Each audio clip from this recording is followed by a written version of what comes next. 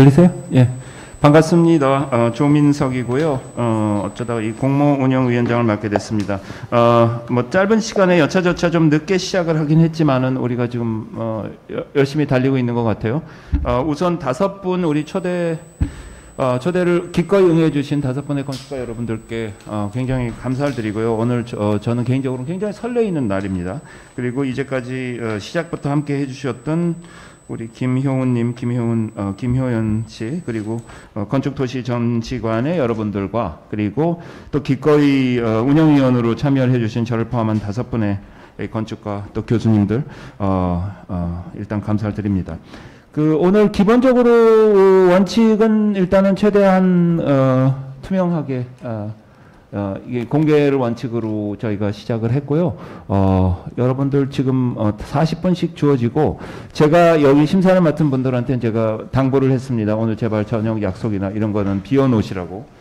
혹시 밤샘 토론 될 수도 있으니까 그 날치기 통과는 안 할 겁니다. 그렇고요. 물론 빨리 끝낼 수 있으면 좋고요. 그렇고 전체적으로 저희가 이게 사실은 어, 뭐 그렇게 큰 어, 여, 어, 여러분들의 그 건축가들은 진짜 누가 되셔도 좋을 그런 어, 훌륭한 역량을 갖고 이제까지 어떤 그런 것들을 보여주시, 어, 보여주신 분들을 뽑았고 결국은 어떤 안이 여기에 이제 어, 뭐, 어, 뭐 탁월한가? 뭐 이런 것들이겠죠. 근데 기본적으로는 어쨌든 무슨 정답을 가지고 이게 우리가 이걸 비교하고 이러는 것들이 아니기 때문에 여러분들이 다 같이 보고 이것이 일종의 하나의 뭐 축제처럼 이렇게 좀 어, 좋은 분위기에서 진전이 됐으면 하는 생각이 있고요. 그렇고 어, 뭐 자유롭게 우리가 이제 다섯 분이 뭐 40분씩 이제 Q&A까지 포함해서 40분씩 발표를 하시고 그러니까 40분 안에서 적절히 시, 간 분량은 조절해 주시고요. 어, 대화를 더 많이 하고 싶다 그러면 저기 하실 수도 있고 그냥 밀어붙이겠다 그러면 30 한 5분까지 가질 수도 있고요.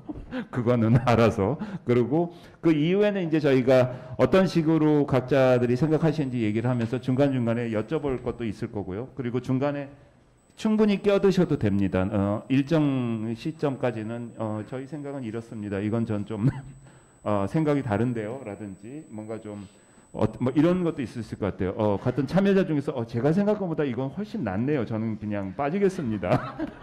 이럴 수도 있고 저는 대놓고 그런 그러니까 떨어져 보고 그런 경험도 있었어요. 기분 좋게 아 내가 왜 이런 생각을 못했지? 그러면서 야 부럽다 이런 것도 있고 어떨 땐 됐는데 아 저 사람께 그렇게 별로 커리어에 도움은 안 될 것 같은데 왜 저런 걸 뽑았지? 뭐 이런 이럴 수도 있고 뭐 여러 가지 다양한 저기들이 있거든요. 그러니까 조금 열렸으면 좋겠어요. 이 목적이 이게 무슨 뭐 엄청난 우리가 규모의 프로젝트 이런 것도 아니고 정말로 여기서는 그 뭐 순도 얘기도 하고 여러 가지를 했는데 그리고 그 땅에도 맞아야 되지만 저는 그런 생각도 있어요. 저희가 어쨌든 팬으로서 다섯 분을 초대한 건데 그분의 작업에 이제까지 body of work의 어떤 지점과 또 이런 새로운 것을 보여줄 수도 있고 이런 어떤 가능성들에서 참 이게 지어지면 좋겠다. 이런 것도 같이 판단할 수밖에 없는 것 같아요. 뭐, 뭐 그런 정도로 일단은 얘기를 시작을 하고 저는 되도록이면 닥치는 분위기로 갈게요. 말하기 시작하면. 어, 김사라 선생님 벌써 벌 쓰시느라고 수고하셨고요. 그럼요. 시간이 이제 거의 다 된 것 같은데 별다른 적이 없으면 시작할까요? 네, 좋습니다. 감사합니다. 시작해 주세요. 안녕하세요. Diagonal Thoughts의 김사라입니다. 파사드 클러스터 발표 시작하겠습니다. 음, 발표는 여기 보시는 7개의 카테고리로 진행하도록 하겠습니다.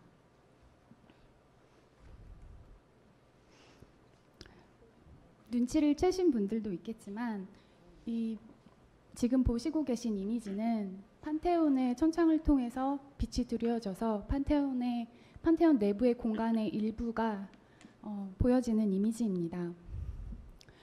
우리가 도시를 인식할 때 실제 도시가 어떻게 지어지고 그리고 거기에 일어나는 상황이나 어, 물건들의 본질보다는 어쩌면 어떻게 경험하게 하고 바라보게 할 것인가가 우리가 도시를 인식하는 데 중요한 부분이 아닌가라는 생각으로 프로젝트를 시작합니다. 저희에게 주어진 사이트는 여기 계신 모든 분들이 다 잘 알듯이 1913년에 덕안궁에서 시작하여 1937년에 조선총독부 최진구 청사를 지나 지금에 이르 1919년 서울도시건축전시관으로 그리고 오늘 저희에게 그 다음이 무엇이 될 것인지 한시적인 시간에 대해서 묻고 있습니다. 이곳은 너무나 많은 역사적인 어, 레이어가 콜라주돼서 뭉쳐 있는 잠재성을 가지고 있는 장소입니다. 더불어 저희에게 주어진 사이트에서 바라보는 파노라마 전경입니다. 제가 이 사이트에 처음 갔을 때 촬영한 사진이기도 한데요. 저희에게 주어진 사이트뿐만 아니라 이곳에서 보여지는 1592년의 덕수궁 돌담부터 최근에 어, 근 최근에 완공된 서울시청 신청사까지 너무나 많은 시간의 켜가 중첩되어 있다는 생각이 들었고 저에게는 이 도시들이 무엇보다 쑥덕거림이 어, 지연되고 있다는 강한 인상을 받았습니다. 그래서 이곳에서 어, 지금은 비워져 있기에 일상이 되어버린 확 트인 시야를 시야에 어떤 장치를 개입함으로 통해서 그런 공공 개입이 이, 이 일상의 새로움을 발현할 수 있지 않을까 생각을 했습니다. 늘상 보는 풍경이기 때문에 우리에게 너무 익숙해진 것에 어떤 장치가 개입함으로써 경험을 뒤틀고 그 장치가 걷어진 이후에야말로 다시 이 장소를 재인식하는 것이 어떻게 보면 이 한시적인 건축물의 시간성을 극복하는 것이라고 생각했습니다. 그래서 저희가 제안하는 장치는 어떤 다양한 어, 어, 스크린이나 픽셀들로 인해서 시각적으로 이, 어, fantastic한 이 어, 파사드를 재인식하게 하는 장치입니다. 그 장치는 스스로 어떤 강한 형태나 성격, 색깔을 지니지 않고 다시 한번 이 도시의 층위들을 어, 탐험할 수 있게 재인식할 수 있게 하는 장치 어, 가이드라고 가이드가 되어야 한다고 생각합니다.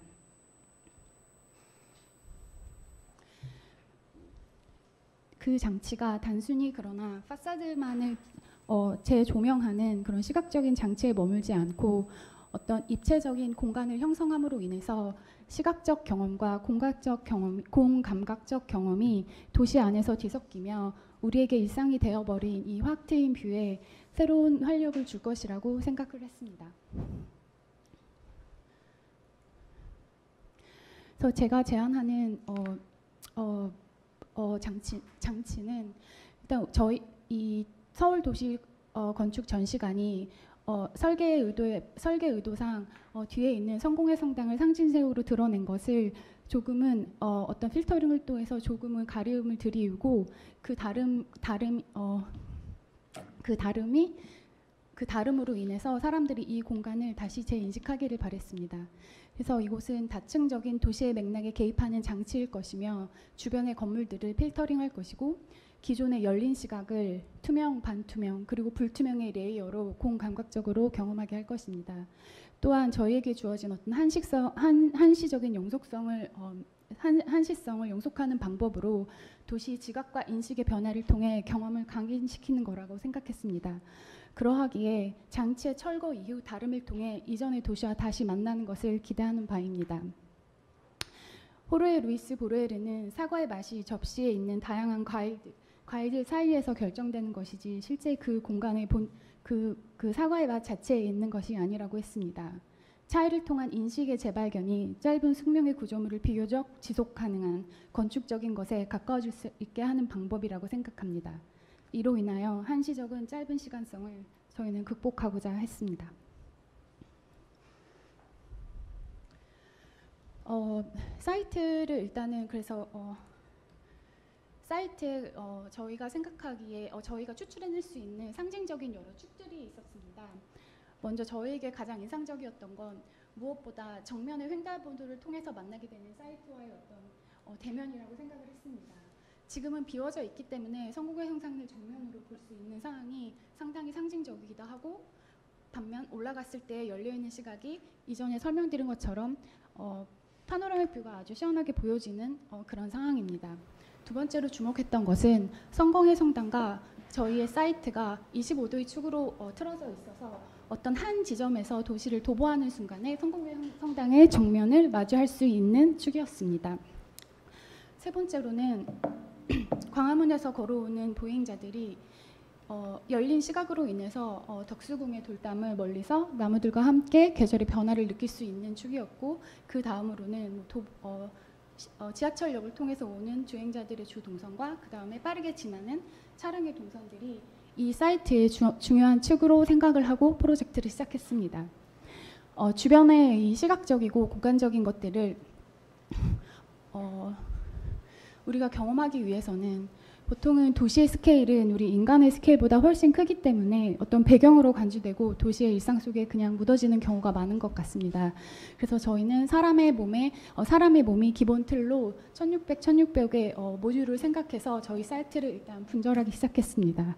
그 작은 어, 사람 몸의 스케일들이 분절되면서 이, 고- 이 저희의 사이트를 지나는 사람들이 조금은 도시를 우리의 몸의 스케일에 맞게 경험할 수 있을 것이라고 어, 전제를 두고 프로젝트를 시작합니다.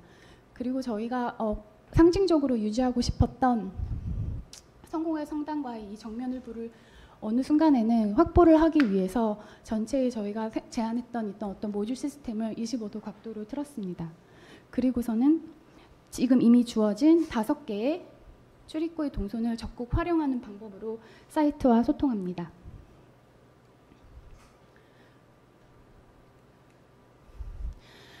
그래서 어, 내부 공간 어, 시각적인 장치이자 이 사이트의 공간 아이고 공간을 점유하는 방식을 스터디해 가- 해 나아간 스케치입니다. 상당 제일 위에 있는 이미지 같은 경우에는 저희가 중요하게 생각했던 성공회 view를 확보하는 하- 상- 확보하는 방식으로 주 지금 사용되고 있는 주 진입 동선들을 조금씩 어, 사이트와 소통하는 방식으로 변형을 하기 시작했습니다. 그리고 시공, 시공적인 측면에서 생각을 했을 때 불필요한 이형을 만들지 않기 위해서 저희가 어, 처음에 처음부터 전제 조건으로 두었던 1,600의 모듈들을만 유지하는 방식으로 공간을 어, 만들어가고 나머지는 어, 지워내기 시작을 했습니다. 그리고 나서 만들어진 어, 내, 마지막 내부 공간의 평면입니다. 그래서 사이트에 대해서 조금 더 설명드리자면 지금 화살표가 약간 어긋나 있긴 한데요. 두, 어, 두 저희가 생각한 어, 다섯 개의 주, 어, 출입 출, 자, 다섯 개의 어, 진입 동선 중에 첫 번째는 어, 지하철을 통해서 오는 도보하는 사람들이 계단을 통해서 올라가는 것을 첫 번, 어, 중요한 어, 동선으로 생각을 했고 두 번째는 시의회 건물에서 진입하는 도보하는 사람들이 어, 동선을 어, 두 번째 동선으로 생각을 했습니다.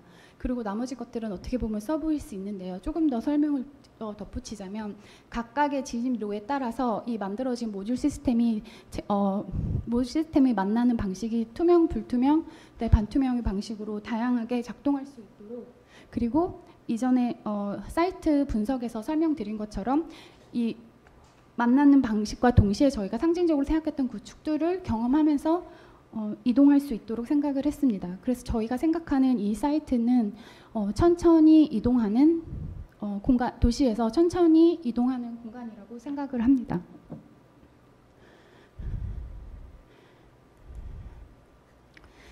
이 저희가 생각하는 이런 어떤 저희는 어, 저희 어, 파사드 cluster는 어떻게 보면 도시의 입체 입체 안경일 수 있을 것 같습니다. 공간을 점유하고 있는 어떤 필, 필터링 시스템이면서 동시에 어, 사람들이 이 도시를 천천히 느리게 지나가는 통로의 역할을 하는 공간입니다.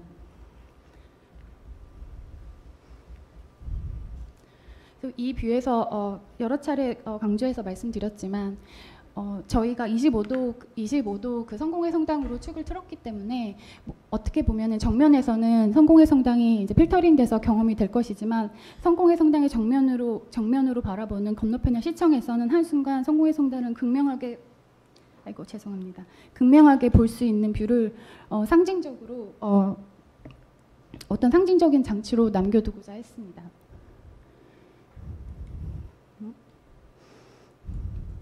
내부에서의 공간적인 경험과 사람들이 어떻게 이 공간을 활용할 것에 대한 설명을 조금 더 구체적으로, 하, 구체적으로 하도록 하겠습니다.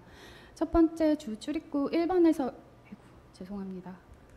네, 헷갈려가지고 주 출입구 1번에서 들어오는 동선회 같은 경우에는 계단을 통해서 어, 상승하는 공간입니다.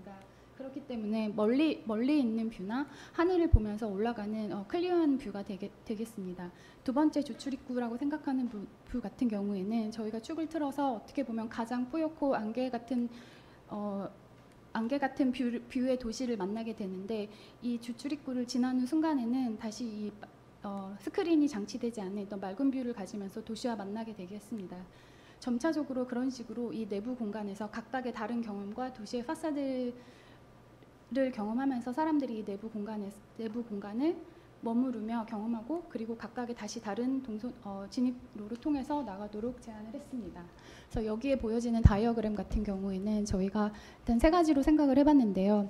저희가 제안하는 어, 어, 1600의 어떤 어, 모듈의 프레임 시스템이 어, 배치 어, 배치된 특성상 어, 공간에 따라서 투과, 반투과, 불투명으로 다양하게 공간의 층위를 가지고 경험을 하며 어, 제목에서처럼 파사드 클러스터, 어, cluster라고 부르는 것처럼 어떤 도시의 입면의 모습을 다층적으로 경험하고 또 내부의 공간을 점유하고 그런 장치입니다.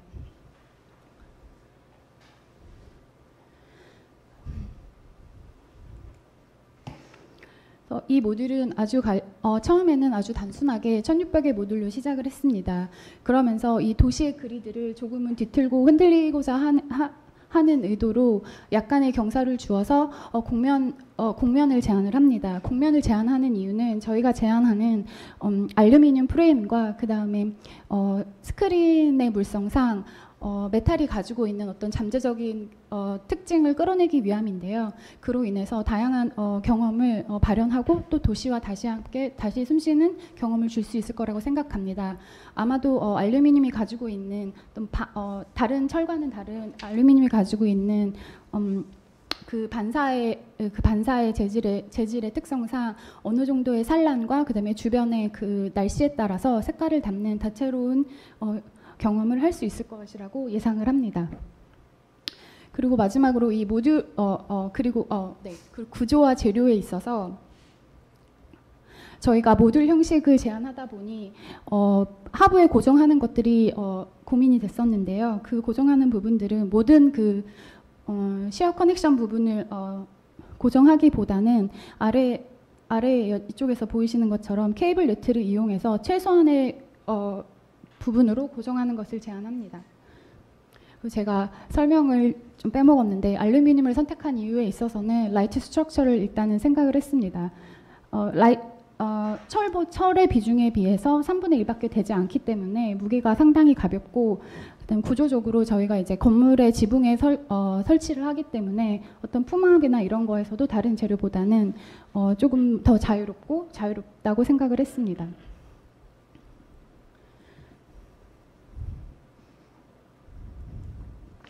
그래서 비 오는 날은 아무래도 알루미늄이 이제 빛의 산란에 따라서 조금은 더 다른 색, 색상으로 보여지며 저희가 생각하는 어떤 약간의 그 5도 정도의 각도를 도시의 그리드를 뒤틀은 어, 모습을 볼 수 있는 어, rendering view입니다.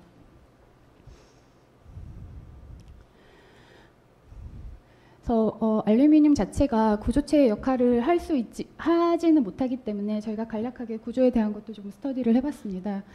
어, 그래서 어쨌든 간에 이 직, 어, 직, 직류면체의 구조체가 횡력을 받는 것을 감안을 했을 때 아마도 저희가 제안하는 구조물은 여섯 개의 블럭으로 어, 분리돼서 설치가 될 것 같습니다.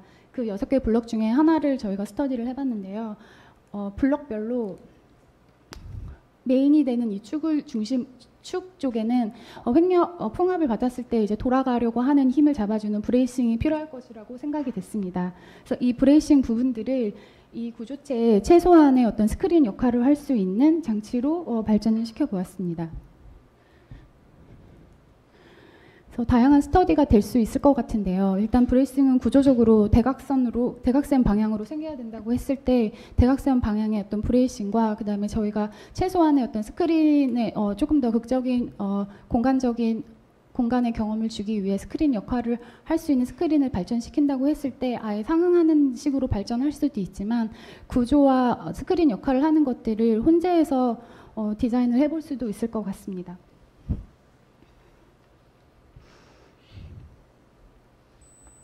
그래서 이 그리드를 바탕으로 어, 아주 작은 모듈에서부터 적층된 구조물의 어, 구, 어, 구조물의 형식을 가지고 있기 때문에 어, 그림자 또한 상당히 흥미로울 것이라고 생각을 합니다.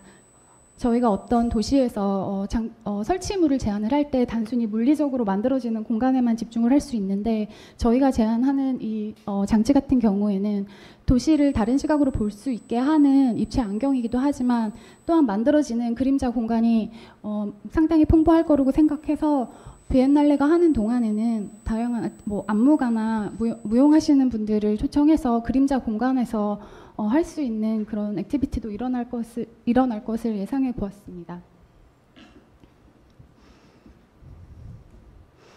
어, 그리고 이 view는 어, 그 지하철을 타고 오시는 보행자들이 주요 사용하게 되는 대로변에서 접근하게 되는 어, 주 동선의 어, 어, 계단에서 올라오는 view의 rendering입니다.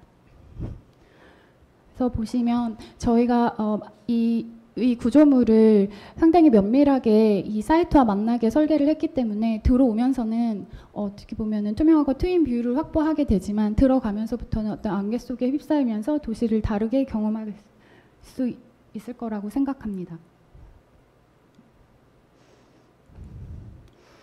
이 뷰는 어, 두 번째 주 출입구라고 생각하는 시의회 건물의 어, 편에서 어, 입자, 어, 들어오게 되는 어, 동선인데요. 가장 도시를 어, 흐릿하게 경험을 하면서도 어, 이 흐릿하게 경험을 하기 때문에 설치물과 처음 만났을 때 도시에서 뭔가 공간이 전이되는 그런 경험을 할 수 있을 것 같습니다. 그래서 도로를 따라 들어가면서 만나게 되는 내부 공간에서는 공간이 훨씬 더 많이 확보될 것이라고 예상합니다. 어, 이 view는 내부 공간 저희가 어, 만들어 놓은 저희 설치물 설치물에 둘러싸인 내부 공간의 view입니다. 음, 경량 어, 가장 가볍고 경량 구조를 생각을 하면서 알루미늄을 생각하게 됐는데요.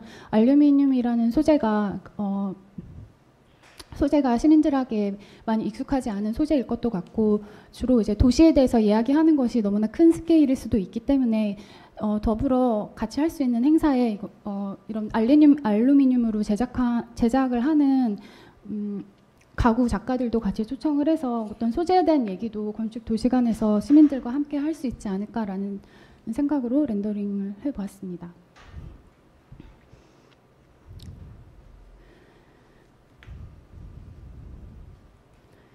그, 저는 중, 중앙 공간에서 도, 이 부, 저희 사이트가 가지고 있는 그 확 트인 view로 인해서 확보될 수 있는 하늘 view입니다.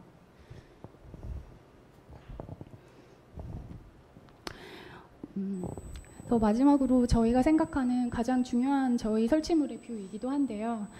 지금은 정면으로 드러나 있는 성공회 성당의 일부를 어떤 입체적인 장치를 통해서 어, 지- 어, 시각적인 어, 시각적으로 다르게 바라볼 수 있는 경험을 주는 게 중요하다고 생각했고 이는 꼭 저희 설치물을 어, 경험하러 오지 않는 시민들도 어, 사이트 분석할 때 말씀드린 것처럼 다양한 속도를 통해서 어, 만날 수 있, 있을 거라고 생각을 합니다. 그러면서도 아예 성공의 성당을 가리지 않는 전략을 저희가 선택한 것은 이, 정, 이 장치물이 사라졌을 때의 그 차이점들을 시민들이 인식을 하고 건축이 하고자 하는 물리적인 영속성에서 벗어나 다시 한번 말씀드리면 그 한식성을 극복하는 것에 어, 많은 고민을 어, 했습니다.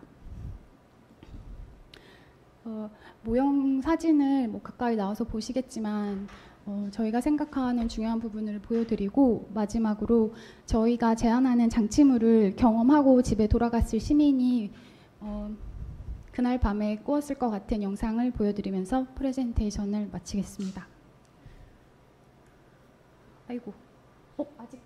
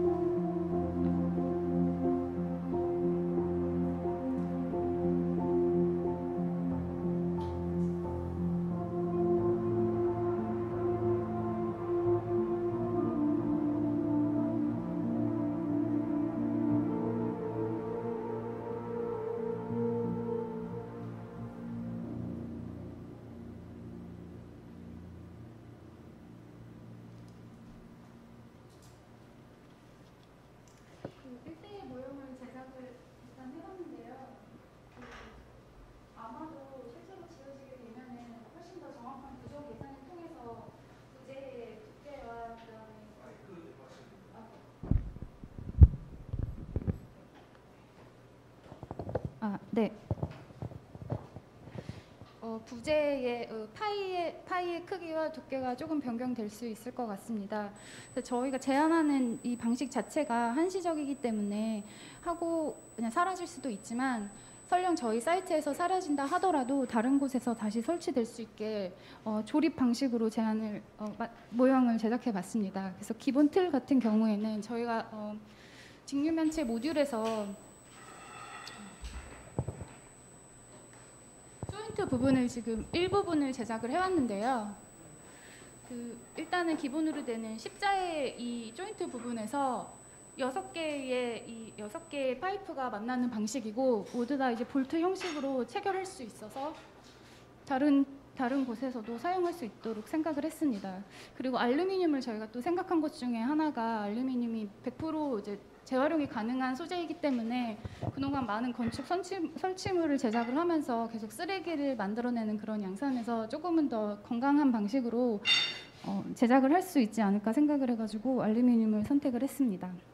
지금 저희가 지금 보여드리려고 이 부분만 체결을 지금은 해놨고 이 부분 같은 경우에는 일단은 나중에는 볼트로 체결을 할 건데 지금은 이제 끼는 방식으로만 해서 제작을 했어요. 다 알루미늄입니다. 네. 제가 지금 지- 저, 저 이해를 좀 하는데 이게 지금 곡선인데 수직이 다 곡선으로 돼 있는 건가요? 어, 그 아니요. 그 직육 면체 중에 지금 수직 부재만 이제 곡선 밴딩을 한 거고 수평 부재는? 네, 그렇습니다. 네. 나 직선입니다. 네.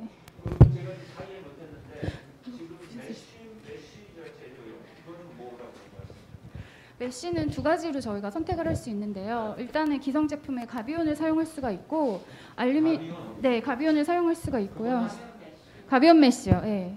그거는 galvanize 같은 건가? 네, 스- 아연도 예, 아연도 용융 도금입니다. 그래서 알루미늄하고 마감 재료가 거의 유사하게 보여지는 그렇 제품이 그렇고 있고요. 아니면은 아니면은 어, 일부를 저희가 네. mesh를 지금 모든 면에 하는 게 아니 하는 것이 아니고 네. 두 면. 어, 자, 저 프레젠테이션 자료 잠깐 보여주실 수 있나요? 여기는 접합이 안 돼서 조금 떨어질 수도 있습니다. 제가 설명을 충분히 못 못하고 너무 그래서 보면 두 면에 하나 걸려서 스크린을 지금 제한하는 거를 두 면에 네, 그러니까 어, 한 유닛이 있다면 네. 두 개에 하나씩 스크린을 지금 넣는 걸로 제한을 하고 있습니다. 그래서 렌더링에서 보시면 네. 또 보시면 스크린이 있고 그 다음에 비어 있고 스크린이 있고 그런 리듬으로 가고 있는데 이 부분은 구조적으로 어, bracing이 생기는 부분에 따라 에서부터 시작을 해야 되기 때문에 네. 실제로 제작할 때는 조금 변경될 수 있을 것 같습니다. 그게 gabion mesh가 될 수도 있고 알루미늄으로 예, 같은 custom 할 수도 있고 네. 뭐 이런 거라는 거죠. 네, 그리고 또 제가 그냥 그 굉장히 바날한 얘기들만 좀, 좀 여쭤볼게요. 이 뭐야 견적 혹시 좀 네. 알아보셨어요? 네, 견적을 지금 저, 제가 근데 정확한 이제 예를 들어서 이 접합 디테일 같은 경우에는 접합 디테일이나 그다음에 아까 말씀드린 파이에 따라서 견적은 조금 상응하게 나, 어, 변화가 있을 것 같은데요. 지금 견적 받은 것으로는 1억 1억 2천 정도 나왔습니다. 부가세 포함해서. 예. 어, 어, 네, mesh까지. 예. 그러니까 mesh 제, 어, 아니요 재, 재료랑 인건비랑 그 다음에 네, 그 부가세 포함해서 전체 제작하는 것까지 받아봤는데 그 부분을 제가 그래서 이 variation을 이제 mesh의 variation을 저희가 굳이 저희가 스터디 과정에 있지만 보여드려야겠다고 생각한 부분들은 사실 구조적으로 bracing이 필요한 부분은 이 대각선입니다. 그런데 그 시각적인 효과를 위해서 bracing을 어떻게 저희가 더 촘촘하게 하느냐에 따라서 견적이 어, 조금 많이 다른 것 다르게 낼 수 있어서 지금 정확한 견적은 아니고 지금 제안하는 것에서 저희가 실시 설계 해가면서 풀어, 충분히 풀어갈 수 있는 부분이라고 생각합니다.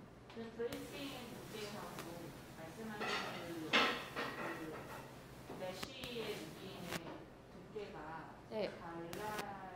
어 그렇지 않습니다. 그래서 여기에서 보면은 브레이싱이 최소 5mm 직경이면 가능한데 저희가 제안하는 어, 어, 메시에 같은 경우도 5mm 직경을 생각하고 어, 보- 보여드린 이미지에서는 5mm 직경으로 렌더링이 되어 있습니다. 조금 더 이해를 하려고 근데 지금 보니까 세 모듈이 쌓여 있어요. 그럼 사정 컴퓨터네요. 그죠? 그냥 이 사면에 따라서 내려가는 거. 네, 그렇게 제안을 하고 있습니다. 그러면 인면으로 그리고 되는 건가? 어, 그 지오메트리를 그 지금 그렇게 말이 되는 것 같은데? 그렇지 않습니다. 이제 공면 때문에 그렇게 보이는데 직육 매체 있는데 기울어져 있고 기울어져 있는 거고. 네, 고정 방식만 그리고 이게 지금 이 판이 5, 도 기울어져 있는 거예요? 어, 여- 몰라서. 어. 아니요 20도 그러니까 20 대 1로 기울어져 있고 오, 20대 네 20대 1로 기울어져 있고 그게 5%죠. 오, 3도입니다. 3도이고 5도는 어 제가 예, 제가 저희가 이제 그 기본 모듈에서 어떤 이 도시의 그리드를 조금 해체하기 위해서 튼 방향성과 방향성입니다. 예. 그래서 약간 정면에서 보시면 약간 기울어져 있, 있습니다. 약- 이러- 이 방, 그 광화문 방향으로.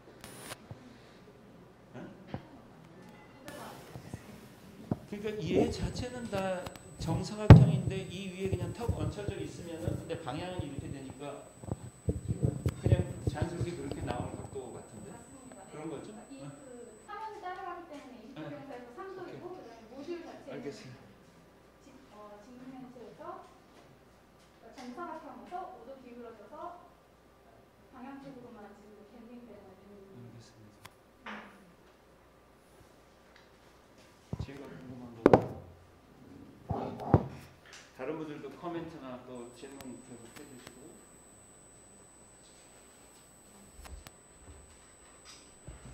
정말 힙을 렉스를 위한 후보적 얘기하셨는데 그리고 이제 그 위에다가 뭔가 죄송해요. 예, 예. 마이크가 있군요.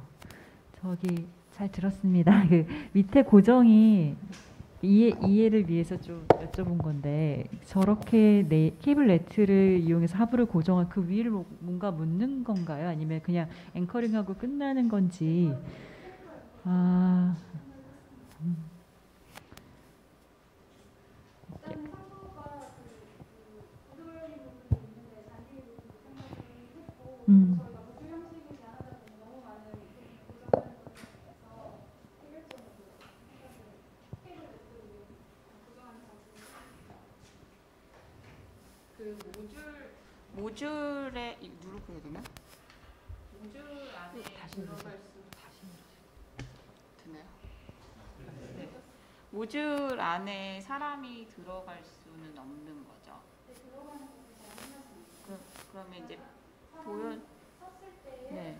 스케일과 생각을 하면서 도시 공간에서 네. 아. 네. 도시 공간에서 사람 스케일 정도로 어떤 장치물을 만나는 것이 맞지 않을까라고 생각을 해서 1600 모듈을 선택했습니다. 실제로 저희가 사람들이 이제 점유할 거라고 느리게 지나는 통로로 어, 사용할 거라고 하는 부분은 이 지금 스케치에서 이 비어 있는 부분입니다. 어 제가 네.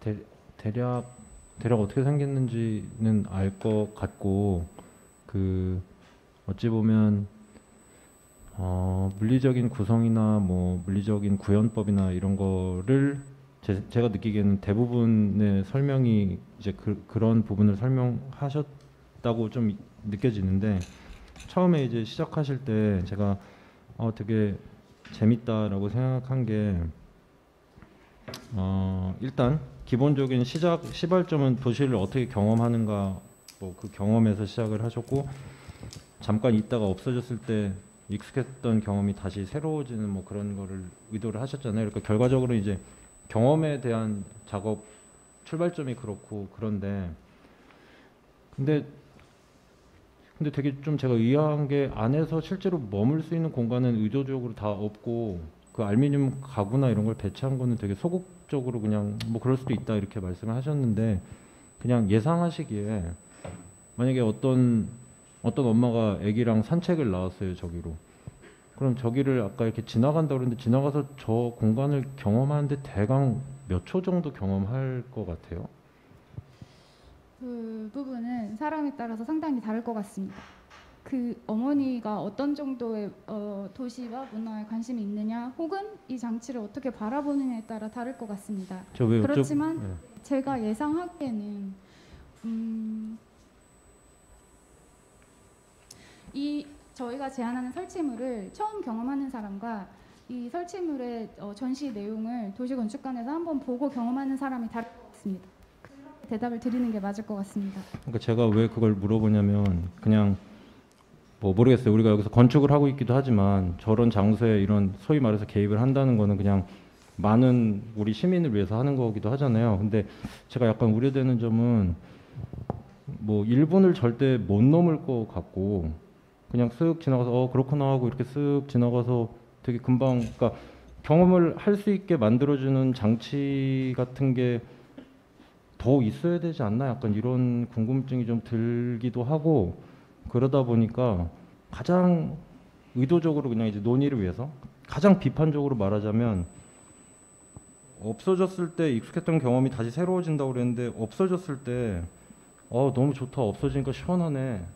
라고 생각을 할지 아니면 몇 년 있다가 아 그때 지금은 없지만 그때 그거 있었던 거 그거 되게 괜찮은데 라고 이제 기억하기를 원해서 하는 거잖아요. 근데 약간 아 없어지니까 시원하네. 성공의 성당 다시 보니까 좋다. 이렇게 될 우려도 좀 있나 그런 게 좀 궁금하거든요 그래서 왜 의도적으로 안에 이렇게 머물거나 시간을 보내게 하지 않았을까가 좀 되게 궁금한 것 같아요.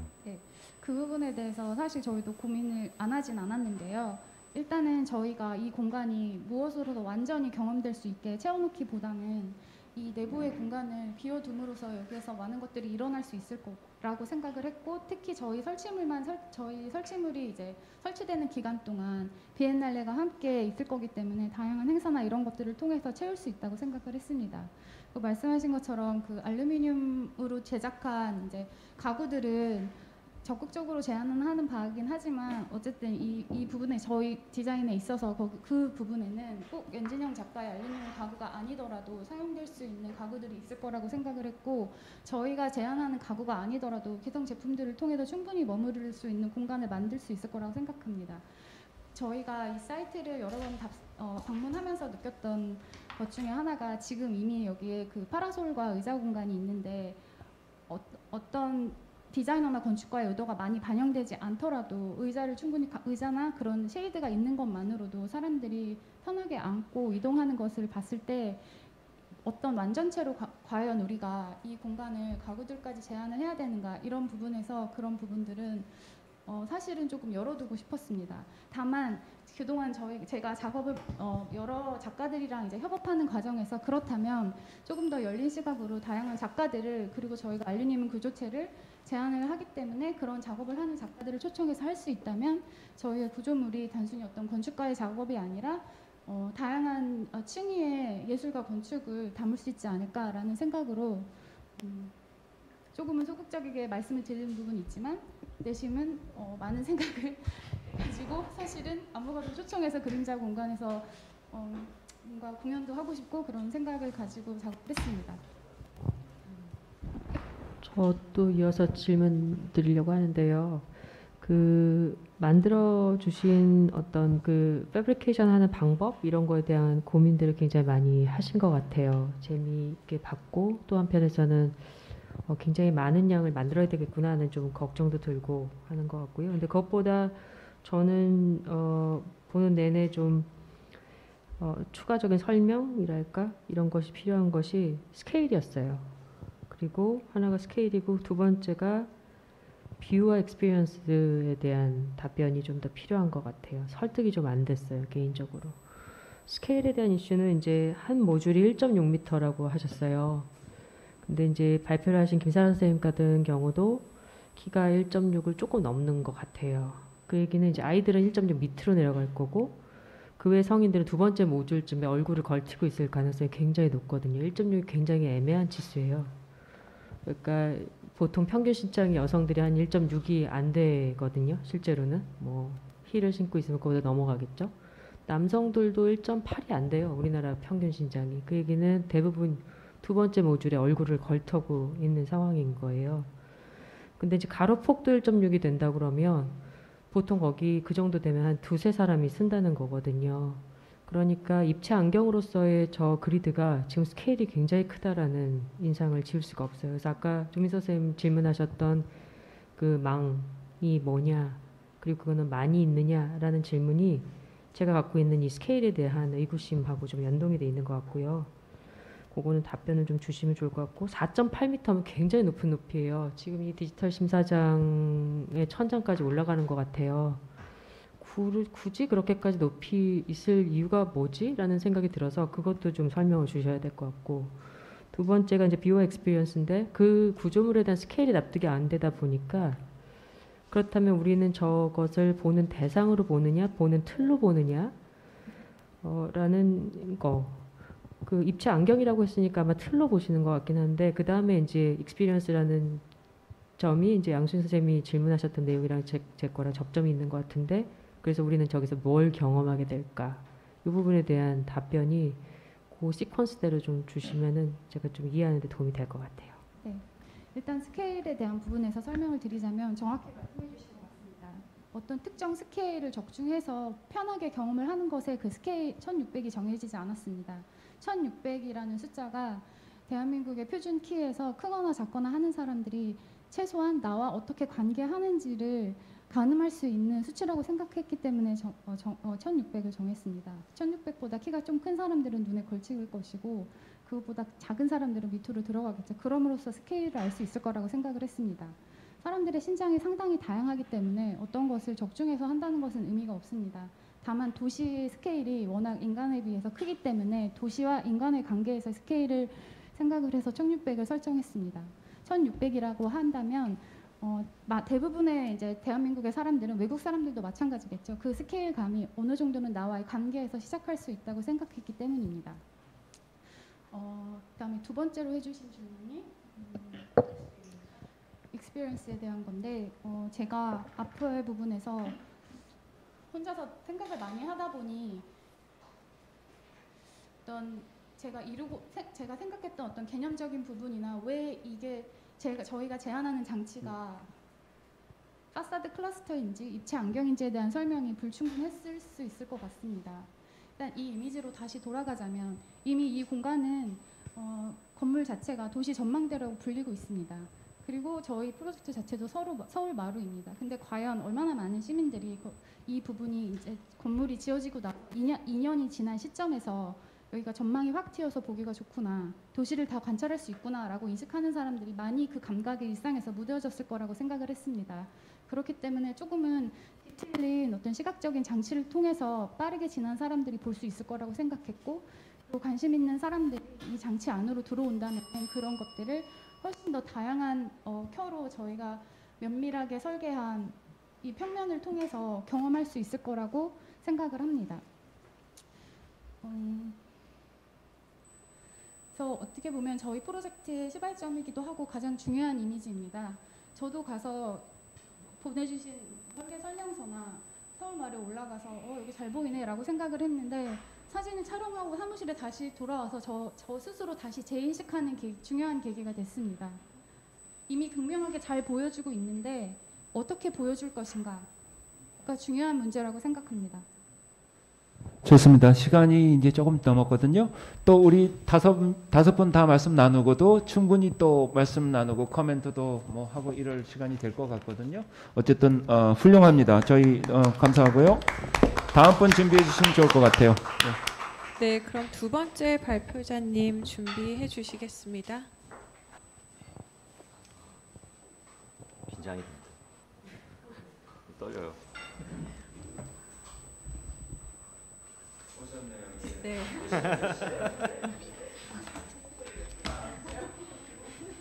시작할까요?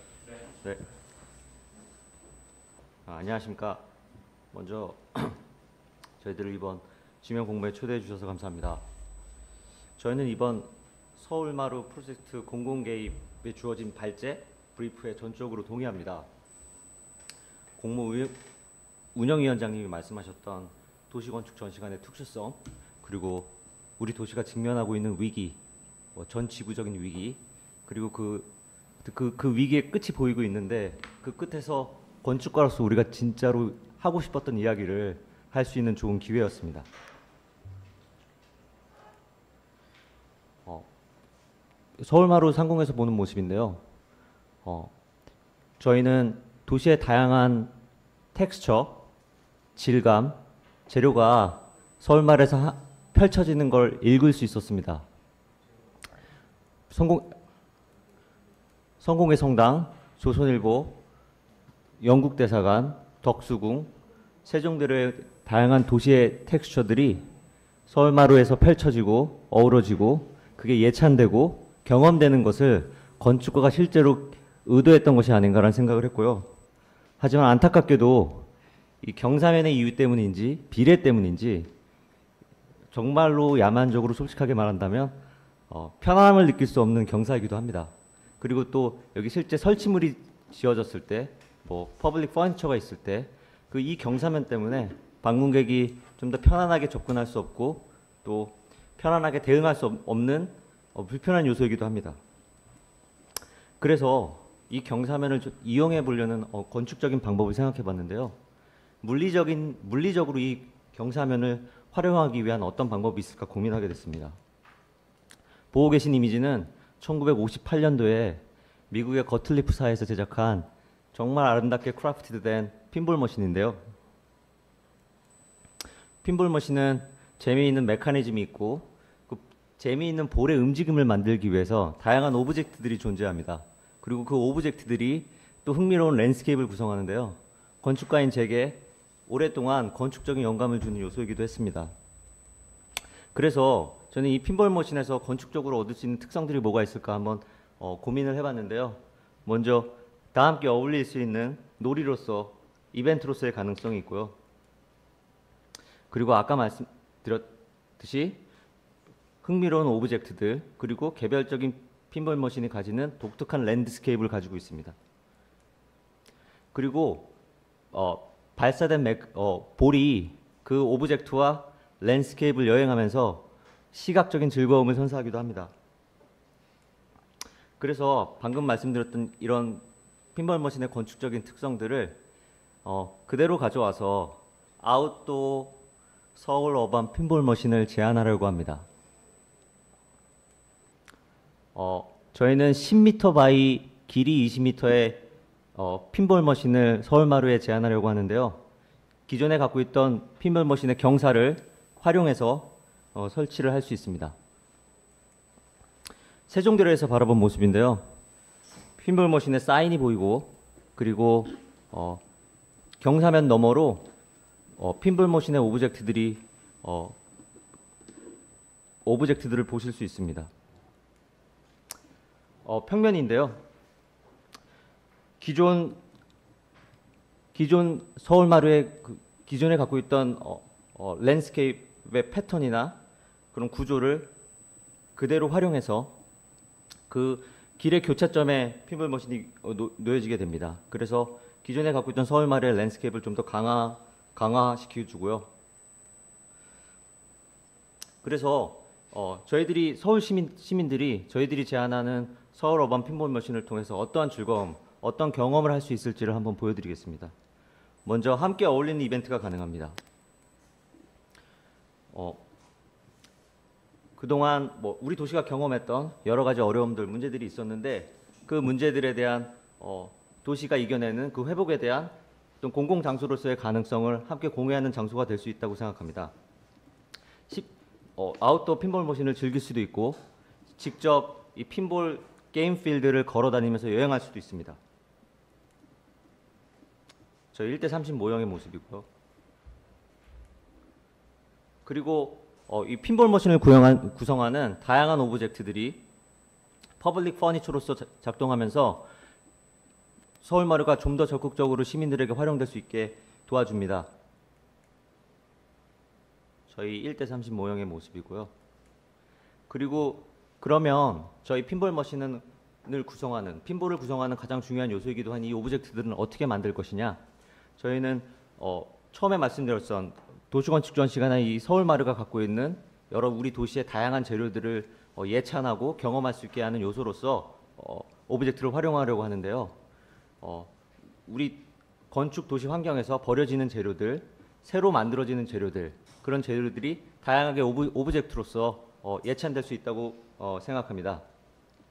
보시는 것처럼 친환경 소재, 어, 업사이클링 소재를 이용해서 어, object를 만, 만들 수 있습니다. 저희 저희가 보시는 저희 모형 나중에 보실 텐데요. 모형에 있는 모든 object들은 버려지는 어, 거위 알을 가지고 어, 만들었습니다. 그리고 아까 말씀드렸다시피 이 경사면 때문에 public furniture가 제대로 작동할 수 없는데 저희는 야적장에서 활용되는 그 팔레트를 이용해서 그그 경사면에 대응할 수 있도록 어, 이 object를 설치하고자 합니다. 어, 목재, 뭐 재활용 콘크리트, 바이오 플라스틱 같은 재료를 활용할 수 있습니다.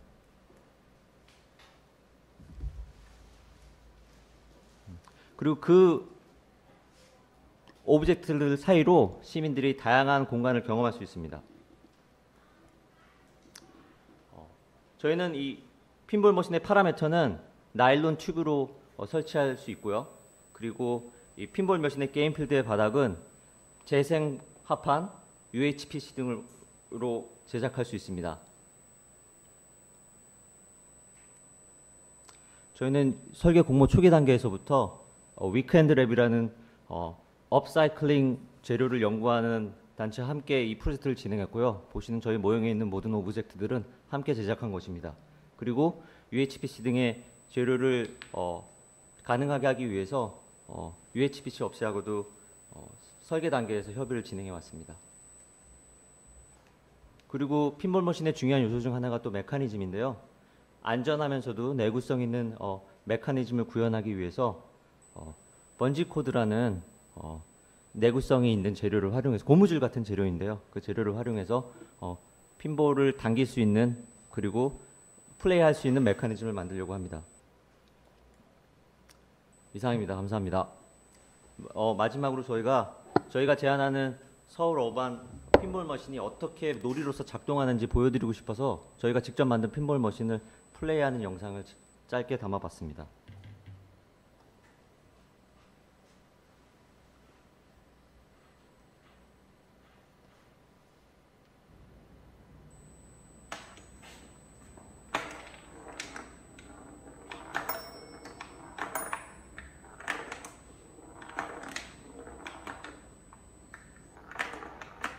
실제로 설치되면 지금 한 거야? 그, 그, 그, 그 부분이 이제 영상이 끝나면 설명을 드리는데요. 점 10점 30 이제 점수가 있어서 사람들이 플레이하면서 점수를 매길 수 있게 계획했습니다. 80점. 무슨 늘었어 네. 연습 아까 엄청 하셔갖고 80점 없습니다 움직여 왜 움직여 50점 아하 당첨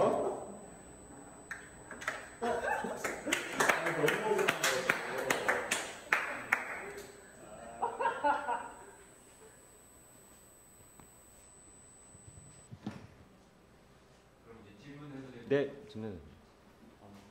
그냥 간단한 질문인데 이렇게 아까 번지 코드로 처음에 슛 하는 건 알겠는데 이, 이렇게 다시 치는 것은 어떻게 치나요? 실제에서? 사실은 이제 구현하기 위해서 다양한 방법이 있는데요. 핀볼 머신도 이제 실제로 이 메커니즘이 있는 경우도 있고 저 밑에 칸을 나눠 가지고 점수 점수 어느 어느 공간으로 공이 들어가냐에 따라서 점수를 나눌 수도 있습니다. 네, 제가 생각하는 건 이 outdoor pinball machine이 물리적으로 지금 이 스케일 machine에 있는 그 메커니즘이 100% 구현되는 pinball machine을 생각하는 건 아닙니다.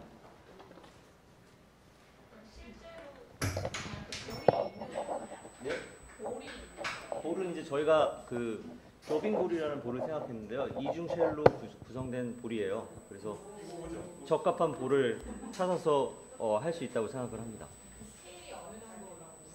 저희가 보는 스케일은요. 정확히 스케일을 생각했던 건 아닌데 그 고민을 한번 해보겠습니다. 이만 이만해야 되지 않? 그렇게 크진 않습니다. 커야 되지 않을까요? 네, 크진 않고 축구공 두 배 사이즈 정도라고 생각하고 있습니다. 이게 30분의 1이라고 그랬죠. 네. 이게 지금 30대 크기의 손가락이 이게 대신에 지금 뭐, 뭐이 정도 있어야 될 것 같은데. 네, 요건 이제 그렇게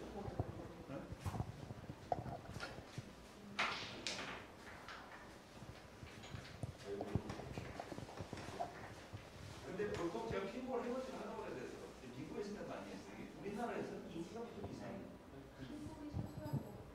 그, 그, 근데 이게, 이게 혼자서도 하고 둘이서도 하는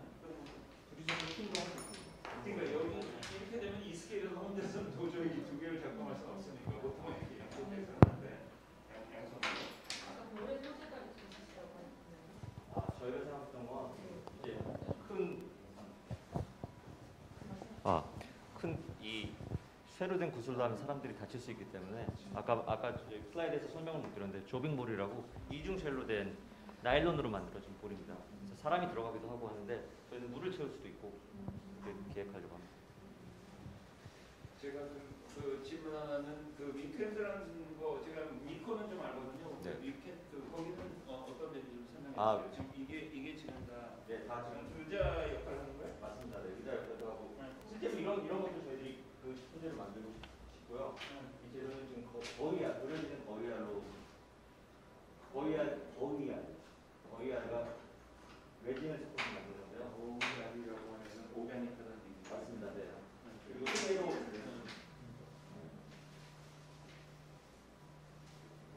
플라스틱으로도 만들 수 있고요.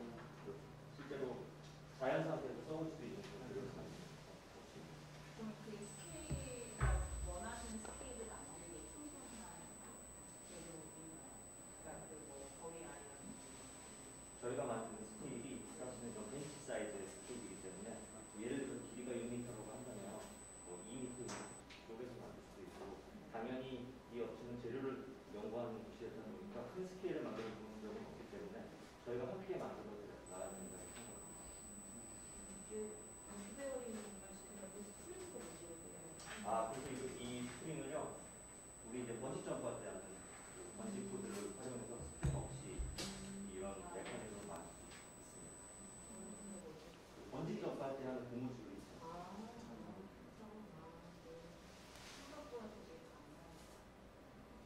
네, 그런데 또 아마 이제 뭐 길이라도 좀 조절을 해서 만들 수 있겠죠.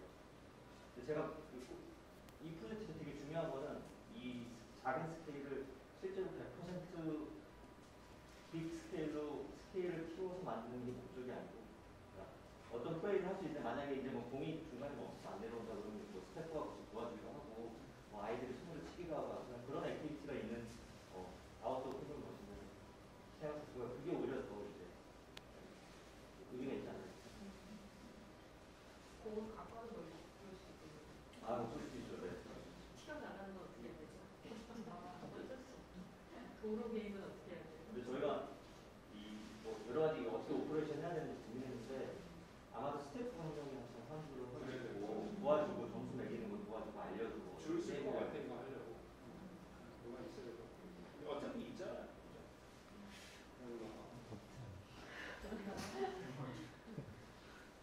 지금 조금만 더 이해할게요. 아까 이, 이런 게 되려면은 지금 이 이게 올라가야 되는 거죠. 지금 네, 지금 레벨이. 우리 우리 그래서 도면에서는 하여 있어야 이게 맞습니다. 네. 이게 이게 이게 볼들이 가다 뻗치기도 하고.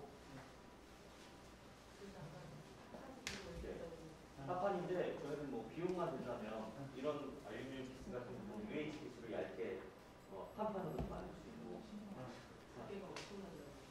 바닥을 다 안 하고 할 수 있는 방법이 있지 않을까요? 그 바닥을 다 새로 하는 게 좀 더 과하지 않을까요? 면적이 근데 그 골프 골프 퍼팅 연습 같은 거 할 때 보면 이렇게 바닥을 안 파도 음. 얇은 실리콘을 이렇게 튀어나오게 해서 거기에 딱 고정되게 할 수 있거든요. 그러니까 뭐 굳이 바닥을 안 깔아도 어딘가에 공이 들어가게 만드는 건 문제 없는 것 같아요. 왜냐면 그 안양에서 그 미니 골프를 비슷하게 골목길에 했을 때도 그냥 패턴만 맞아요, 깔았고요. 맞아요. 이렇게 네. 바닥을 새거 안 해도 네, 훼손 안 하고 할 수 있었어요. 근데 약간 더그풀 스케일로 갈 때 어떤 식으로 할지 구상을 더 많이 하셨을 것 같은데 사실 저희 게임은 재밌는 건 알겠는데 음. full scale로 어떻게 할지가 중요하거든요. 네. 시간 좀 있는 거예요? 제가 comment comment도 아, 아니고 네, 그냥 네. 흥미로운 게 앞에서 김사라 선생님하고 바라본 거는 그, 그 굉장히 건축적인 주제를 가지고 reaction을 한 게 그러니까 cluster facade 결국 이 서울 도시 건축 전시관이 facadeless 건물이잖아요. 아니면 파사드에 관심 없는 건물.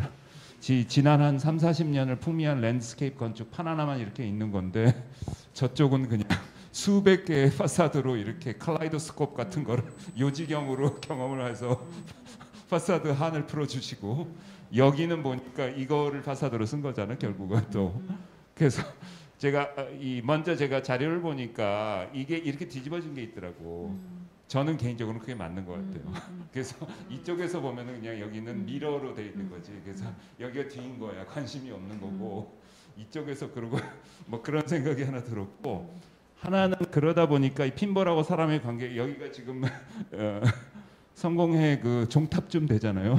그쪽하고도 뭔가 좀 코디네이션이 있으면은 음. 이 굉장히 그래픽하게 자유롭게 싼 재료로 뭔가를 이렇게 만들겠다는 그림을 만들겠다는 그거 자체로 저는 이 기능을 떠나서는 굉장히 흥미로운 어, 무슨 도시적인 어떤 어, 이야기들이 더 들어갈 수 있는 뭐 그런 생각이 들긴 하네요. 저 저는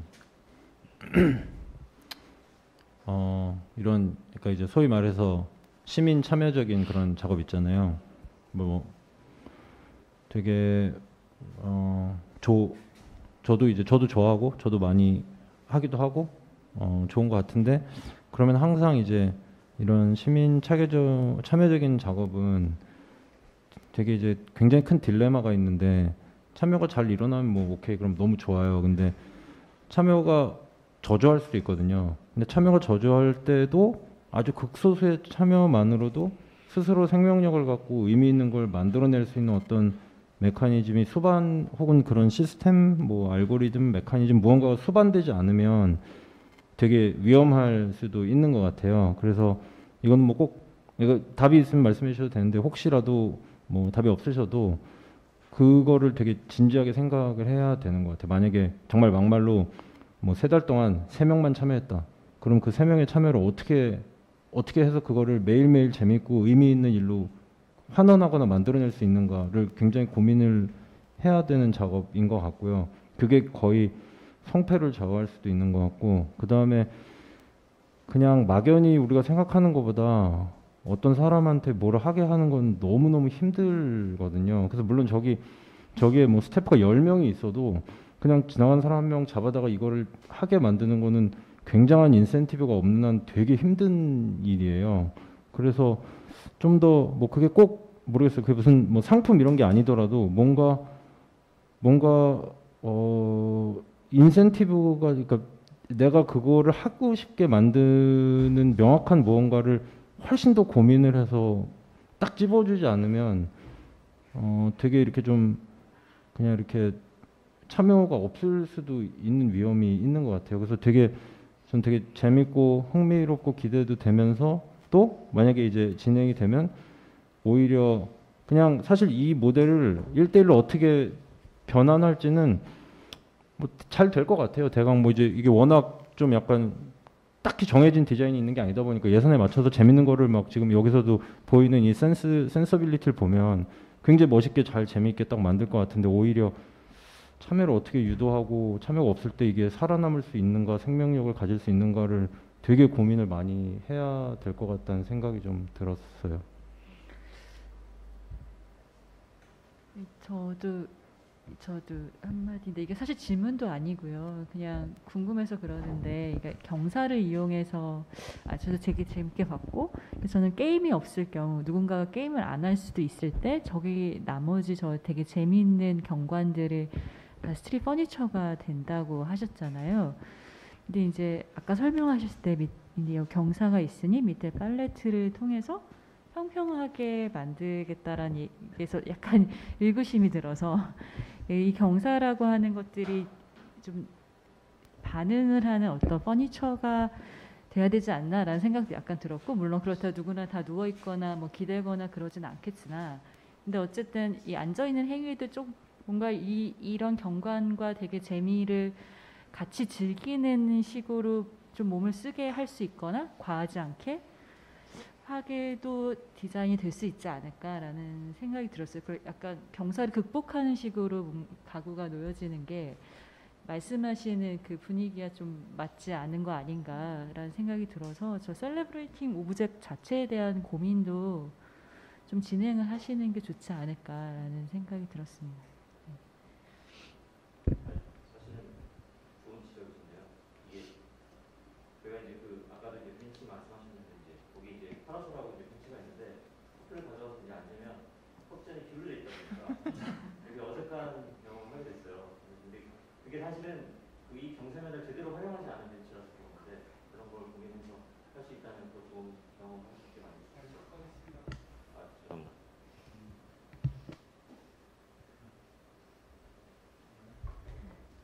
저는 너무 재밌게 너무 재밌게 봤고요. 네. 그 개인적으로 꼬마랑 같이 가보면 좋겠다 뭐 이런 생각들을 하면서 봤는데 저 건물이 아까 조민 선생님 말씀하신 것처럼 인면도 없지만 그림자도 없어요. 그래가지고 그늘이 없거든요. 근데 옥상에서 저기서 재밌게 놀 수 있을까 하는 그런 생각이 드는 거예요. 그래서 그 부분에 대한 것들을 적정 시간에 놀다가 가라고 해야 될지 좀 고민스러운 부분이 있는 건물인 거죠. 그래서 퍼니처에 대한 부분들이 그거를 해소할 수 있을지는 모르겠고 그 위에 있는 것도 좀 사족 같기도 하고 그래서 계속 딜레마가 있는 것 같아요. 그 부분에 대한 것들이. 또 하나 아까 제가 이제 볼에 대한 얘기를 했는데 볼의 이제 스케일을 보면은 꽤나 우리는 지금 작은 공 하나를 쇠구슬 같은 걸 갖고 놀았지만 실제로는 되게 큰 구- 공이 올 수밖에 없거든요. 그리고 저게 아까 뭐 탄성에 의해서 이제 움직일 수 있게 그렇게 만들겠다고 하셨는데 공은 좀 어떻게 보면은 그냥 재미를 넣는 vibration 같은 걸 넣는 어떤 어 요소인 것 같고 그 실제로는 저 놀이 그러니까 놀이 레- 그 놀이가 만드는 놀이 scape를 즐기라는 의도가 되게 강하게 있는 것 같은데 저는 아까 좀 말씀하셨던 거랑 좀 다르게 생각 저 간판이 되게 좀 거슬리는 부분이 있었어요 아까 뭐냐면 왜 저희가 항상 그, 그 길을 저거랑 정면이 face하는 데가 어디냐면 서울시청 뒷부분에서 도로로 이렇게 갈 때 항상 네. 저기를 정면을 보게 되고 그다음에 태평로로 오고 갈 때 저기 정면을 보게 되는데 저 정면이 계속 뭔가 이렇게 돌출하는 게 이게 썩 좋은 인상을 주지 않을 때들이 굉장히 많았거든요. 좋은 인상을 주는 기억도 있겠지만 좀 아직까지는 좀 갖고 있지 못한 것 같아요. 근데 어 물론 이제 저거를 이제 광고 홍보 해야 되니까 그거를 노출해야 되지만 저기서 노는 사람들을 보면 안 되나 좀 사람들이 인면이 되면 안 되나 이런 생각들도 들었어요. 그래서 그 부분에 대한 것들이 좀 고민이 돼야 되지 않을까 그런 생각이 들고 이게 숙- 풀리지 않는 숙제인 것 같아요. 그림자가 없는 저 공간에 대한 것들 우리가 어떻게 해소할 건가에 대한 거. 이거는 뭐 질문도 아니고 그냥 그냥 보면서 느꼈던 거라서 그 있는 그대로 해석해 주시면 좋을 것 같고요. 저는 리사이클링 머티리얼을 가지고 그런 메시지를 주시는 거는 굉장히 흥미롭다라고 생각을 했습니다. 감사합니다. 그 그림자 문제는 저희도 이제 고- 공모 진행하면서 굉장히 많이 고민했던 문제인데요. 이 계속 정답이 없이 도는 문제이기도 했는데 정말 큰 쉘터가 바로 밑에 있는데 위에 또 쉘터를 만들어주는 게 의미가 있는지 자꾸 저희 사무실에서는 그런 고민을 많이 했었습니다. 모르겠습니다. 그 문제는 여전히 좀 풀리지 않는 숙제이기도 한 것 같아요.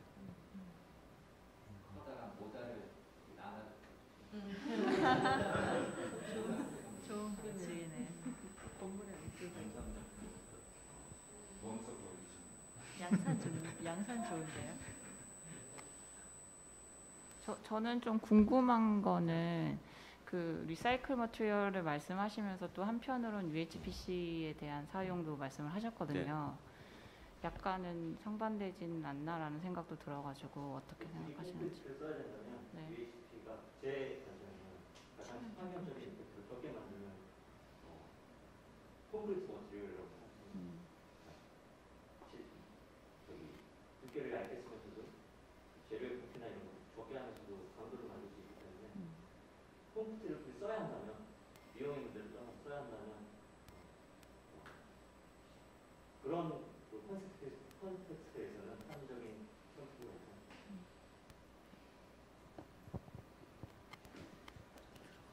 아, 네.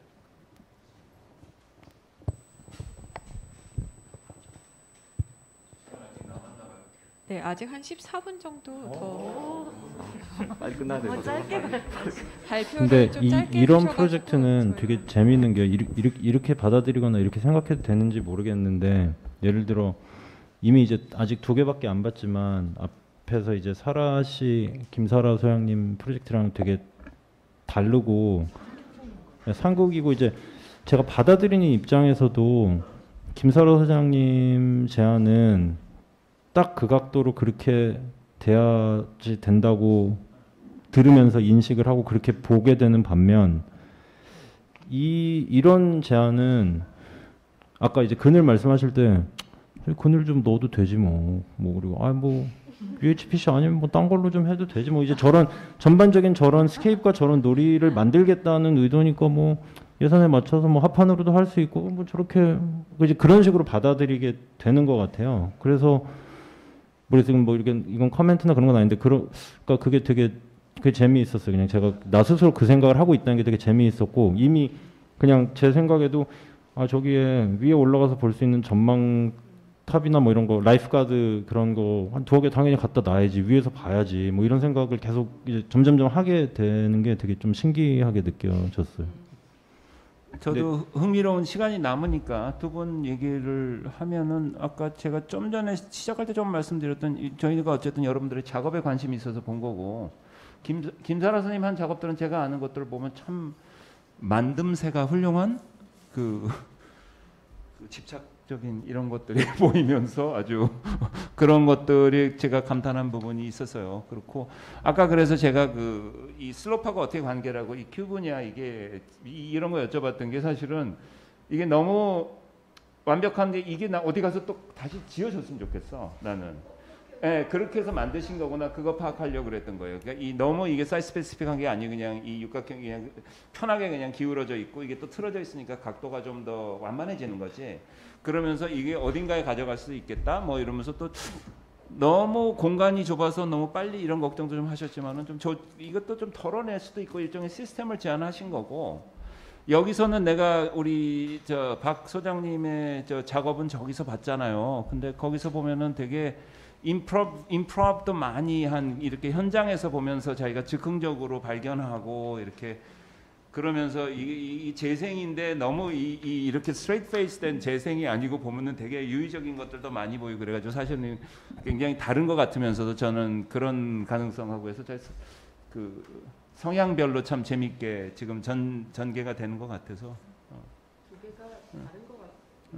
두 개가 다른 것 같은데 되게 비슷한 게 약간 어른들의 놀이터 같아요. 근데 하나는 네. 되게 그러니까 어 그 건축가가 약간 mastermind 되어 있는 방식으로 보여주는 방식까지 다 정하신 것 같이 보이고 하나는 약간 이제 공공이 자유롭게 놀아봐라고 해서 이제 약간 노는 플랫폼을 만들어줬다라는 생각이 많이 들었던 것 같고 근데 앞으로도 저희가 세 분의 더 발표를 보겠지만 그냥 마음속에 하나의 바램이 갑자기 생긴 게 저거 이게 쓰고 나서도 나중에 어딘가로 갈 수 있게 하는 고민들도 해주셨으면 좋겠다. 분명 히 있었을 것 같거든요. 그 생각이 저게 물론 이제 되게 적은 예산이긴 한데 또 한편에서는 저거를 위해서 단순히 사용됐다가 폐기되는 게 아니라 추후에 어디선가 저 컨셉도 뭐 당연히 활용되면 좋겠고 또 뭐 된다면 저 머티리얼도 지금 이제 재활용 메터리얼 쓰시겠다고 하니까 그거 자체로도 어떻게 보면은 지금 뭐 메시지 충분하다 보여지는데 그 이후로도 또 쓸 수 있는 방식이었으면 좋겠다. 아까 UHPC 같은 경우에는 사실은 재활용은 좀 이슈가 있잖아요. 그래서 그거를 어 재단에서 쓰는 건 안 되더라고요. 재단하는 것 자체가 거의 불가능하던데 그렇다면은 그거 있는 그대로로 활용할 수 있는 방식에 대한 고민들이 잇따라야지 안 그러면 굉장히 많은 자재들을 또 저희가 폐기할 수밖에 없게 되는 거죠. 그러니까 그 모듈화되어 있었던 김찬 선생님 작업 같은 경우는 재분해해서 다시 설치할 수 있는 분명한 어, 그 방식들이 제시된 거라고 보여질 수 있을 것 같고요. 저도 아까 제가 스케일에 대해서 질문 드리긴 했지만 실제로는 뭐 그 스케일 그대로 적용하실지는 좀 고민해 보실 수 있는 여지가 있다고 생각했었어요.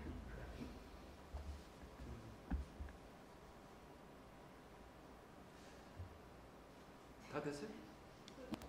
한 10분 9분 남은 정도 더 논의할 시간은 있어요. 더 더 계속 얘기하면 다 해도 돼요. 시간 뭐 아니면 또 근데 저는 사실은 또 흥미롭게 좀, 좀, 좀 들으면서 생각이 든 거는 이 자, 그러니까 이 구조물 자체가 차, 그러니까 제일 처음에 제가 시작할 때 그런 말씀을 드렸어요.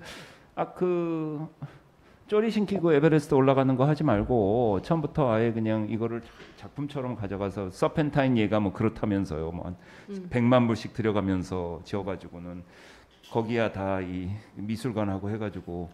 뜰 넓고 어디 장원 같은 거 그런 거 있으신 분들이 이렇게 미술 서포터 해주면서 가져가서 아예 그냥 찜 해가지고 갖다 놓고 초창기엔 그랬던 걸로 알아요. 근데 여기서 그, 그렇게까지 아직 우리나라에 그런 수요랄까? 뭐 그런 예들이 있긴 해요. 기획을 안 하긴 했어도. 오브라가 한 것도 뭐 딴 데 어디 가 있고.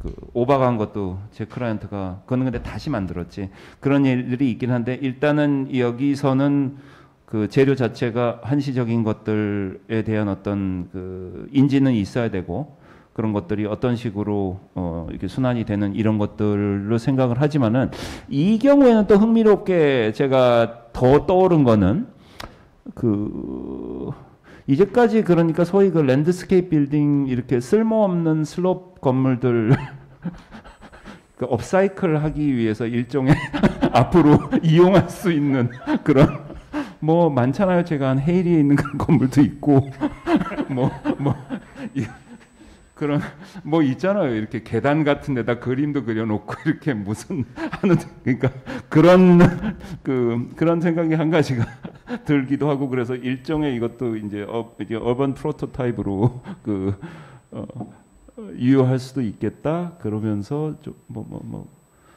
또 다른 근데 그 배치도 평면도 한번 다시 네. 볼수 있을까요? 그 저희가 이게 사실은 제일 그 직관적으로 조, 좋은 프로젝트잖아요. 그런데 설계니까 우선 네. 풀스케일로 이걸 지으실 텐데 지금 그저 아래 그 공 튕기는 부분 같은 경우 지금 저 약간 푸른색으로 된 하단 부분 그런 경우는 그냥 박스인 건가요? 걸터 앉는 벤치도 아니고. 그래서 약간 그 풀스케일로 갔을 때 그, 그 아이디어가 그 실현됐을 때 어떻게 쓰실 건지 어떤 식으로 사용하실 건지가 어떤 근거로 배치가 되신 거예요? 그 아까 그 투시도에서 보니까 이벤트 할 때 사진 한 이미지 하나 있었죠. 네, 이, 이, 이, 사- 이 장면을 좀 더 설명해 주시겠어요? 제가 아까 제가 아까 말씀드렸듯이 저희가 outdoor pinball machine을 만들면서 지금 이 scale model에 있는 그 메커니즘을 그대로 어, 옮겨놓는다는 의미는 아니었고요. 그래서 여기 보시는 이게 이제 bungee cord로 만드는 공을 쏘는 shooting mechanism이 있고 우리 그러면 이 나일론 튜브로 만든 이 perimeter를 통해서 공이 자유롭게 이 object를 통해서 이제 여행을 하고요. 홈에 파져 있는 그 점수를 매길 수 있는 그런 어, 바닥 패턴이 있어서 점수를 확인할 수 있고 요 밑에 이제 사실은 그 메커니즘도 만들 수 있는데 저희가 비용 안에서 할 수 있는 방법이라면은 칸을 나눠서 어느 점수가 근데 있고 다시 시도한다든지 그 게임을 어떻게 할지가 중요한 음. 게 아니라 저는 사실 뭐 공 있고 경사면 음. 있으면 누구나 굴리고 재밌게 놀 것 같아요. 그런데 공은 그때 그때 갖다 놓으면 될 것 같고 네. 이걸 어떻게 쓸 것인가가 사실 중요하거든요. 저는 근데 지금 보면 뭐 거의 원형 극장 같이 되어 있고 가운데 이렇게 라운지나 카페 같이 쓸 수 있을 것 같이는 보여요. 그래서 그런 것들이 어떤 형식으로 프로그래밍을 하신 것 같거든요. 그래서 뭐 행사 때 비엔날레 때뭐 쓰기는 굉장히 좋은 아, 배치라서 그걸 어떻게 구상을 하신 건지 그 설명하신 것만 보면 게임을 너무 재밌게 만들었고 그걸 그냥 scale up했다 정도로만 설명을 하시니까 이 스케일에서 별도로 설명을 하시면 좋을 것 네. 같아요. 저희가 이제 아까 마- 말씀 말씀해 주셨던 이런 박스들은요 어떤 마루 같은 평상 같은 개념이라고 생각했습니다. 그래서 여기 이제 아, 아이가 앉아 있는 모습 보실 수 있는데요. 이런 것도 이제 그런 개념이고요. 같은 높이의 평상이라고 생각했습니다. 무대도 될 수 있고 평상 맞습니다. 네. 시간이 남으니까 제가 저기 아까 제가 저 consistent하지 않다는 게 저거예요. 그러니까 저쪽에서 봤을 때 front고 물론 opaque한 저기면은 근데 그러니까 저는 이게 굉장히 pop하잖아요 느낌이 이제 pop architecture 무슨 60, 70 이런 그, 그 sensibility를 accept 한다면은 저쪽에서 딱 이게 딱 입면이고 뭐 말 되지 않아요? 아니 그리고 다른 프로젝트 네개 이제 나오는데 확실하게 차별이 되는 거는 이 앞쪽에서 큰 도로에서 임프레스 하려는 생각이 없어. 근데 뒤로 싹 돌아오면 이제 화들짝하는 약간 그런 그런 건데 그냥 이 건물 자체하고 이 주변 상황하고 뭐 이런 억울하고 나다고 표현한 그런 거를 다루는 거로는 뭐 저, 저, 흥- 흥미로워요. 예. 근데 거기다 이동형인가요? 네. 그 가구들이 가구디 이동형입니다. 네. 아, 진짜 저렇게 하고 글씨가 이쪽으로 보는 게 낫네요. 그런 거 같잖아요. 그렇잖아. 예. 예. 저 인면으로는 굉장히 훌륭하고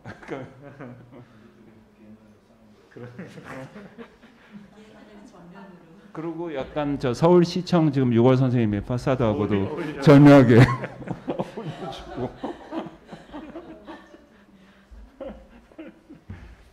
시간 지금 이제 좀? 된 거죠 이제? 네, 그럼 이제. 다음 네. 분또 3번 또 이렇게 네. 세 흥미롭습니다. 번째 발표자분 준비해 주시고요. 약 5분 있다가 다시 시작하겠습니다. 네, 그럼 시작하도록 하겠습니다. 준비되셨으면 시작해 네, 주세요. 알겠습니다. 네, 발표 시작하겠습니다. 어, 단단함과 어, 유연함 아, 그리고 이 안정성과 이 긴장감, 어, 상투성과 어, 비장함 뭐 이런 것들의 대꾸가 저는 생각이 좀 나는데요. 네, 그것은 이 각각 하나는 백색의 철골조를 하나는 이제 시민들이 참여해서 그 위- 위치가 변하게 될 파라코드에 대한 단어입니다. 어, 이 시설물은 크게 백색의 철골과 붉은색의 파라코드로 이루어져 있습니다. 어, 어, 백색의 철골은 이렇게 약간 기본적인 틀 같은 뼈대이고 이 붉은 파라코드는 표피 또는 이렇게 살갗 같은 것들이라고 저는 생각하는데요. 어, 그것들이 어, 이- 같이 이 구성되어 있는 모습입니다. 이, 이 도시 이, 이 시설물을 도시에서 보았을 때, 예, 이 작용하는 힘과 이 시설물 안에서 도시를 보았을 때 작용하는 힘이 전 다르다고 생각하는데요. 어, 이제 이게 오브제 중심의 기념비라든지 뭐 조형물이라든지 그것들은 이 도시에서도 혹은 서울마루 위에서도 이렇게 이 시선을 확 잡아끄는 이 구심력 같은 게 있다고 저는 생각이 드는데 이거를 이제 보는 방향에는 그 힘과 비슷한데 이 안에 들어갔었을 때는 이 도시 밖으로 펼쳐지는 이 확산이나 원심력 뭐 그런 것들이 상상이 되기도 합니다. 예. 어, 그것들이 가능하게 하는 거는 제가 생각할 때 이 백색 철골조도 이 얇은 파라코드라는 선도 이 구성을 통해서 투명함을 갖고 있기 때문이라고 저는 생각하는데요. 이 투명함이라고 하는 것들이 이, 이 오브제 중심의 자기 완결적인 이 구조물이 아니고 이 뭔가 도시에 개입하고 뭔가 상호작용하고 뭔가 여지를 남기는 그런 것들의 이 성격과 연결돼 있다고 저는 생각하는 것 같습니다. 74년과 이제 현재의 항공 사진입니다. 이게 이 덕수궁의 마당이 좀 변했고 서울시청 신청사가 증축이 됐고 이 서울광장이 생겼습니다. 그리고 보니까 저희 성공회 성당에도 좀 증축이 됐, 됐고요. 예. 이렇게 되게 많은 변화가 있었는데 그럼에도 불구하고 아주 더디게 변화하는 것은 어, 이 길, 이 서울마루가 면한 세종대로인 것 같습니다. 그것은 1927년에 아주 옛 지도인 그 도무 이 지도에서도 나타나고 있고 그거는 이제 이 길이라고 하는 것들이 도시에 약간 저, 적어도 이, 이 영역에서의 고정함 같은 거 아닌가 뭐 이런 생각합니다. 그래서 어, 제가 저희 발표는 크게 두 가지 말씀을 드릴 건데요. 하나는 장소 특정적이라는 단어랑 잘 맞닿아 있습니다. 지금 세종대로가 있고 그것들에 반응하는 이 구조물이 있었으면 좋겠다. 뭐 그런 생각들이 가장 첫 시작이었던 것 같고요. 그것들은 사실은 이 시설물을 얘기하면서 과연 이 가장 상위 위기의 무언가의 이 계획의 의도라는 것들이 과연 존재할 수 있을까 뭐 이런 고민을 좀 하긴 했는데 그래도 100년여의 이 길이 있는 그대로 존재했다는 사실 뭐 그것들이 저한테 좀 위안을 줬던 것 같습니다. 예. 지금의 이게 배치도 모습입니다. 예. 현재 서울 마루에 지붕 평면도가 있고 어, 지금의 도시가 이 바뀌는 것들에 이- 저한테 주는 느낌은 이제 보행이 좋아진다. 보행 중심. 보행의 이동이 좋아진다. 뭐 이런 것들이 크게 와닿습니다. 예. 이 교통섬이었던 광장이 좀 변했고 지금 광화문 광장 계획 같은 것들도 결국 이렇게 보행하고 걷고 이렇게 이 도시를 이렇게 탐험하는 그런 이 계열의 이 도시적인 해법들 아닌가 뭐 이렇게 생각을 하는데 그런데 그럼에도 불구하고 제가 생각할 때 그런 해법들은 약간 지면 중심인 것 같아요. 그러니까 지엘에서 걸어 다니는 면들이 그냥 끊임없이 이어지는 이음매 없이 뭐 그런 것 같은 생각합니다. 반면 서울마루는 이게 아주 간단한 이 감각인데요. 예. 좀떠 있 었어요. 예, 저뭐 예전에도 가보고 이 프로젝트를 통해서도 가봤지만 떠 있다. 예. 이 도시 면에서 야 접근이 되기가 좀 쉽지 않다. 계단으로 통해져 있으니까. 그러면 사실 이게 어떻게 보면 유리돼 있고 어떻게 보면 이제 그 단절돼 있는 건데 예. 그 단절이라고 하는 것들이 이 지금 이음매 없이 쭉 이어졌던 이렇게 이어져 이어져 있는 도시의 면들과는 좀 다른 차원으로 존재하고 있는 것이 아닌가 그런 생각을 하면서 그렸습니다.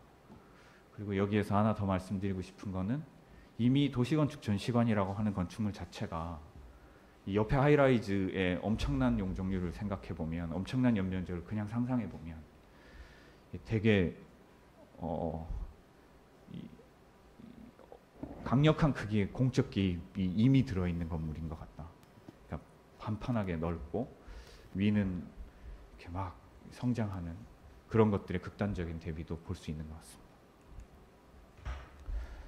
이거는 이제 서울마을 주변에 볼 수 있는 건물들입니다. 이게 이게 시간 이 특정 시간에 지어진 건물들은 뭐 그 특정 시간의 프로토타입이라고 할 수 있는 프로토타입인지 모르겠지만 그 고, 이게 고유한 유형의 형식들을 갖고 있다고 저는 생각하는데요.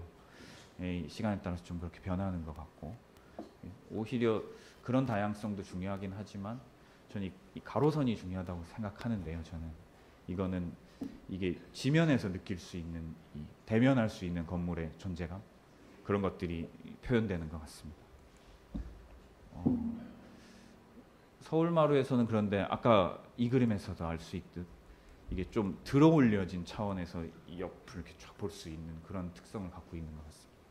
그래서 앞에 말씀드린 이, 이 도시 가로가 있고 그것보다 지금 이 평면적으로 그리긴 했지만 이 들어올려진 판이 있고 그것들을 에워싸고 있는 건물들이 있고 이렇게 생각해 보면 도시마루에 제가 올라갔었을 때 약간 이렇게 어, 이- 활동적인다기보다는 이렇게 약간 정적이다는 느낌이 들었었는데 이게 시간도 다 다른 건축물이니까 그런 것들이 이렇게, 시, 이렇게 시간에 약간 수장고 같다 뭐 이런 생각을 했었던 것 같습니다. 아, 저희 이두 번째 이게 두 번째 단계는 그 위에 방을 만드는 겁니다. 예. 어, 왜 방인지에 대해서 사실 고민을 좀 했었었는데 이 공적 영역이라고 하는 것들이 가만 생각을 해보면 이게 다 모두의 것이라서 누구의 것도 아닌 것 같은 생각이 전 좀 들었습니다. 그래서 이것들의 유연한 방들을 좀 만들어서 개별 영역으로 이것들을 좀 뭔가의 바운더리를 좀 줬으면 좋겠다. 그리고 서울 마루가 게다가 어, 이 지면과 이음매 없이 있지 않고 어, 이렇게 떠 있고 오히려 저 성공의 성당 쪽에 주차장에서도 이게 이 경사로와 단으로 이렇게 약간의 유리가 있기 때문에 그것들의 이 작은 방들이 이 방들이 담기면 어떨까. 그래서 그것들을 통해서 이 장면들을 보고 경험하면 어떨까 이렇게 생각했습니다. 그래서 이 방들은 기본적으로 네 개의 기둥과 뭐 네 개의 보로 구성되고 그것들은 각각의 시각적인 틀 안에 놓여 있는 것 같긴 합니다. 앞에 말씀드렸던 것들 이 이 좀 담겨 있다고 생각하는데요. 예. 높은 건물들과 낮게 위치하고 있는 판, 바쁘게 돌아다니는 이 차량과 사람들, 그다음에 이 경계면에서 들어서 있는 이 원래 서울마루 주변에 시간을 담고 있는 건축물, 뭐 그런 것들을 보여주는 그림인 것 같은 생각이 듭니다. 그래서 이것들의 면이라고 하는 것들이 전반적으로 서울마루의 45m 정도의 면을 그냥 이렇게 선적으로 이렇게 채우고 있기 때문에 이 속도에서도 인지되고 이게 약간 이게 걸으면서도 인지되고 뒤에서도 뭐, 이- 뭐 이런 생각들이 듭니다. 어, 그래서 이게 이 보행로에서 보는 모습입니다. 예.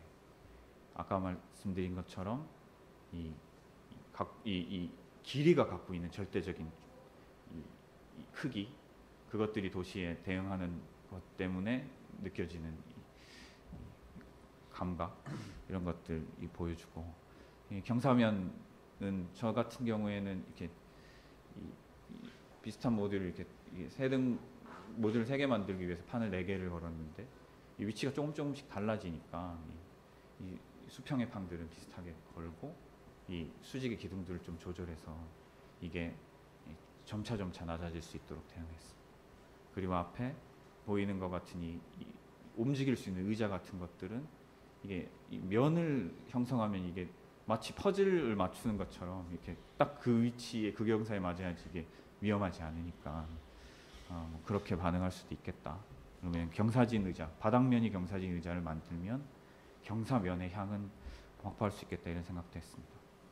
방은 사실은 뭐 개별적으로 아니면 뭐 선적으로 전체가 읽힐 수도 있습니다. 근데 이것들은 그냥 저의 생각일 것이고 아마 사람들은 이 방의 경계를 어, 경계를 흐리고 방의 영역을 무너뜨리고 막 자유롭게 움직일 것이라고 생각합니다. 아, 이거는 그냥 이, 있을 수 있는 장면 중에 하나인데요. 이게 뭐 시각적 틀도 좋고 뭐 이 철골의 조합도 뭐 파라코드도 다 말씀드릴 수 있지만 어쨌거나 그 사이사이로 보이는 옆에 건물들 이 예전에는 그냥 이렇게 한 한눈에 보였던 건물들이 틀 안에 있는 것 같고 그것들은 어떤 정면에서도 이 약간의 이 특이성을 가지고 저희들에게 인지될 이제 제가 두 번째 얘기인데요. 예, 두 번째는 어, 유형 특정적이라는 단어를 선택했습니다. 어, 중립적인 방이 있고 그것들은 이제 구조의 다이어그램인데 위에는 이게 이 기둥이 되게 얇은 부재를 선택해야 됐기 때문에 예, 그것들에 대한 응력들을 좀 계산했었습니다. 그리고 이게 아주 단순한 이 네 개의 기- 발과 기둥과 이 네 개의 보로 이루어진 것들이 반복되는 그냥 그냥 이어지는 구조이기 때문에 별도 앵커링도 필요 없고 그다음에 이렇게 바람의 영향들도 별로 없기 때문에 이게 들리지도 않는다는 시- 이 얘기를 들었을 때 개인적으로 좀 좋았던 것 같습니다. 어, 이 기본적인 틀은 아- 좀 설명을 드렸고 이제 그것들의 면이 어떻게 서- 형성되는지 그것들에 대해서 잠깐 설명드리겠습니다. 어, 부제는 두 가지를 썼고요. 그리고 그 면은 이 paracord라는 이 선으로 이- 이 연결돼서 이 만들어집니다. paracord는 요새 이게 손목 팔찌 같은 것들에 이 패션 아이템 같은 걸로 좀 쓰이긴 하는 하던데 기본적으로 parachute cord라고 이렇게 나, 이렇게 낙하산 줄입니다. 그래서 이 3mm 정도 되면 250kg 정도를 이 버틸 수 있고 이 인장력이 좀 있기 때문에 얘네들 쫙 당겨서 매듭을 짓고 반대편에 당겨서 매듭을 지으면 쉽게 이것들을 구성할 수 있- 있을 것 같습니다. 사실 이 paracord는 이게 제가 이, 이 수평 방향의 paracord를 거는 것들을 맨 처음에 제안하는데 사실은 이 수직 수평의 그물망, 이 mesh 이 구조라고 하는 것들은 이, 이 벽을 구성하는 가장 기본 단위라고 예, 알고 있습니다. 예, 생각이 됩니다. 그래서 이, 이 왼쪽에 이, 이 한식의 이 벽, 벽은 이런 이 가로 세로 부재들을 엮고 그 다음에 이렇게 흙을 이렇게 발라가지고 얘네들이 점점 점점 단단해지는데 그것들을 구성하기 전에 가장 초기 단계는 어쨌거나 이 스스로는 약간 자립하기 힘든 아주 얇은 소재의 무엇으로 이 이루어지고 어, 지금 이렇게 제안 드리는 거는 그 수직 수평의 C줄과 날줄 중에서도 이렇게 C줄만 제한을 하겠다. 그것들을 좀 더 최소화하겠다. 벽이 이 벽으로 발생하기 가장 처음의 단계로 갔으면 좋겠다. 뭐 그런 생각을 했었던 것 같습니다. 음. 그리고 그것들의 반대 방향으로 엮이는 줄은 어, 시민들이 걸, 걸었으면 좋겠다. 그렇게 제안합니다. 그래서 처음에는 이렇게 이 수평 방향의 동일한 간격의 이 파라코드들을 이 설계자가 걸고 그 다음에는 이제 선택해서 이런 그림 같은 걸 그려놓으면 이제 사람들이 걸 것 같은데 예. 그래서 얘네 이것들을 걸어서 C줄과 날줄이 이렇게 뭔가 격체를 만드는 뭐 그런 생각을 하고 있습니다. 그리고 어, 여기에서 여기서 변화되는 것들을 이제 좀 설명을 드려야 되는데 예, 저희가 100일 정도의 이 존치를 예상하고 있는데 그것들을 한 네다섯 번도 나눌 생각입니다. 그래서 각각의 결절점마다 이 거는 것들의 이 결과에 따라서 이, 이, 이 paracord 이 가로 줄의 구성이 바뀌는 뭐 그런 생각을 하고 있습니다. 그래서 기본적으로 어, 이것들이 한 번에 100일을 이렇게 지속하는 이 시설물이 아니고 이 기간별로 끄는 시즌별. 그래서 밑에 그래서 날짜를 제가 임의대로 썼는데 어, 이, 뭐 이런 이런 장면들이 될 수 있지 않을까. 뭐 같은 앵글에서도 변화를 줄 수 있지 않을까 그렇게 생각합니다. 어, 결국 이, 이 가로줄의 이 구성은 이 처음에 얘기했었던 이 기둥과 보의 아주 단순한 반복으로 사실은 가능합니다. 그래서 어, 지금 어, 보시는 장면 같은 거는 지금 아무것도 없지만 어쨌거나 이것들의 틀로서 아까 뼈대로서 예, 있기에 가능하고 어, 지금 이렇게 보시는 것처럼 이게 이 걸은 이 선택들이 다음번에 뭐 이렇게 변하고 이렇게 변하는 것들에 어, 영향을 미쳤으면 좋겠습니다. 천장에서 이렇게 뭔가를 이렇게 걸 수도 있고 그다음에 벽면에서도 걸수 있고 비 오는 날 같은 경우에도 사실은 이, 이, 이 원래 낙하산 줄이니까 되게 생존에 가까운 소재니까 크게 문제가 없을 거라고 판단이 되고 바람이 통하니까 태풍 같은 악천후에도 괜찮지 않을까. 예, 그것들은 사실 풍력으로 계산을 좀 했었으니까 예, 그건 문제가 없지 않을까 생각합니다. 그리고 이렇게 큰 방을 만들기도 하고 벤치에서 앉아서 그거 그 스크린을 통해서 다시 밖을 보고 그런 장면. 예, 코비드 상황에 대해서 잠깐 설명드리겠습니다. 저는 이게 잘 이렇게 얘기되는 이미지들인데 저는 왼쪽의 이미지와 오른쪽의 이미지가 갖고 있는 이 의미가 완전 다르다고 생각합니다. 사실 외부 공간에서는 이렇게 사실은 이렇게 떨어져 있으면 그리고 외부 공간에서는 이게 공기 순환이 좋으니까 떨어진 것만으로도 이렇게 예, 지금의 상황을 유연하게 할 수 있고 오른쪽 같은 경우는 이렇게 완전 이렇게 탁 도시를 전체를 탁 막아서 뭔가들을 이제 극단적으로 구분하는 두 개의 생각을 어, 있는데 예, 제가 생각하는 이 방은 기본적으로는 이 점선은 사실은 없는 건데요. 이 심리적인 경계의 방 같은 것들을 하나 만들고 걔네들을 인지할 수 있도록 이런 표지를 해놓으면 실질적으로는 공기가 통해서 지금 상황은 비, 비슷하고 괜찮은데 이 심리적 안정감의 위호감. 예, 그래서 사실은 열려 있는데 약간 이렇게 막혔으면 안 도가는 이 지금의 코로나의 이 아이러니 뭐 이런 것들을 이, 이 것들을 통해서 할 수도 있겠다 뭐 이런 생각을 했습니다. 아, 모형 사진인데요. 사실은 이 계속 중요하게 얘기했던 이 붉은색의 파라코드는 모형 사진에 사실 없습니다. 예. 그것들은 이 벽체가 되기 위한 혹은 천장의 지붕면이 되기 위한 가장 최소한의 부재이고 이 시민들이 참여해서 그것들을 바꾸게 되는 이 장치이기도 하고 이게 경관을 조절하는 스크린이기도 하는데 아쉽게도 여러 단계 약간 실험을 했었는데 뭐 실로, 뭐 철사로 사실 그 팽팽, 팽팽하게 느껴지는 긴장감 그런 것들을 표현하기는 좀 힘들었었던 것 같습니다.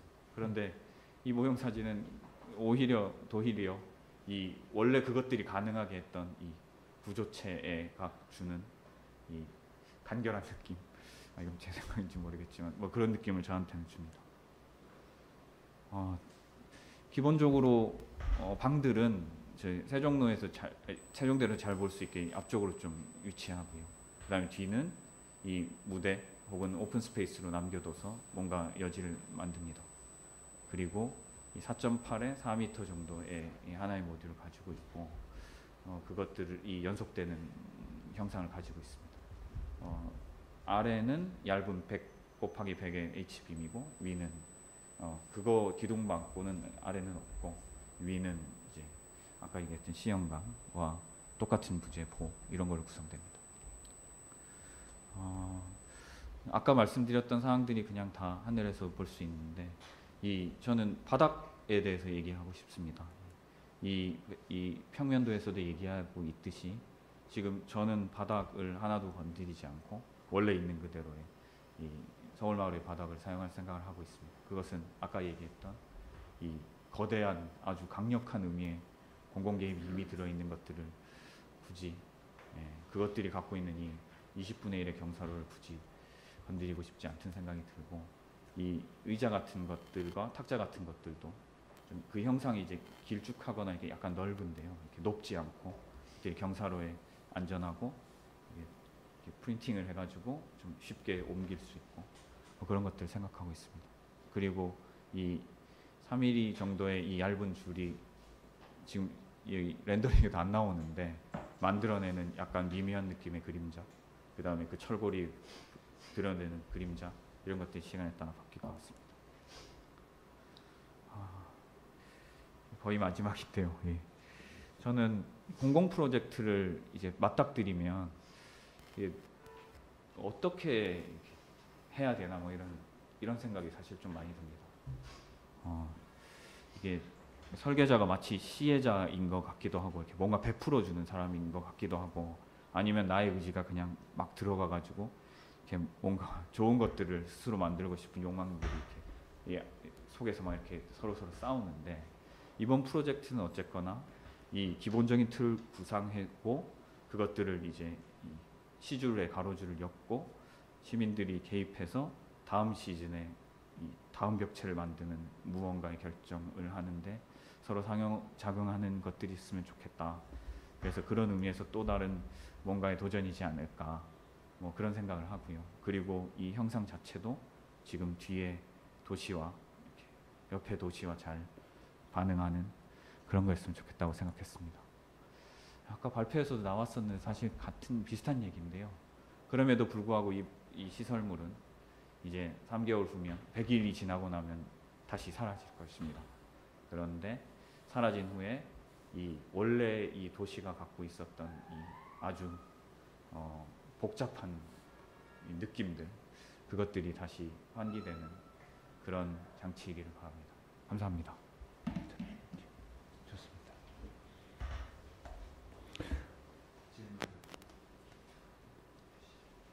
몇 분 지났죠 지금? 한 지금- 20분 지났네요. 그죠? 네, 약 17분 정도 남아 있습니다. 알겠습니다. 감사합니다.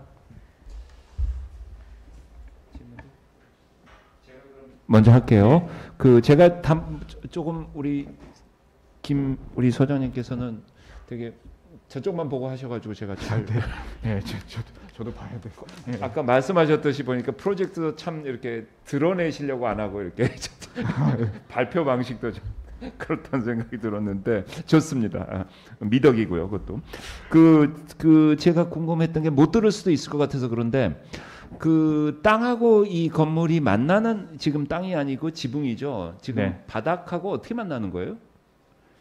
지금 보면은 딱 이 제가 받은 이 처음에 그냥 딱 듣는 예. 이상은 굉장히 Mies한 어, Mies스러운 건물이다. 예. Farnsworth House로 딱 예. 생각이 났어요. 바닥이 이 플로어가 없는. 네. 그러니까 그게 그 되게 재밌잖아요. 그냥 예. 이렇게 굉장히 꼬챙이 같은 게 그냥 땅하고 예. 간결하게 닿고 있는데 지금 그런 걸 의도로 하신 건지 아니면은 계속 이렇게 밥상 같은 게 지금 이 네 줄로 기둥 앉혀 있는 거예요? 아니면은 그 투시도 보면은 약간 왜 십자가가 보이고 그러는 아, 게 네네.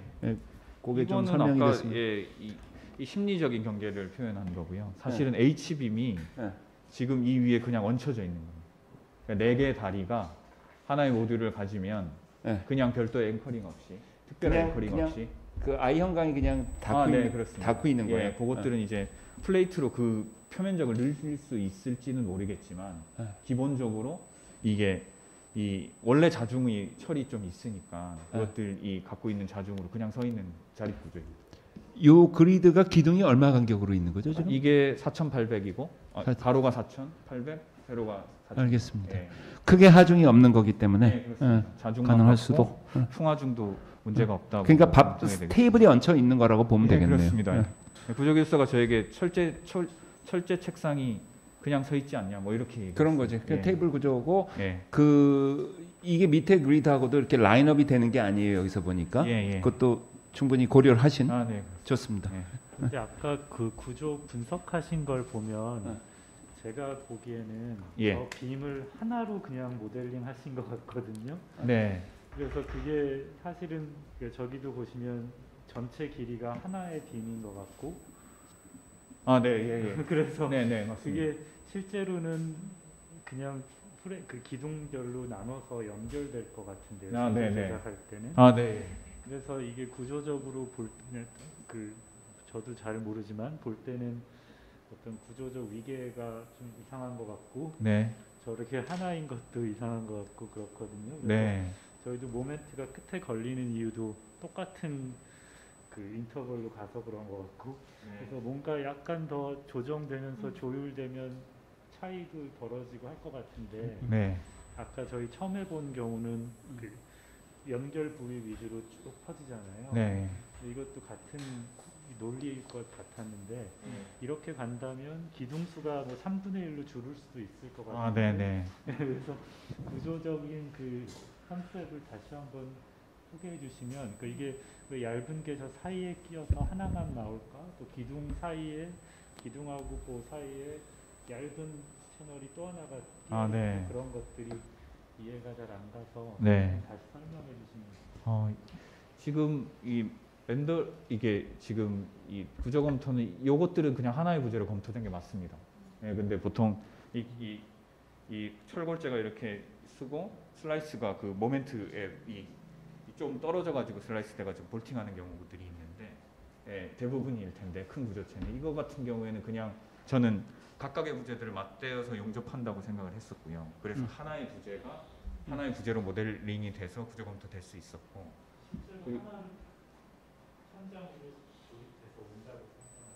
어, 현장에서 조립해야 될 것 같습니다. 예, 예, 그렇습니다. 예. 그래서 네, 같은데 네, 이게 그리고 이제 이렇게 그냥 용접해서 붙이는 걸본 적이 본 적이 없 네. 근데 그거는 그것도 얘기를 나눴었는데 이게 H빔 사이를 개선을 쳐가지고 현장에서 오면 현장 요정한 다음에 그 다음에 갈고 그 다음에 이 도장을 하는 것 뭐 그렇게 얘기를 했었습니다. 예, 맞습니다. 원래는 개선 요접을 쳐서 현장에서 용접 이게 공장에서 용접하고 들어오는 게 가장 좋은데 지금 어쨌거나 이 얇은 선형이 날아가는 것들의 느낌을 이, 이 이렇게 보통 여기에서 슬라이스가 쳐지는데 예, 그것들을 하고 싶지 않아서 중간 중간에 끊어서 아마 용접할 것 같습니다. 네, 그렇습니다. 예, 그리고 걔는 C형강일 거고요. 예, 예, 제가 그건 아까 설명을 좀 드렸습니다. 다른 분들? 그 paracord가 연결되는 방식도 조금 더 예, 아, 네. 네, 조금 더 상세하게 말씀해 주시면 어, 좋을 것 같아요. 사실은 paracord는 그냥 이게 paracord 전이 칼을 잘라 가지고 얘를 그냥 매듭 치면 이게 탄성을 갖고 있어서 기본적으로 고무줄 같은 느낌이라 가지고 탄성을 갖고 있어서 한쪽을 매고 그 다음에 원래 얘는 얘 같은 이, 이 철골 부재는 이제 이 공장에서 타공해서 와야 될 거라고 저는 생각하고요. 예, 위에는 이게 30 이게 이게, 이게 세 칸이니까 얘 30, 이게 50mm 뭐 이렇게 이 된 타공 타공이 된 H빔이 올 거고 그 사이에 이 파라코드를 그냥 이 통과시키는 거고요.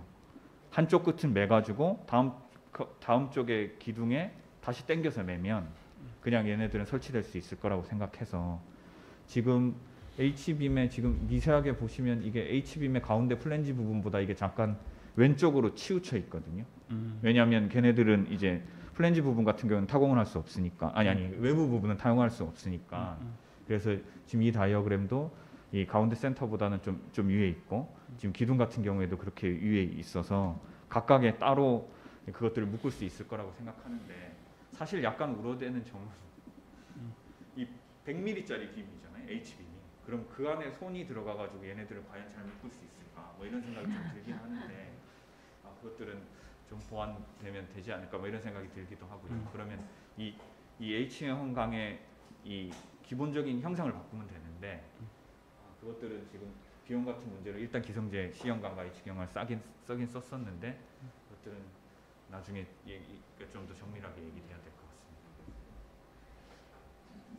같습니다. 저기 예, 예, 잘 맞습니다. 저도 그 묶는 거에 대한 질문인데, 그러니까 네. 그 기술적인 부분보다도 예. 아까 말씀하실 때 수평적인 거는 건축가가 제안을 네, 하고 네. 칼라 코드를 나머지는 이제 시민들이 참여하는 방식으로 한다고 했는데 네. 그게 어떻게 실질적인 아, 네. 메커니즘으로 되는 건지 어떤 행사나 음. 뭐 혹은 뭐 투표를 통해서 하는 거지 아니면 네. 무슨 현상을 보고 하는 건지 아니면 뭔가 네. 좋아요 숫자를 보고 하는 건지 네. 근데 뭔가를 뭔가 약간 이벤트가 있어야지 네. 그게 실현이 될 것 같은데 네, 네. 거기에 대한 설명을 좀 아, 네. 해주시겠습니까? 네.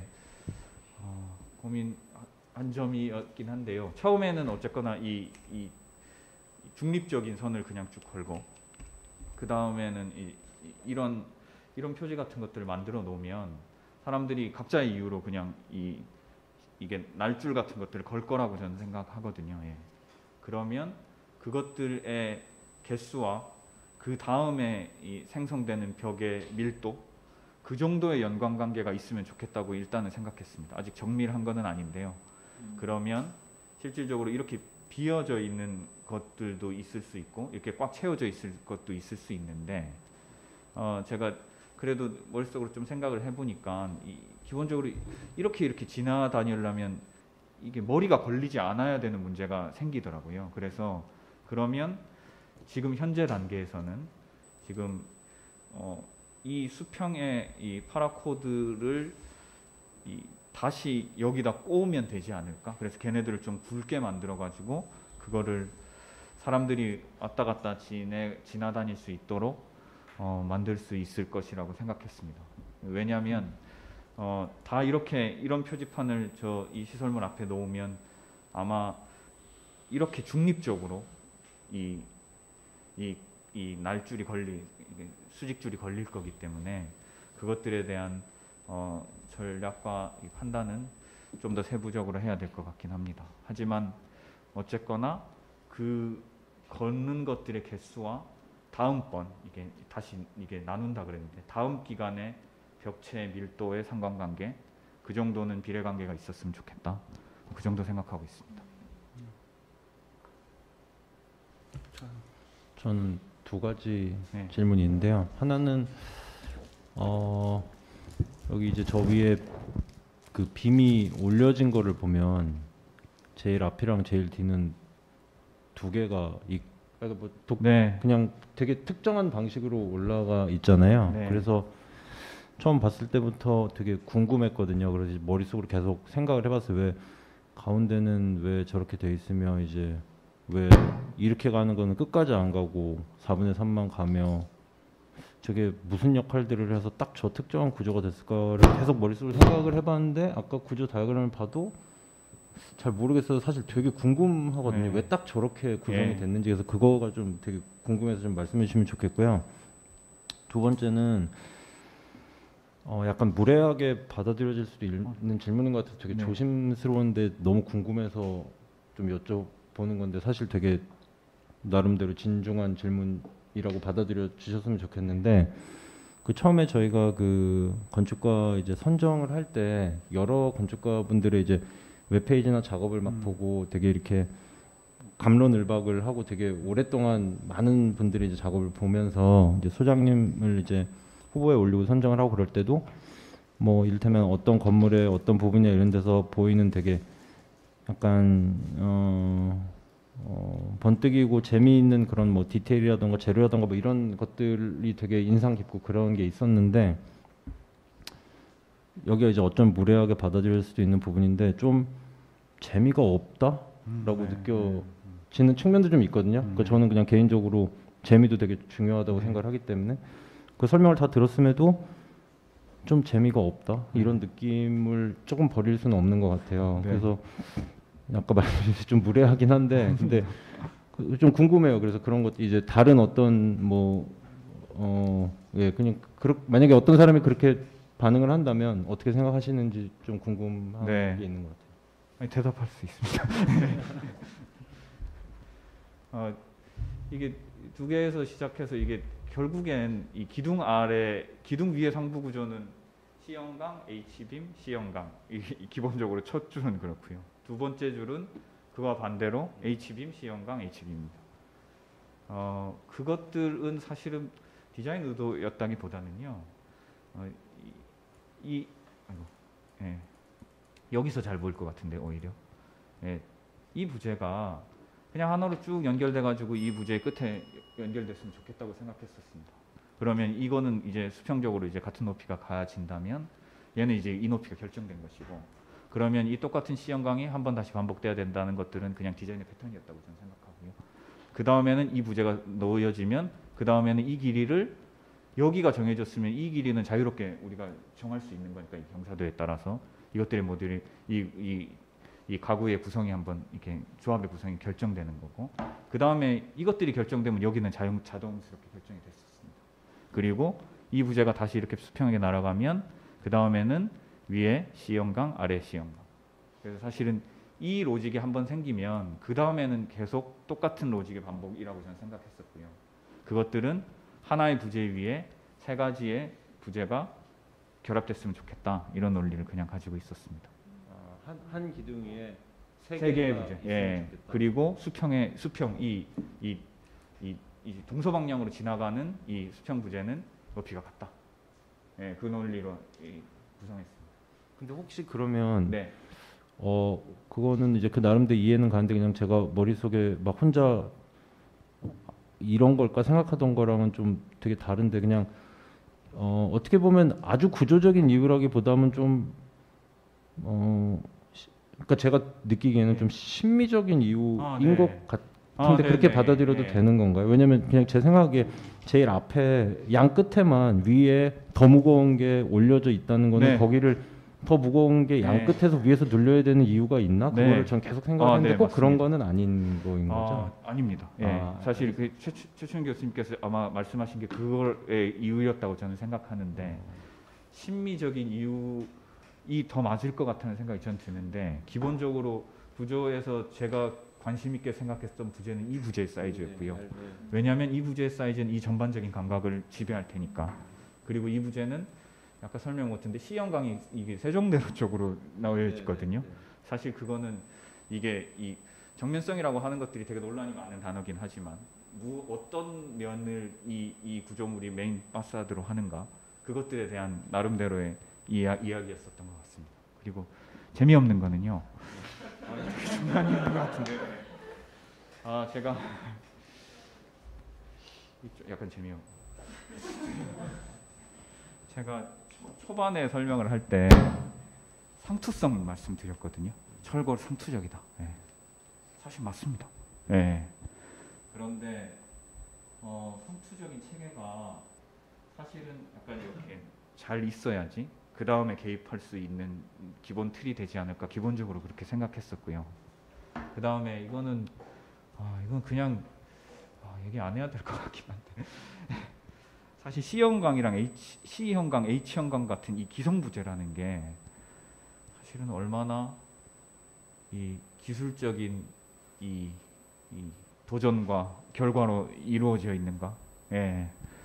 사실은 진짜 상투적이지 않고 되게 이상하게 생긴 부재인데 그것들을 계속 보니까 상투적이지 않나 뭐 이런 생각을 했었고요. 그래서 어, 그것들의 부재 조합은 그냥 약간 좋게 말하면 보편적이고 나쁘게 말하면 상투적이었으면 좋겠다고 생각했고 개입되는 시줄과 날출은 좀 유연하고 이게 설치가 설치와 해체가 가능 쉽고 이게 걸 수 있고 뭐 그런 것들의 대비 정도를 생각했던 것 같습니다. 보면 볼수록 재밌을 수 있잖아요. 근데 아까 얘기하신 미스 경물 같은 경우도 기둥이 볼을 받치고 있지 않고 옆에 붙어 있거든요. 그러니까 막 그 그러니까 그런 뭔가 의도적인 결합을 저희가 지금 찾고 있는 것 같아요. 네. 회원님이 원하시는 어떤 낯설음이 연결 부위에서 올 것 같은데 그게 아직 설명을 안 해주셔서 아, 네.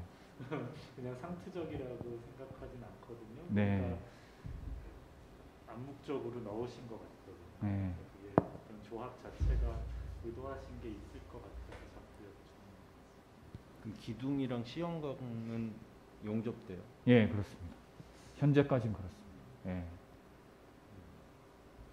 굉장히 reductive한 말이긴 한데 좀 미- 미세한 rigor랑 거기에다가 무슨 공공 도시 배짜기 뭐 이런 참여형 이런 게 같이 어, 들어가는 어 이제 어, 굉장히 절제된 이 틀 안에서 뭔가 또 좀 흥미로운 제안을 하신 것 같고 저는 그 재미난 부분이 사실은 그 먼저 제출한 제출만 보고는 참여형까지는 잘 모르겠어요. 그러니까 지금 이상한 재밌는 참여 여기는 놀이기구의 참여가 있고 이쪽에서는 일종의 노동이잖아요. 이, 이 샘퍼의 네네 개 요소, 그 패브릭을 이렇게 같이 공공 공간에서 만드는 거, 저, 저는 굉장히 멋있을 것 같은데 그게 누가 하는 건 상관없이 저는 그냥 이렇게 과정으로 이걸 쭉 어, 한 석 달 동안 계속 변하면서 이게 뭐 업체에서 하든 뭐가 하든 그거 자체로도 이 타- 시간을 이렇게 계획하는 거, 플랜하는 거, 공간만 디자인하는 게 아니고 그런 어떤 어프로치로 저는 신선하게 봤어요.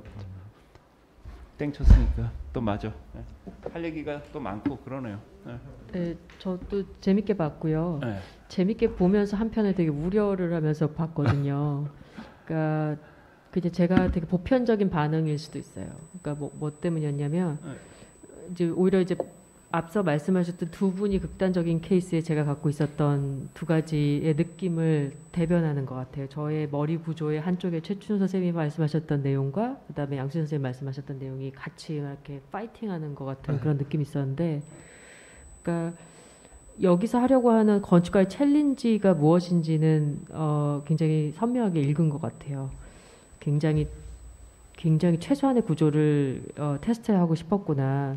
근데 이제 이게 서울마루에 있는 성격이기도 하더라고요. 아까 저희가 얘기한 것 중에 이게 faceless한 건물이고 또 shadeless한 건물이다 이런 얘기들을 했잖아요. 여기는 이제 완전히 그 어, 그 최소한의 그러니까 minimal structure를 가지고 그 안에 이제 방을 만들겠다라는 생각이 들어 있는 거죠. 그것까지는 건축가와의 커뮤니케이션은 충분히 되는 것 같아요. 음, 재밌을 것 같아 이런 생각이 드는데 또 한편에서 이제 양수 선생님 말씀하신 것처럼 그래서 저 위에 재미있는 시민들을 어떻게 끌어올릴 건데에 대한 이제 태스크가 남는 거예요. 그래서 물론 이제 파라코드가 최소한의 가이드를 하겠다라는 걸로 느껴지는데 어, 너무 구조가 이제 이 압도적인 부분이 있는 것 같아요. 그래서 과연 시민들이 자발적으로 무엇인가를 역동성 있게 할까? 그거를 자기들이 vandalize 한다라고 생각하지 않을까? 이런 생각도 조금은 들었어요. 그래서 그런 맥락에서는 이거를 이제 꾸준히 관찰해서 만약에 우리가 이제 거미가 집을 짓듯이 저거를 이제 한 100일 동안 관찰을 하고 그걸 가지고 완성된 어떤 거를 스토리 완성이 100일 뒤에 나온다 그러면 재밌는 플랫폼이 될 것 같은데 day one에는 당황함이 있을 것 같다는 생각이 드는 거예요. 그래서 1부터 100까지를 우리는 어떤 식으로 유도해서 100일 후에 재밌는 거를 어, 유도해내야지에 대해서는 오늘 좀 고민거리가 생기는 것 같다는 생각이 들었어요. 그래서 유인 유인을 어떻게 시킬 거냐? 왜냐하면 어 이게 섣불리 다가가기가 좀 어려울 수도 있겠다는 생각이 조금은 들었거든요. 그래서 그거에 대한 어 좀 뭐 구상이나 답변도 좀 필요하지 않을까 그런 생각이 들었습니다. 네, 이거는 질문이라고도 좀 하기 그냥 그냥 이거 보면서 느낀 어떤 심상인 것 같아요. 질문은 아닌 것 같고요. 저도 약 아, 예, 죄송해요. 아, 첨언으로 이게 꼭 그 시민 참여가 파라 코드여야만 하는가가 질문인 것 같아요. 사실 네. 이게 또 다른 형태의 뭔가를 시민들이 와서 걸고 싶을 수도 있잖아요. 그런 것들을 건축가가 어디까지 허용이라고 해야 되나요? 아니면 생각을 했는가가 좀 궁금해요. 네. 제 대답 대답 드리면 될까요? 예. 어, 이게 어, 다시 벽을 만드는 시점이 되면 제가 100일을 다섯 개로 그냥 임의적으로 나눴다고 말씀드렸었는데 네 개로 나눴다고 하면 사실은 그, 그 벽이 만들어지는 것들은 제가 해- 해야 된다고 전 생각하고요. 하지만 그것들의 근거는 이 수직의 날줄이라고 저는 생각하는데 어, 그 외가 걸리는 것들 그것들이 반응하는 것들 아 근데 그거는 일단 제가 약간 안전해야 되는 선에서는 저는 뭐가 걸려도 된다 된다고 저는 생각하고요. 하지만 counting이라고 하는 것들은 이게 뭔가 이 약속 같은 거라고 저는 스스로 생각하고 있는데 그것들을 세 가지고 다음의 벽체 밀도에 연관되는 관계는 약간 정해진 무엇이었으면 좋겠다. 뭐 이렇게 생각을 하고 있습니다. 좋습니다. 음. 대선 처리 후반엔 좀 오지 않겠어요? 그러면 벽이 좀 응? 좋습니다. 훌륭합니다. 감사합니다. 음. 네, 그러면 5분 동안 또 정리해 주시고 준비하시 저기 하시고요. 네 번째 발표 건축가님 준비해 주시면 좋겠습니다. 김희용 소장님. 네. 아, 아. 네, 시작하겠습니다. 네. 그 앞에 분들 발표를 너무 잘하셔가지고 근데 저 양해를 좀 구하지만 울렁증이 죄송해요. 좀 조금 들리게 해주세요. 네, 우- 네. 울렁증이 많이 있어서요. 네. 혹시 하다가 버벅대거나 글을 읽더라도 양해해 주시기 바랍니다. 아, 이 위성 사진은 앞에 해주신 분께서 또 보여주셔가지고 아, 순서를 잘못 받았구나 싶긴 한데요.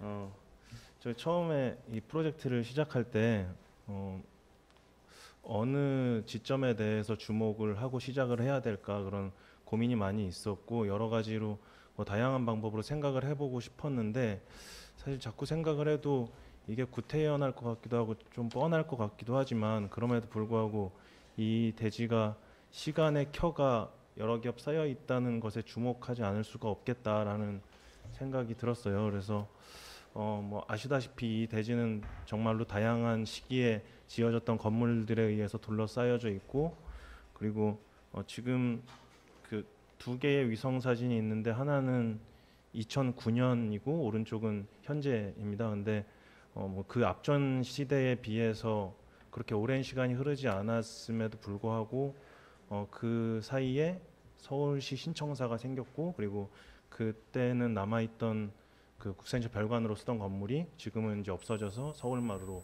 바뀌어 있는 모습입니다. 음, 역시 사진 왼쪽은 국세청 별관의 건물 모습이고요. 그리고 오른쪽은 서울마루 모습인데 어, 2015년에 아마 그 세종대로에 아, 네. 네. 세종대로 일대 역사성을 회복한다는 이유로 저 건물이 이제 철거됐고 그때 당시에도 여러 가지 논란이 있었던 것으로 알고 있습니다. 근데 어 뭐 그게 맞고 틀리다라는 얘기를 지금 할 필요는 없고 사진에서 보시다시피 분명히 긍정적인 측면이 있고 또 어, 돌아보면 아쉬운 부분들도 분명히 있겠지만 음 그것보다 전에게 중요하게 다가왔던 거는 어, 그때는 있었고 지금은 없는 것 그러니까 어, 뭔가 비워낸 어떤 행위 자체가 또 하나의 시간의 켜로 남은 것이 아닌가라는 그런 생각을 하게 됐습니다. 음, 그냥 시간 순서대로 보면 그 일제 시대에 그 전에 있었던 것이 없어지고 하나의 건물이 생겼고 그리고 그 뒤에 광복이 되면서 그 건물이 다시 커졌고 또 후에 용도가 바뀌고 그리고 기둥만 남기고 없어졌다가 지금은 다시 작게 낮게 생겼고 그리고 저희는 지금 이 시점에서 이제 다시 그 위에 뭔가 잠시 있어야 될 것을 만들어야 되고 그리고 좀 있으면 또 없어질 거고 이렇게 계속 이 땅에서는 뭔가 있고 없고 계속 그- 그렇게 반복되는 그 사건들이 굉장히 중요한 것이 아닐까라는 그런 생각을 하게 됐습니다. 그래서 어, 그 부분에 주목을 해봤으면 좋겠다라는 생각을 하게 됐습니다. 음, 다 아시다시피 서울마루 지붕에는 총 23개의 기둥의 흔적들이 있는데요. 음, 그 지금은 저게 저는 기둥의 역할을 하나 처음 때막 그랬는데 그건 아닌 것 같고 그렇다 보니 다소 억지스러울 수 있다고 생각이 들기도 하지만 또 한편으로는 너무 적극적이지 않게 저 흔적들이라도 어떻게든 남겨 놨어야 했던 그 것을 이해할 수 있었어요. 음, 그래서 저는 이 흔적들이 한편으로 어떤 그 예전 예전에 있었던 건물에 대한 기념 뭐 이런 것이 아니라 이곳을 비원했던 어떤 행위에 대한 기록으로 생각이 됐거든요. 그래서 어, 저 기둥의 흔적을 조금 더 주목을 해서 그 비워진 어떤 행위에 대한 것 또는 있고 없음에 대한 것에 대해서 좀 질문을 던져볼 수 있지 않을까라고 생각을 했습니다. 어, 저는 계획을 진행하면서 그 참조들을 많이 찾아보는 편인데요. 어, 흔적에 집중하자, 주목하자라고 생각을 하니까 마치 그게 이제 고고학에서 뭔가 발굴 행위를 하는 것 같은 그런 생각이 좀 들었거든요. 어, 발굴 현장에서는 유적의 위치에 따라서 그 격자 벽만 남겨지고 아래로 파 나가지는데 그 유적의 위치에 따른 저 격자의 형태 패턴 이런 것들이 만들어지는 것이 저한테는 하나의 어떤 흔적에 대한 무언가 구조물이 만들어지는 어떤 규칙 같은 것이 될 수 있지 않을까라는 생각이 좀 들었습니다. 그래서 어, 또그 그리드에 따른 어떤 벽면을 세우는 것에 대해서는 여러 가지 건축적인 참조점이 있겠지만 규모라던가 또는 구법 또는 어, 공간의 분위기 이런 것들을 생각했을 때 어, 알도바나이크의 선스피 파빌리온이 조금 더 직접적으로 저한테는 연결되는 부분이 있었고요. 그래서 이 그림은 그 흔적들을 기준으로 해서 어, 벽들의 위치를 그려본 것인데요. 어, 그리면서 조금 저한테 흥미롭게 다가왔던 거는 어, 저 벽들의 위치는 철저하게 저 기둥의 위치에 따라서 규칙적으로 만들어지는 것인데 어, 결과적으로는 기둥열과 완전히 그렇기 때문에 완전히 어긋나 있고 또 기둥과 기둥의 사이에 가장 멀리의 벽이 만들어지는데 결과 결국은 그 기둥의 흔적을 둘러싸므로 해서 그 기둥의 흔적을 주목하게 만드는 방식이 저한테는 좀 음, 재밌게 다가왔었습니다. 음, 지금 앞에서 설명드린 내용들이 좀 뭔가 있음 없음 뭔가 이렇게 좀 관념적인 주제에 대한 이 대지에 대한 어떤 주목이라고 하면 조금 더 물리적인 현실적인 상황에서 제가 주목할 수 있었던 것은 그 서울마을의 경사진 지붕이었는데요. 서울마을 지붕의 크기가 45m, 22m 꽤 큰 판이고 그리고 어, 아까 얘기 주셨다시피 20대 1의 영사 그리고 맨 제일 높은 곳에서 제일 낮은 곳까지는 한 1.1m 정도의 높이의 차이가 나고 있거든요. 그래서 어, 그 이 경사라는 것이 원래 계획할 때는 그 앞에 그 뒤에 이제 성공회 성당에 대한 시선의 개방성 또는 지하 공간의 출입을 연결하기 위한 것 또 뒤 대지에 대한 연속성 뭐 이런 것들을 감안해서 되게 섬세하게 계획됐을 거라고 생각이 들었는데 막상 이제 그 위에 올라가 보면 그런 것들을 다 제외하고라도 그냥 경사진 판이 저한테는 되게 특별하다라는 생각이 들었어요. 그래서 어, 위에 두 사진은 대지에서 남북으로 바라보는 그 덕수궁과 그 시위의 건물을 바라보는 모습이고 아래는 그 동서로 서울시청 시- 신청사와 그리고 성공의 성당을 바라보는 모습인데 그 저렇게 이제 사면이 각자 다 다른 어떤 감각을 가지고 있다고 생각이 됐거든요. 그래서 어, 특히 이제 그 남북으로 가는 그 동선은 그렇게 따라서 움직이면서 뭔가 일관된 뷰가 연속적으로 좀 펼쳐지는 것 같았고 그리고 동서로의 뷰는 어, 한쪽으로는 뭔가 계속 오르거나 한쪽으로 내려가거나 이런 어떤 방향성을 가지게 되면서 뷰가 점차적으로 특히 서울시청으로는 뭔가 이렇게 다가가면서 뷰가 더 열리는 것 같은 그런 좀 그 경험의 차이가 있다고 생각이 됐습니다. 어, 대지의 큰 단면을 보면 아마도 이제 그 기존의 국세청 별관 건물이 없어지면서 가장 큰 장점이라고 할 수 있는 것은 아마도 이제 그 성공의 성당의 모습을 세종대로 쪽으로 다시 돌려준 것이라고 생각이 되는데요. 어, 그렇기 때문에 저희의 저기에 뭔가 일시적으로라도 무언가를 세운다는 것에 대해서 그 높이에 대해 굉장히 조심스러울 수밖에 없었어요. 그래서 저 벽의 높이를 어떻게 해야 될까에 대해서 좀 고민을 하다가 어, 바닥에 기울어진 경사에 대응하면서 저 시선을 가리지 않고 또그 기울어짐이라는 것들을 좀 더 극대화할 수 있는 방법이 어떤 게 있을까라고 생각을 하다가 어 저런 그 조금 작게 표현되기는 했는데 그 경사진 방향의 반대쪽으로 그래서 시선의 축을 열어주면서 어 살짝 그 벽의 단면의 상부가 건너편에서는 보일 수 있는 정도의 각도로 그렇게 벽을 구성하면 어떨까? 그러면 저 뒤에 시선을 가리지 않고 내부에서는 조금 더 높은 곳에서 낮은 곳까지의 변화를 좀 더 극적으로 만들 수 있지 않을까라는 생각을 했습니다. 음, 이거는 아까 그 흔적에 따른 격자 벽의 평면을 조금 전에 말씀드린 단면의 형태로 올려놓은 그림입니다.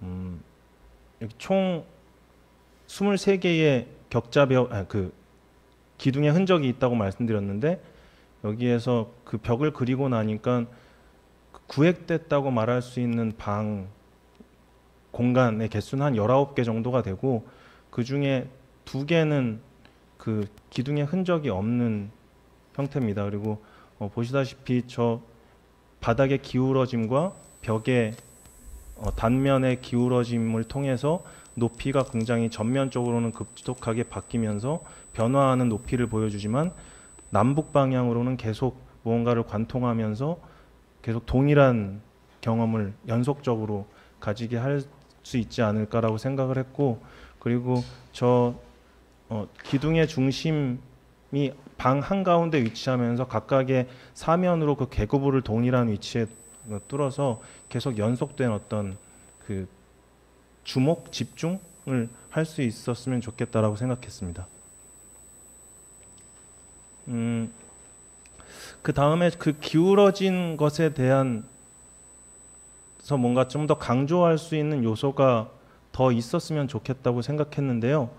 어, 거, 그래서 저는 거기에 수평선을 하나를 그려 넣었으면 좋겠다라고 생각을 했습니다. 그래서 어, 그 수평선의 높이는 아, 아, 저 벽의 높이를 먼저 말씀드렸어야 했는데 저 벽의 높이는 전면 쪽에서는 난간 높이의 1.2m에서부터 시작해서 저 후면 쪽으로는 현재는 4.5m 정도로 계획을 하고 있고 아까 말씀드렸듯이 그 기울어짐의 차이가 1.1m 정도 나기 때문에 그것을 합산함 빼면 얼마인가요? 2.2m 전, 전면에서 후면벽까지의 그 최고 높이자는 한 2.2m 정도 계산이 맞는지 모르겠어요.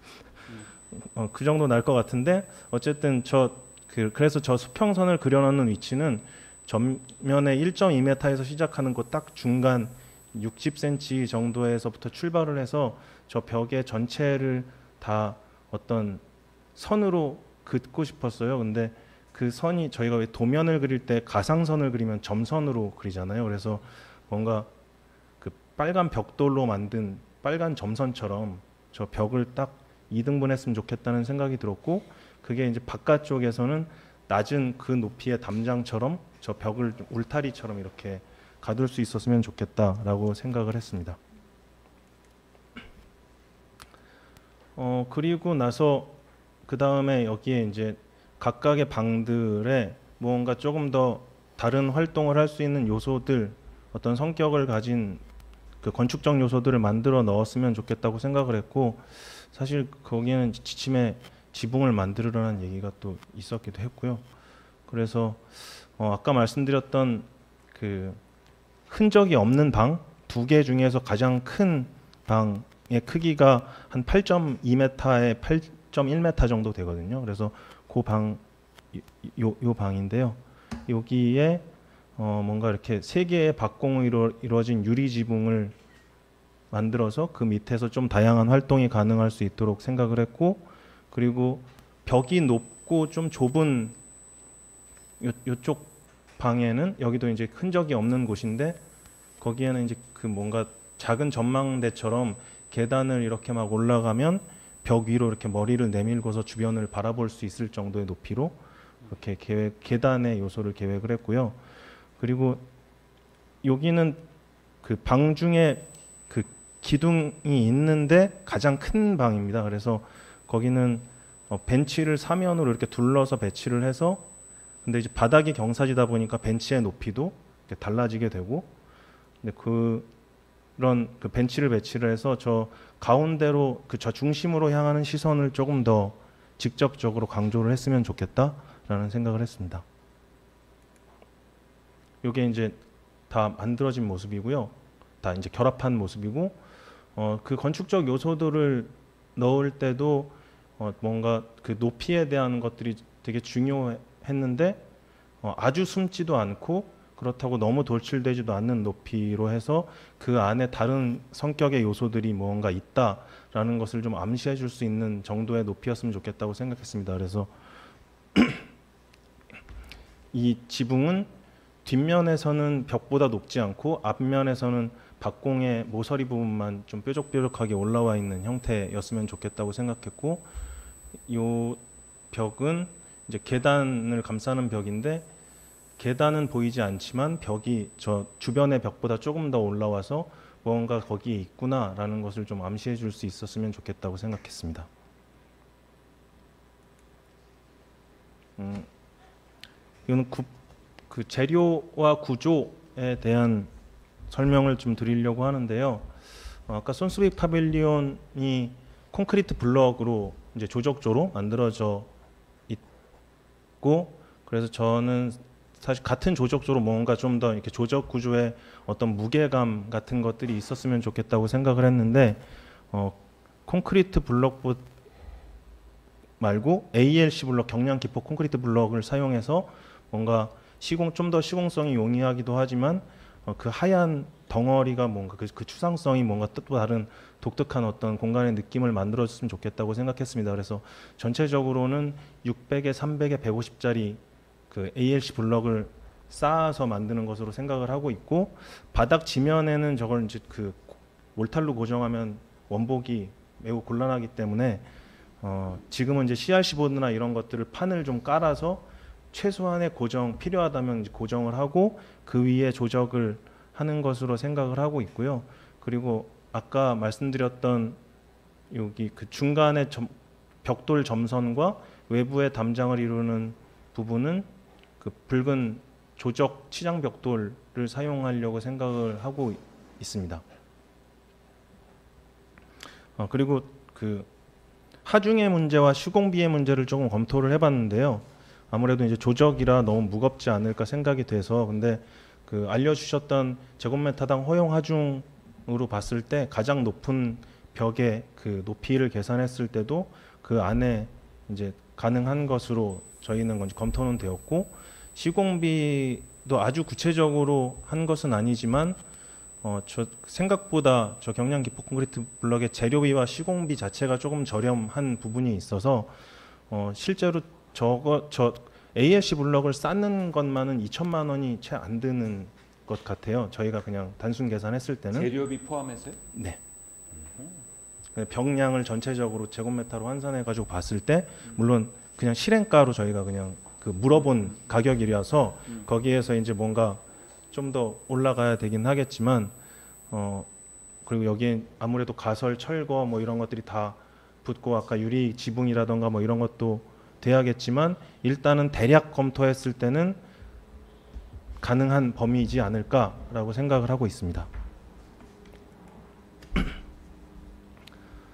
어, 평면 어, 마지막으로 평면 보시면 뭐 아까 말씀드렸던 그 흔적과 격자 벽과의 관계들 잘 보실 수 있고 마치 이 그 개구부들이 모든 방향으로 어, 연결돼서 그 다방향의 미로 같은 그런 구성을 가지고 있기도 하고요.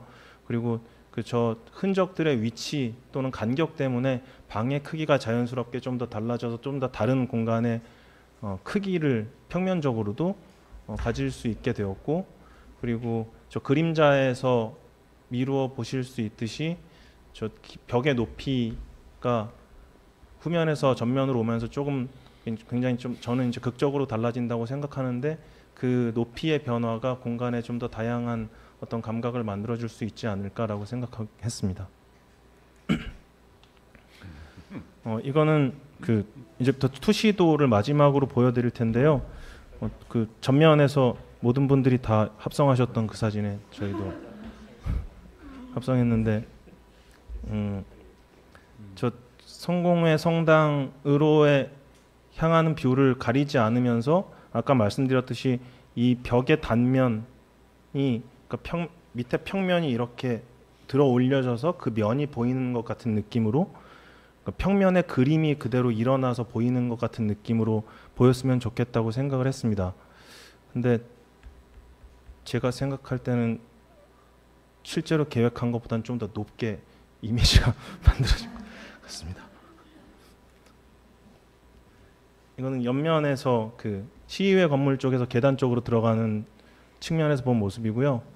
어, 이 측면 양 측면에서 볼 때 아마도 그냥 직접적으로는 바닥에 서울마루 지붕의 기울기와 벽 단면의 높이의 기울기 그리고 저 수평띠 뭐 이런 것들을 가장 직접적으로 볼 수 있는 인식할 수 있는 그런 모습이 아닐까 생각을 하고 있고요.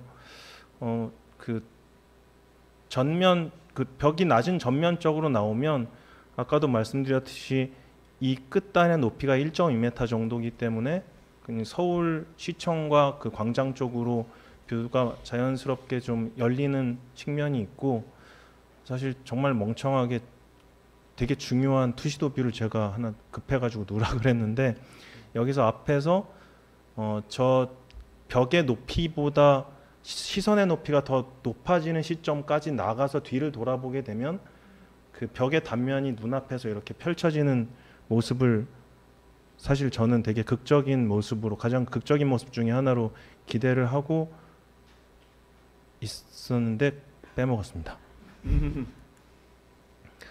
어, 그리고 그 이거는 그 높은 벽 쪽에서 개구부를 계속 관통해서 보는 모습이고 말씀드렸듯이 계속 동일한 어떤 그 시선과 뷰가 연장이 되면서 바닥에는 계속 나열되어 있는 어떤 기둥의 흔적들을 계속 보실 수 있고요.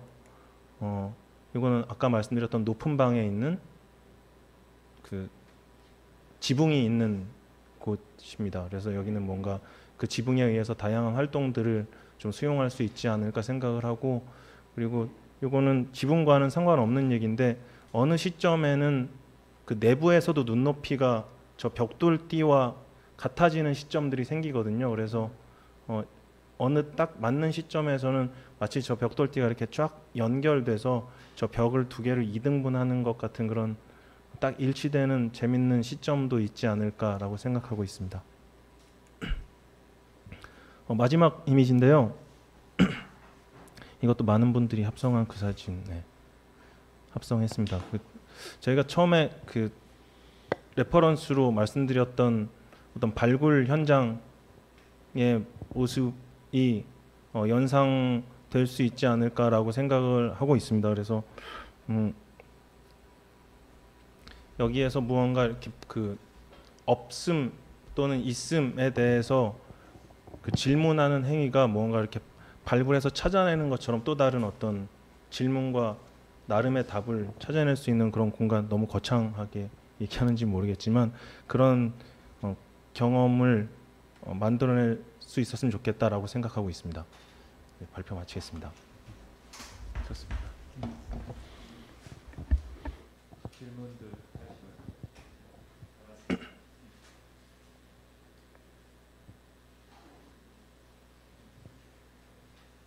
저 간단한 질문인데요. 네. 혹시 저 재료를 ALC 블록이 아니라 더 가벼운 걸로 바꾸면 프로젝트가 많이 달라질까요?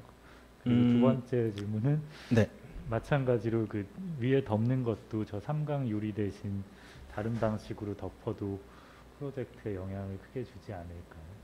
어, 일단 사실 저는 이제 조적조의 구법을 그러니까 뭔가 그 묵직한 구조의 느낌을 좀 살리고 싶었는데 그 중에 이제 제가 알고 있는 자재 중에는 ALC 블럭이 가장 가볍지 않나라고 생각을 했고 아니면 이제 그뭐 건식으로 가든지 이렇게 돼야 하는데 사실 저는 이제 조적이 오히려 바닥에 훼손을 하지 않으면서 할 수 있는 방법이 아닐까라는 생각이 들기도 했습니다. 그래- 그래서 일단은 사실 제가 아는 한도 내에서 가벼운 재료를 사용한 것이고요. 그리고 음, 두 번째 지붕은 사실 아직도 저게 저 형태가 맞는지는 갸우뚱하고 있습니다. 그리고 뭐- 뭔가 저 저거는 그러니까 서- 저게 좀 더 다름이 다른 뭐가 있다라는 그런 형태로 보였으면 좋겠다라는 생각 정도를 하고 있습니다. 네, 네.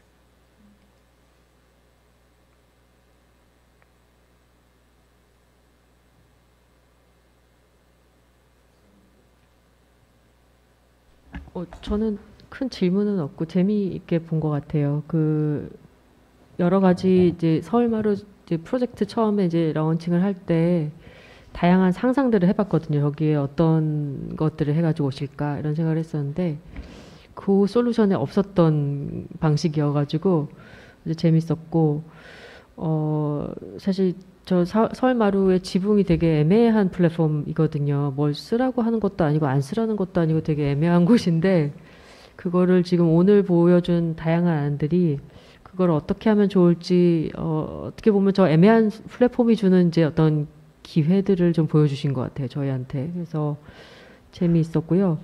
다만 저는 이제 색상에 대해서는 좀 아까 최춘 선생님이 질문하신 거랑 같은 내용인데 아 저게 원하시는 것처럼 블록이나 로인의 느낌을 줄까 그 생각은 하게 되는 것 같아요. 그래서 그거는 뭐 건축가가 풀어내셔야 될 이슈이지 제가 뭐 문제 제기할 건 아닌 것 같고 너무 아까 말씀하신 것처럼 이제 높기가 너무 높게 보인다거나 뭐 이런 부분들은 의도하신 것은 아니었다라고 이제 이해를 했어요. 그래서 그건 괜찮고 그러니까 마지막에 안타깝게 누락시켰다고 하는 이미지가 도대체 뭘까를 모형에서라도 좀 설명해 주시면 좋을 것 같아요. 저희도 아. 한번 상상해 보게.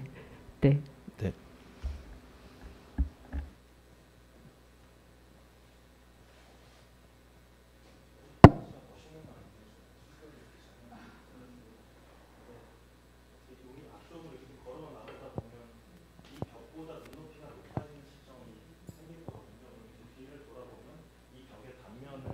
내가 조금 더 이 아, 아, 아. 벽의 단면보다 조금 더 높은 눈높이에서 마치 그 펼쳐진 뭔가 이렇게 단면의 scape를 이렇게 펼쳐 보듯이 그렇게 볼 수 있는 지점들이 생기지 않을까. 그게 사실 경험이 높이가 바뀌면서 가장 스펙타클하게 경험이 바뀌는 지점이지 않을까라고 생각을 했습니다. 저는 되게 어, 의미적으로나 이성적으로 굉장히 아, 재밌다. 그리고 공감도 많이 가고 그런 특히 이렇게 위에서 봤을 때도 좋고 밖에서 봤을 때도 좋고 계속 프레젠테이션을 보면서 아 그렇네 그렇네 재밌네. 이렇게 생- 보다가 약간 아 하고 이렇게 생각을 조금 다시 머릿속에 상상을 해보려고 그러게 된 시점이 실내에서의 그 퍼스펙 그 투시도가 나오는 시점이었는데 그러면서 ALC 블록 그러니까 특히 이거였는데요. 근데 그러면서 제가 ALC 블록을 아 그렇지 ALC 블록 하면서 다시 이렇게 상상을 하고 지금 다시 한번 유튜브에서 이제 찾아서 봤을 때 쟤네가 주로 이렇게 원래 배달 올 때도 아주 아주 깨끗하게 오지는 않을 뿐더러 또 오염도 잘 되고 또 저게 저 와리가 저렇게 딱딱 맞아 떨어질 리도 만무하고 중간에 쪽도 생길 거고 그다음에 중간에 몰탈 좀 튀어나올 거고 겨- 거기다가 저 적벽돌이 들어가면 또 그럴 거고 막 그런 게다가 위엔 사선으로 잘려야 되고 막 이런 걸 다 생각을 해보면 어, 저 안에서의 느낌이 되게 nice할까 아니면 어떨까가 궁금하면서 그러니까 무게 그러니까 처음에는 제가 ALC 블록이 되게 좋다고 생각을 했거든요. 아 정말 좋은 재료 체이스 초이스다. 밖에서 봤을 때는 가볍고 뭐 약간 시공비나 이 사이 블록의 사이즈도 크기 때문에 근데 아 여기서 다시 생각을 하게 된 다음에는 아 오히려 더 저렇게 archaeological site 같은 그런 느낌이려면 차라리 더 rough하고 좀 그런 재료이던가 아니면 그나마 어느 정도 뭐랄까 정제된 재료 이며 인게 더 나을까 이런 궁금증이 생겼거든요. ALC는 좀 애매한가? 컨, 네. 그 이렇게 이게 또 모르기 때문에 좀 컨트롤이 잘 안 되고 그런 것도 있잖아요. 그래서 그런 차원에서 재료에 대해서 한번 조금만 네. 더 설명해 주시면 좋을 것 같아요. 사실 ALC를 제가 조금 흔쾌히 결정할 수 있- 있었던 거는 뭐 아직 뭐 결정된 것도 아닐 수도 있지만 그 예전에 미술관에서 어느 작가가 그 건축하는 작가가 아니고요. 그냥 작가가 바닥에 ALC 블록을 통해서 그 가지고 이렇게 구획을 낮게 만드는 작업을 본 적이 있어요. 근데 그게 너무 오래돼가지고 제가 그걸 치- 이미지를 찾고 전시를 찾으려고 작가를 찾으려고 했는데 결국 사실 못 찾아가지고 reference로 못 보여드렸는데 저는 그때의 그 경험이 되게 인상적이었거든요. 근데 물론 말씀하신 것처럼 그 미술관의 현장의 상황과 저기의 현장의 상황 또 쌓는 그 양에 따라서 그 공사 질이라던가 이런 것들이 많이 차이가 날 거라는 생각을 저도 하고 있기 때문에 좀 우려되는 측면은 분명히 있습니다. 그리고 어, 말씀하셨듯이 사실 제일 걱정되는 건 저 사선을 잘라내는 것이어서 저는 저거를 사선으로 물론 ALC 블록이 톱으로도 잘라지고 하기는 하지만 저걸 저렇게 날카롭게 잘라내기는 어렵지 않을까. 그러면 뭔가 밑에는 뭐 시멘트 그냥 벽돌로 고이, 높이를 맞춰서 고이어놓고 백색 몰타로 부분적으로는 뭐 이렇게 미장을 해서 마감을 해야 되지 않나 뭐 이런, 이런 생각도 사실은 좀 하고 있었거든요. 그래서 재료에 대한 부분들은 사실 지, 뭐 지금 우선적으로는 AAC 블록에 좀 잘 시공되는 방식에 대해서 고민을 해 보겠지만 뭐 다른 부- 부분도 같이 고민을 해볼 여지는 있다고 생각합니다.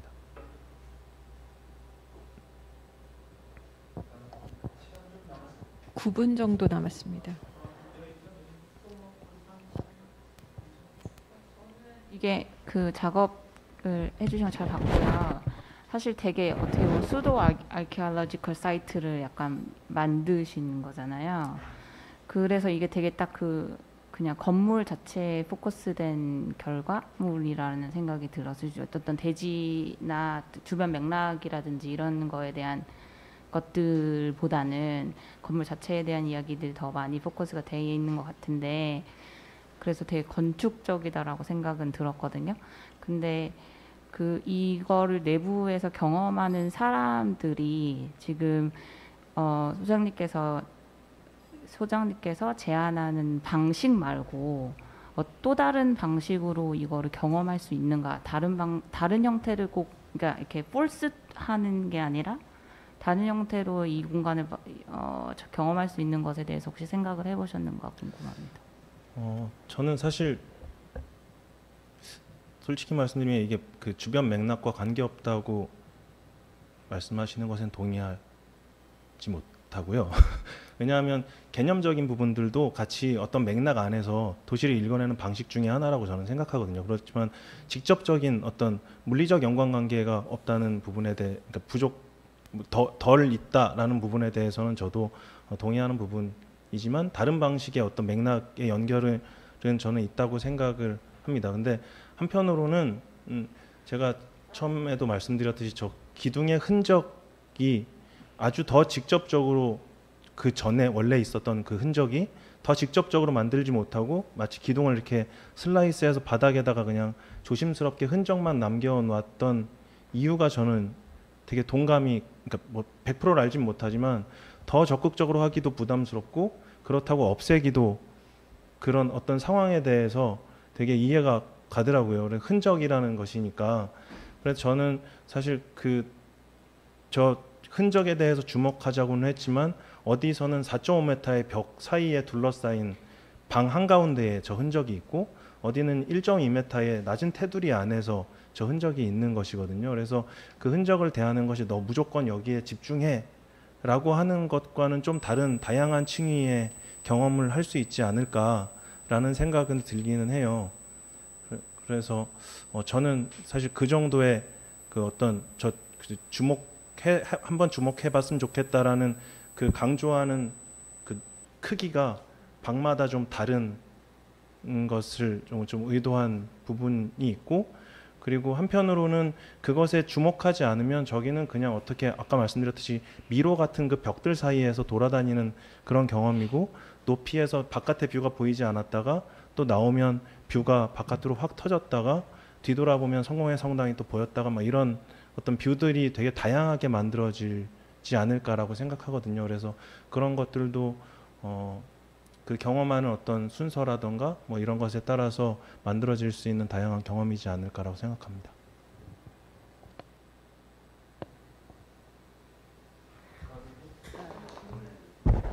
제가 제가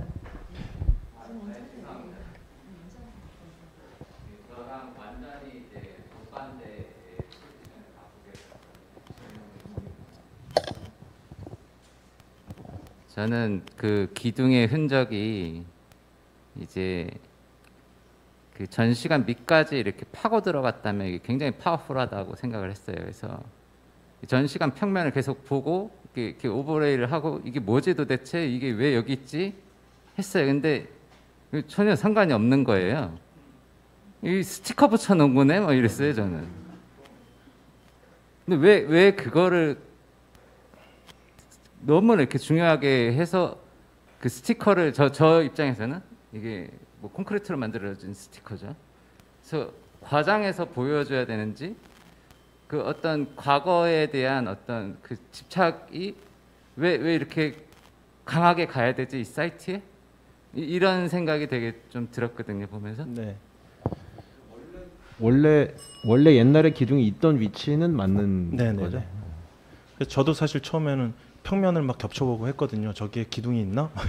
근데 아니더라고요. 근데 어 그 그래서 사실 저 그 기둥의 흔적을 남겨놓는 게 그냥 뭐 기존 거- 원래 있었던 건물 과거에 있었던 것을 기념하자 이런 거랑은 저는 좀 다르게 느껴졌거든요. 그러니까 제가 여기에서 어 저거 집중을 통해서 하고 싶은 얘기는 무언가가 있었다가 없어졌다가 하는 그 것의 흔적을 우리 보면서 우리가 다른 그 그것에 대한 어떤 생각을 해보자는 것이지 과거를 과거에 이게 어땠다는 걸 기억하자라는 거랑은 조금 다르다고 생각합니다. 사실 그 일반 네, 저기를 경험하는 어떤 사람들이 저걸 보고서 어, 과거의 모습이 이랬구나라고 그 생각할 거라고 생각하진 않아요. 다만 그 어떤 공간 안에 한 가운데에 무언가 기, 기, 기 둥이 잘려 있는 그 콘크리트 단면이 어 저게 뭐지? 저게 왜 방 한 가운데 계속 있지? 라는 정도의 질문만 던질 수 있어도 충분하지 않을까라고 생각합니다. 흥미로운 아, 먼저 말- 말씀하세요. 예. 아, 아니 근데 사실 앞에서 좀 나와가지고 별로 어, 예 저도 똑같은 질 거의 비슷한 질문이었던 것 같아요. 그러니까 어떤 그러니까 의사 기억인 거죠. 그러니까 실제 기억이나 존재라기보다는 그냥 그걸 굉장히 중요한 요소처럼 방의 가운데에 펼쳐지게 된 이유에 대한 질문이었는데 이미 하셨고 근데 그래도 여전히 조금 아, 되게 저는 되게 재밌게 봤어요. 그리고 그게 이제 디자인 프로세스에서 그렇게 어, 입체화되는 과정들도 굉장히 재밌게 봤고, 그러니까 그 한 가지 단서들이 이렇게 재미있는 요소가 될 수 있구나라는 예, 색에 대한 동의는 굉장히 컸는데 이제 그 다음에 이제 제가 디자인 한 입장이 아니라 사용자 입장으로 들어갔을 때 내가 저걸 어떻게 경험했을까라고 생각을 하면 손스빅 알도바나이크 그 공간은 사실은 조각공원이고 그 각각의 실제 그러니까 부재가 아니라 실제 하는 것들을 중간 중간에 알코브에서 길을 만들어 주면서 이제 얘기를 전개를 하잖아요. 근데 이제 이거 이 경우는 그리드가 되게 선명하고 부재 그래서 이제 이 부재의 흔적들은 굉장히 분명하게 보이긴 하는데 이제 이게 이제 우리가 좋아하는 이 퍼스펙티브나 뭐 이런 거라고 한 우리가? 라고 하면 이상하지만 하여튼 그러니까 건축가가 기대하는 어떤 스케일에 대한 즐거움이 이제 저거를 쫓아다니는 것들의 즐거 움으로 이렇게 넘어갈까 이런 질문이 계속 들었어요. 그래서 아까 들 그럴 거야라는 생각도 굉장히 많고 동의하는 바도 많고 근데 여전히 진짜 그렇게 느, 느껴질까라는 생각도 좀 들어서 사실 이게 질문인지 말인지는 잘 모르겠는데 약간 강, 예, 그, 강, 강 소장님 얘기를 듣다 보니까 저도 아까부터 그게 좀 궁금한 게 하나 있었는데 어 만약에 만약에 어떤 사람이 이제 이렇게 해놨는데 저거를 되게 실용적인 어떤 목적으로 뭐 벽에다가 뭐 그림을 관다 예를 들어 뭐 저걸 전시장으로 뭐 바꿨어요. 뭐 이렇게 뭐 하고 어떻게 했어요. 그런 상황에 대해서 어떻게 생각하세요? 저는 뭐큰 크게 상관없을 것 같은데. 사실 저는 아까 사, 그 제가 사실 계속 견지하고 이- 있는 어떤 태도랄까? 그러니까 과하게 저 질문을 억지로 강요하고 싶은 생각은 없어요. 다만 저게 계속 무언가 저기서 그런 있고 없어지는 그런 일들이 계속 반복되어 온 것을 누군가는 저기에 흔적으로 남겨놨고 그리고 여기에 일시적으로 만들어지는 어떤 공간이 그것에 대해서 주목할 수- 수도 있겠다. 그렇지만 그게 아닌 여도 충분히 저 공간을 즐길 수 있었으면 좋겠다는 생각을 하거든요. 다만 아까 그, 그 교수님께서 말씀하셨듯이 사실 얼마나 저 그 공간을 사용자들이 정말 즐겁게 막 그 즐길 수 있을지는 모르겠지만 그럼에도 불구하고 저는 여기에서 어떤 그런 건축적인 경험을 통해서 그런 것들이 만들어졌으면 좋겠다. 다른 어떤 매체가 있을 수도 있지만 우선적으로는 건축적인 경험들을 통해서 그런 어떤 그 공간적인 즐거움들이 만들어졌으면 좋겠다는 걸 먼저 우선하고 사실 그런 측면에서 말씀하셨듯이 그 뒤에 무언가 다른 것들이 들어온다고 해도 그걸 꼭 뭔가 배제하거나 꼭 저 저게 거기에 생겨서 가운데의 중심 흔적에 주목하는 걸 방해하면 안 돼라는 입장은 아, 아닙니다.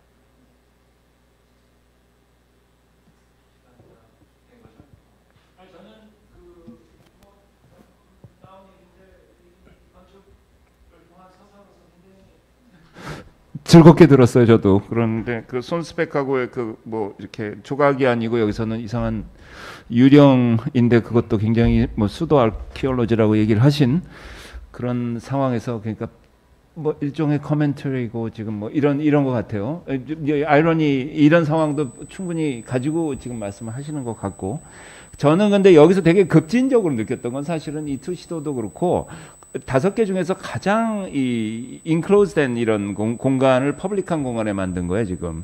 그래서 이거는 관리상으로는 나이메어예요. 그리고 굉장히 불온한 상상도 하게 하고 일종의 그 그 그런 그러니까 이렇게 이렇게 어떻게 해서 이게 나왔다 그 설명 이후에 이제 이게 짜잔 보여주시는 거에 대한 얘기를 좀 더 듣고 싶은 부분이 있었어요. 여기서 약간 뭔가 무정부적인 약간 voluntary prisoner에 나오는 이런 막 이런 한 칸이 나눠진 이런 공간인데 또 어떤 각도에서 훤히 들여다 보이고 이렇게 되게 이상한 공간일 것 같거든. 예? 그러면서 뭐 주변하고 전 충분히 얘기하는 것도 있다고 생각을 하고 이 지각 어, 지각적으로 perceptually 그 뭐 그런 면에서 여러 가지를 생각해 하고 한 가지는 AAC 블록 저 솔직히 잘 모르는데 그냥 약 다른 분들은 다 이런 circular 뭐 이런 그 재료에 대해서 뭐 꼭 sustainability가 주제는 아니더라도 그런 거에 대해서 어떤 제가 지식이 좀 부족해요. 그래서 꼭 그래야 된다는 건 아닌데 뭐 값싸고 뭐 그런 거에 대한 어떤 생각이 있나? 그러니까 오히려 더 가볍게 가버리는 게 난 뭐뭐 뭐 뭐, 저도 무슨 뭐 제안을 하려는 건 아니고 지금 듣고서 그냥 리액션을 그런 하는 건. 없었습니다. 예? 그런 건 없었습니다. 그런 건 없었고 그런 건 없었다. 오케이. 뭐 그런 정도? 예. 코멘트 있으시면 저기 하고 안 그러면은 다음 괜찮아요? 네. 예, 좋습니다. 네, 수고하셨습니다. 그러면 5분 정도 정리하시고 다섯 번째 발표자분 준비해 주시겠습니다. 예? 이제 우리 시간이 다 예. 박진택 소장님 이제 순서하고 된 것 같은데요. 음? 불을 또 꺼주시고요. 음. 오 완전히? 지금 박 소장님의 뜻인 어. 거예요? 이렇게 어둡게 가는 거? 제 프레젠테이션은 약 13분 30초간 영상 보시고 네. 어 좋습니다. 아. 두한뭐 2, 3분 보충 설명하겠습니다. 그리고 시작하기 전에 잠깐 말씀드리면 네. 저, 제가 이제 이 프로젝트 들으면서 예, 인상 깊게 들었던 세 가지에 대해서 말씀드리겠습니다. 첫 번째는 어, 서울 도시건축 전시관 서울 심장부에 어, 새로운 건축이 새로운 건축적 생각이 잉태돼야 되, 된다는 거 이 말 듣고 참 좋았고요. 어, 파빌리언도 아니고 행사장도 아닌, 아니다 이 말 들었을 때는 별로 안 좋았습니다. 근데 이제 곰곰이 생각해봤을 때는 그 건축 제안이 그 최종 목적지면 안 되겠다라는 생각을 했습니다. 그래서 그리고 나머지는 이제 기본적으로는 그늘막, 그늘막을 만들어야 되겠다. 요 세 가지를 가지고 프로젝트를 시작했습니다. 영상 보시겠습니다.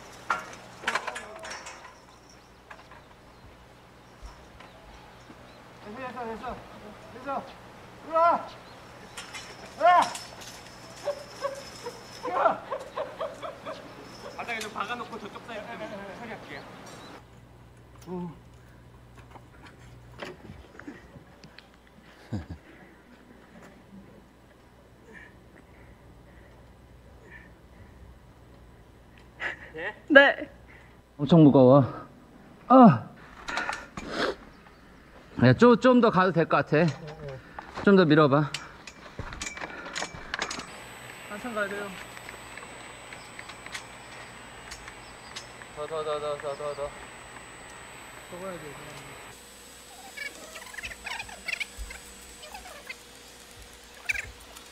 네.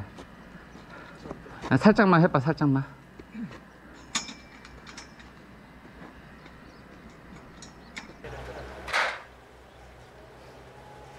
아, 나 눈물이 나지. 야, 아, 얘, 얘부터 해야 될 것 같아, 그지?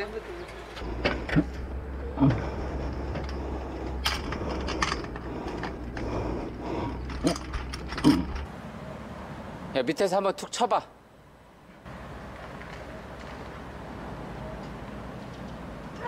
됐어, 됐어.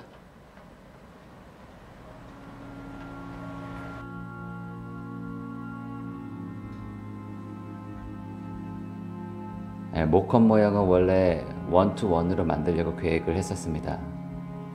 근데 이제 제안하는 크기가 높이가 16m에서 17m인데 예, 너무 이제 일이 커져가지고 어쩔 수 없이 약간 좀 작게 반절 정도입니다. 거의 반절 정도 크기.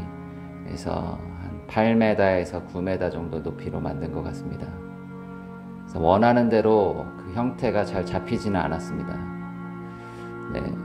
네, 뭐가 가능하고 뭐가 이제 안 되고 어떻게 하면 이게 나아질 거라는 거를 알고 있습니다. 그렇게 해서 한 번 더 해보면 그래도 이제 원하는 대로 안 나올 수도 있는데 한 두 번, 세 번 정도 해보면 원하는 형태로 만들어낼 수 있을 거라는 확신을 가졌습니다. 이게 완벽하진 않지만 긍정적인 시도로 받아들여졌으면 좋겠고 이 시도가 계속 이어져 나갈 수 있기를 바랍니다.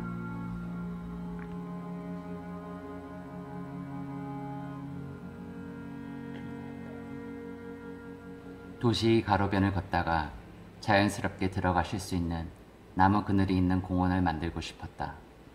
줄기가 하늘로 뻗어가는 순간에 뿌리는 지하로 내려간다. 하나의 생명체 안에서 상충하는 역방향 운동이 완벽하게 조화를 이루며 발생하고 있다는 사실에 매료되지 않을 수 없다. 상상은 이처럼 나무처럼 자라난다. 나무 아래 존재함으로 한 아이의, 한 연인의, 한 성자의 인생 이야기가 대사사지가 되어 들려오는 것 같다. 음, 건축가인 내게는 나무 아래 그려진 작고 소박한 오두막이 생각나기도 한다. 누군가는 그것을 건축의 원형이라고 했다. 내가 서울 마루에 제안하는 나무는 물론 자라나는 생명이 아닌 인공이다. 자라지 않는 나무가 어떻게 서사시를 꿈꿀 수 있는 것일까? 설치 기간이 만료되면 상상 나무는 중동 지방 고건축의 친환경 요소인 wind catcher로 아프리카에서 실험되고 있는 워커 워터 타워로 태양광 패널이나 소형 풍력 발전기 타워로 아니면 그냥 장식이나 그늘막으로 사용될 수 있다고 생각한다. 다시 말해서 상상 나무는 완성된 제안이 아니다. 다른 무엇으로 되어가는 과정에 있는 중간 단계이다. 상상 나무는 설치가 끝난 후에도 다른 무엇이 되길 원한다. 팔릴 수도 있고 기부될 수도 있다. 대부분의 자재는 운장 크기를 그대로 유지하며 설치된다. 형태는 텐션을 걸어 만든다. 해체 시 클램프를 풀면 자재들은 처음 생산되었던 직선의 원형으로 다시 돌아온다. 다른 장소에서 위에 언급된 프로그램들처럼 다른 목적으로 다시 조립될 수 있다. 아니면 최고의 무대를 마치고 낙향하는 어떤 전설적인 인물처럼 대한민국 어딘가에 평범한 비닐하우스로 만들어질 수도 있다. 어떻게 해도 재사용될 수 있다. 그래도 안 되는 최후의 자재들은 고물상에 넘기면 톤당 35만 원을 받을 수 있다. 최근 철근 파동으로 가격이 뛰어서 더 받을 수 있을지도 모른다. 어쨌든 모든 것이 실패한다고 하더라도 작은 볼트 하나, 너트 하나 버려지지는 않을 거다.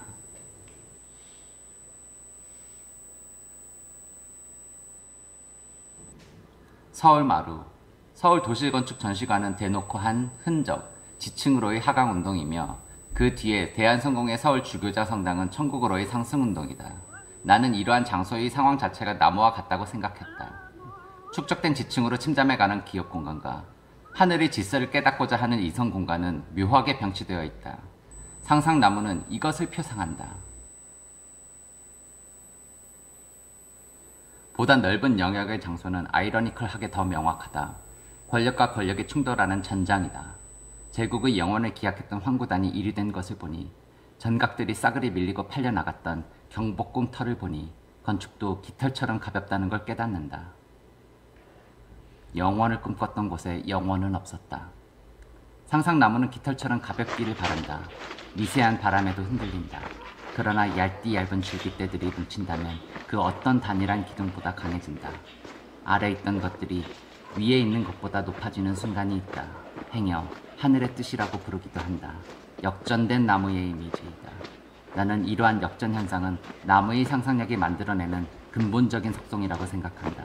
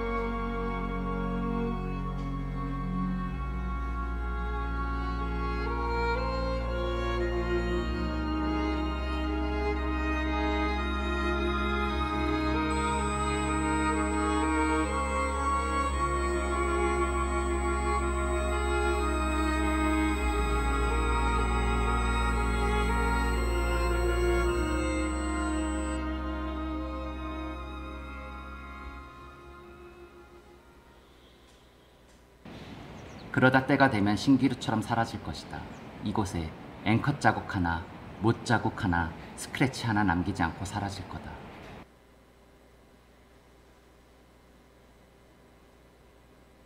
배치는 하나의 중랑과 이것을 감싸는 두 개의 측랑을 가진 바실리카와 비슷하다. 포럼 등 공공 건물이 원형으로 보이는 바실리카는 오픈된 공공 공간이면서 중랑과 측랑의 layering이 조금은 더 공적인 공간과 조금은 더 사적인 공간을 구분짓는다. 높이차와 비례해서 오는 시각적 효과이겠지만 그 이전에 조족조의 재료적 한계를 극으로 밀어붙이면서 가장 높게 수직으로 상승하고자 하는 안간 힘으로 자연스럽게 도출된 구조 형식으로 보인다. 좌우 대칭은 서울 마루의 진입 계단과 램프의 위치 때문에 자연스럽게 깨지며 율동감을 얻는다. 그래서 상상나무는 새로운 바실리카인가? 상상나무는 조족조의 견고함을 제거한다. 그리고 역설적으로 이곳에 작은 바람에도 일렁이는 생동감을 불어넣는다. 한옥 축조 과정을 몇 개월 동안 따라다니며 촬영한 적이 있다. 처마선은 기본적으로 나무에 텐션을 걸어 만든 곡선이라는 걸 배웠다.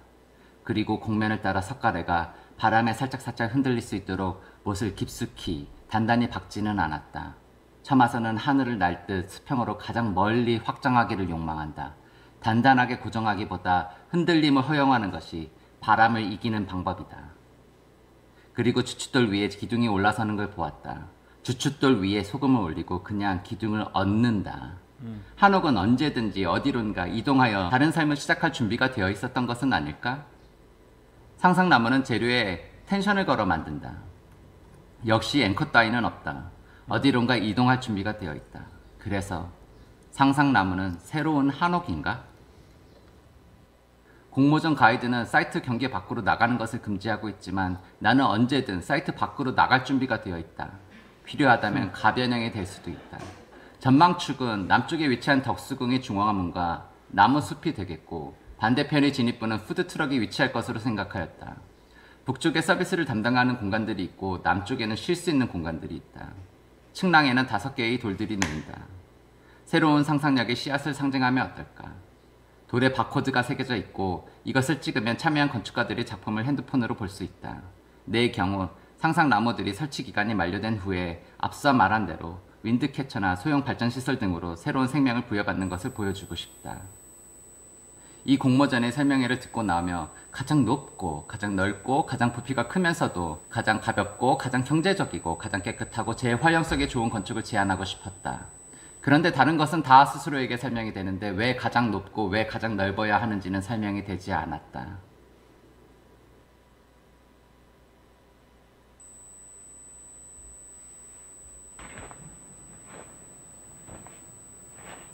해결되지 않는 문제를 가지고 매일 숲을 걷는다. 숲은 빈 공간이 아니었다. 어느 날 숲은 무성해지고 길은 사라지고 온갖 날벌레들과 거미집들이 우후죽순 생겨난다. 마치 공기보다 두꺼운 막이 생기는 것 같다. 늘 무엇이 있다.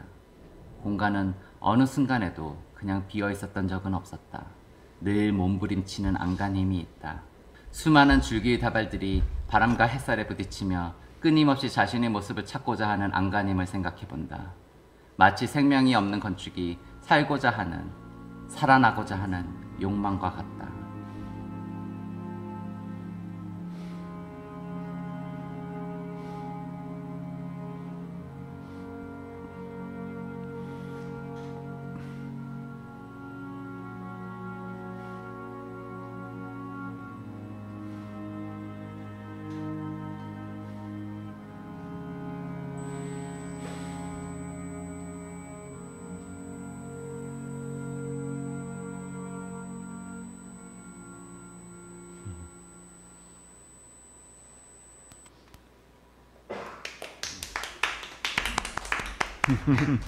지루하지 않은 시간이셨기를 바랍니다. 예, 몇 가지 보충 설명드리겠습니다. 혹시 그 캐치가 안 되셨을지 모- 몰라서 이제 강조해서 말씀드리고 싶은데 이 모컵은 2분의 1 정도 크기고요. 그, 그 기둥도 8개밖에 사용하지 않았습니다. 근데 뭘 눌러야 되나요?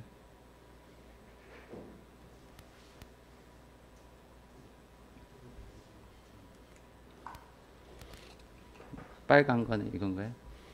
그래서 요, 요, 요 기둥도 이제 제안에서는 26개인데 모컵에서는 8개밖에 안 됩니다. 그래서 그리고 이제 하부 기둥도 네, 4m인데 실제에서는 이제 10m 가까이 쓰면은 뭐 공면을 만드는 거나 이제 하중을 견디는 거가 완전히 달라질 거라고 생각을 합니다.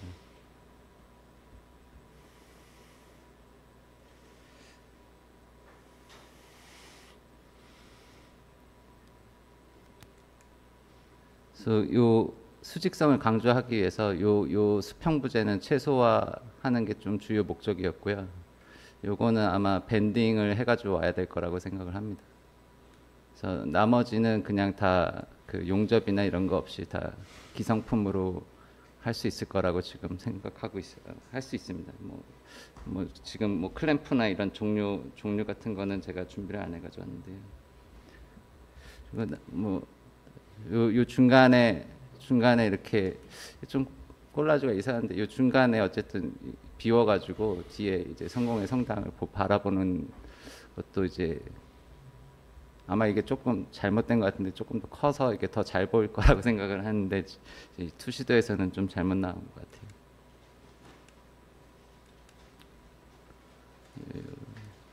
요 돌은 뭐 이렇게 한 4, 4, 5m 간격을 띄어가지고 코로나 시대에 뭐 4인 금지 해가지고 돌 하나는 탁자로 쓰고 의자는 4개로 근데 마침 또 우리 또 다섯 명이라서 다섯 개 이제 바코드를 찍어가지고 음. 바코드 찍으면은 저희 작품 이렇게 한번좀 축제 같이 건축의 어떤 축제 뭐 이렇게 생각을 했습니다. 쭉쭉 넘어가고 예산은 사실 되게 많이 남을 거라고 생각했는데 이 A급 기공이 40일 일한다, 일한다고 생각을 해가지고 아마 지금 여기서 조명이 빠져 있는데 조명을 뭐 이거 좀 이렇게 좀 이걸 줄이고 경비도 좀 줄이고 뭐 나- 나머지에서도 제가 조금 여유롭게 많이 중장비도 좀 비싸게 잡아가지고 조명을 충분히 넣을 수 있을 거라고 생각합니다. 그리고도 혹시 남을지도 모르고 이거는 계산해 보니까 대충 7톤이 나와서 이게 200만 원의 수익이 예상되고요. 마- 만약 누군가 이거를 시스템을 사간다면 오히려 더, 더 많이 받고 팔 수도 있지 않을까 뭐 그런 희망도 해봅니다. 여기까지입니다. 감사합니다.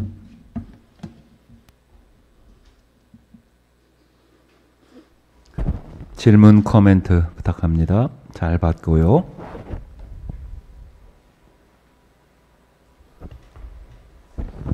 전 지금 궁금한 게 너무 많아요. 저도 그- 저 먼저 궁금한 거 시작하면요. 예, 자- 되게 잘, 재밌게 잘 들었습니다. 근데 그 측량 빼놓고 가운데 있는 것들은 떠 나무들은 떠 있는 건가요? 그 위에 밴딩돼 있는 걸 걸쳐서 이렇게, 이렇게 예, 예, 떠 있는 겁니다. 거. 예. 예, 예, 예.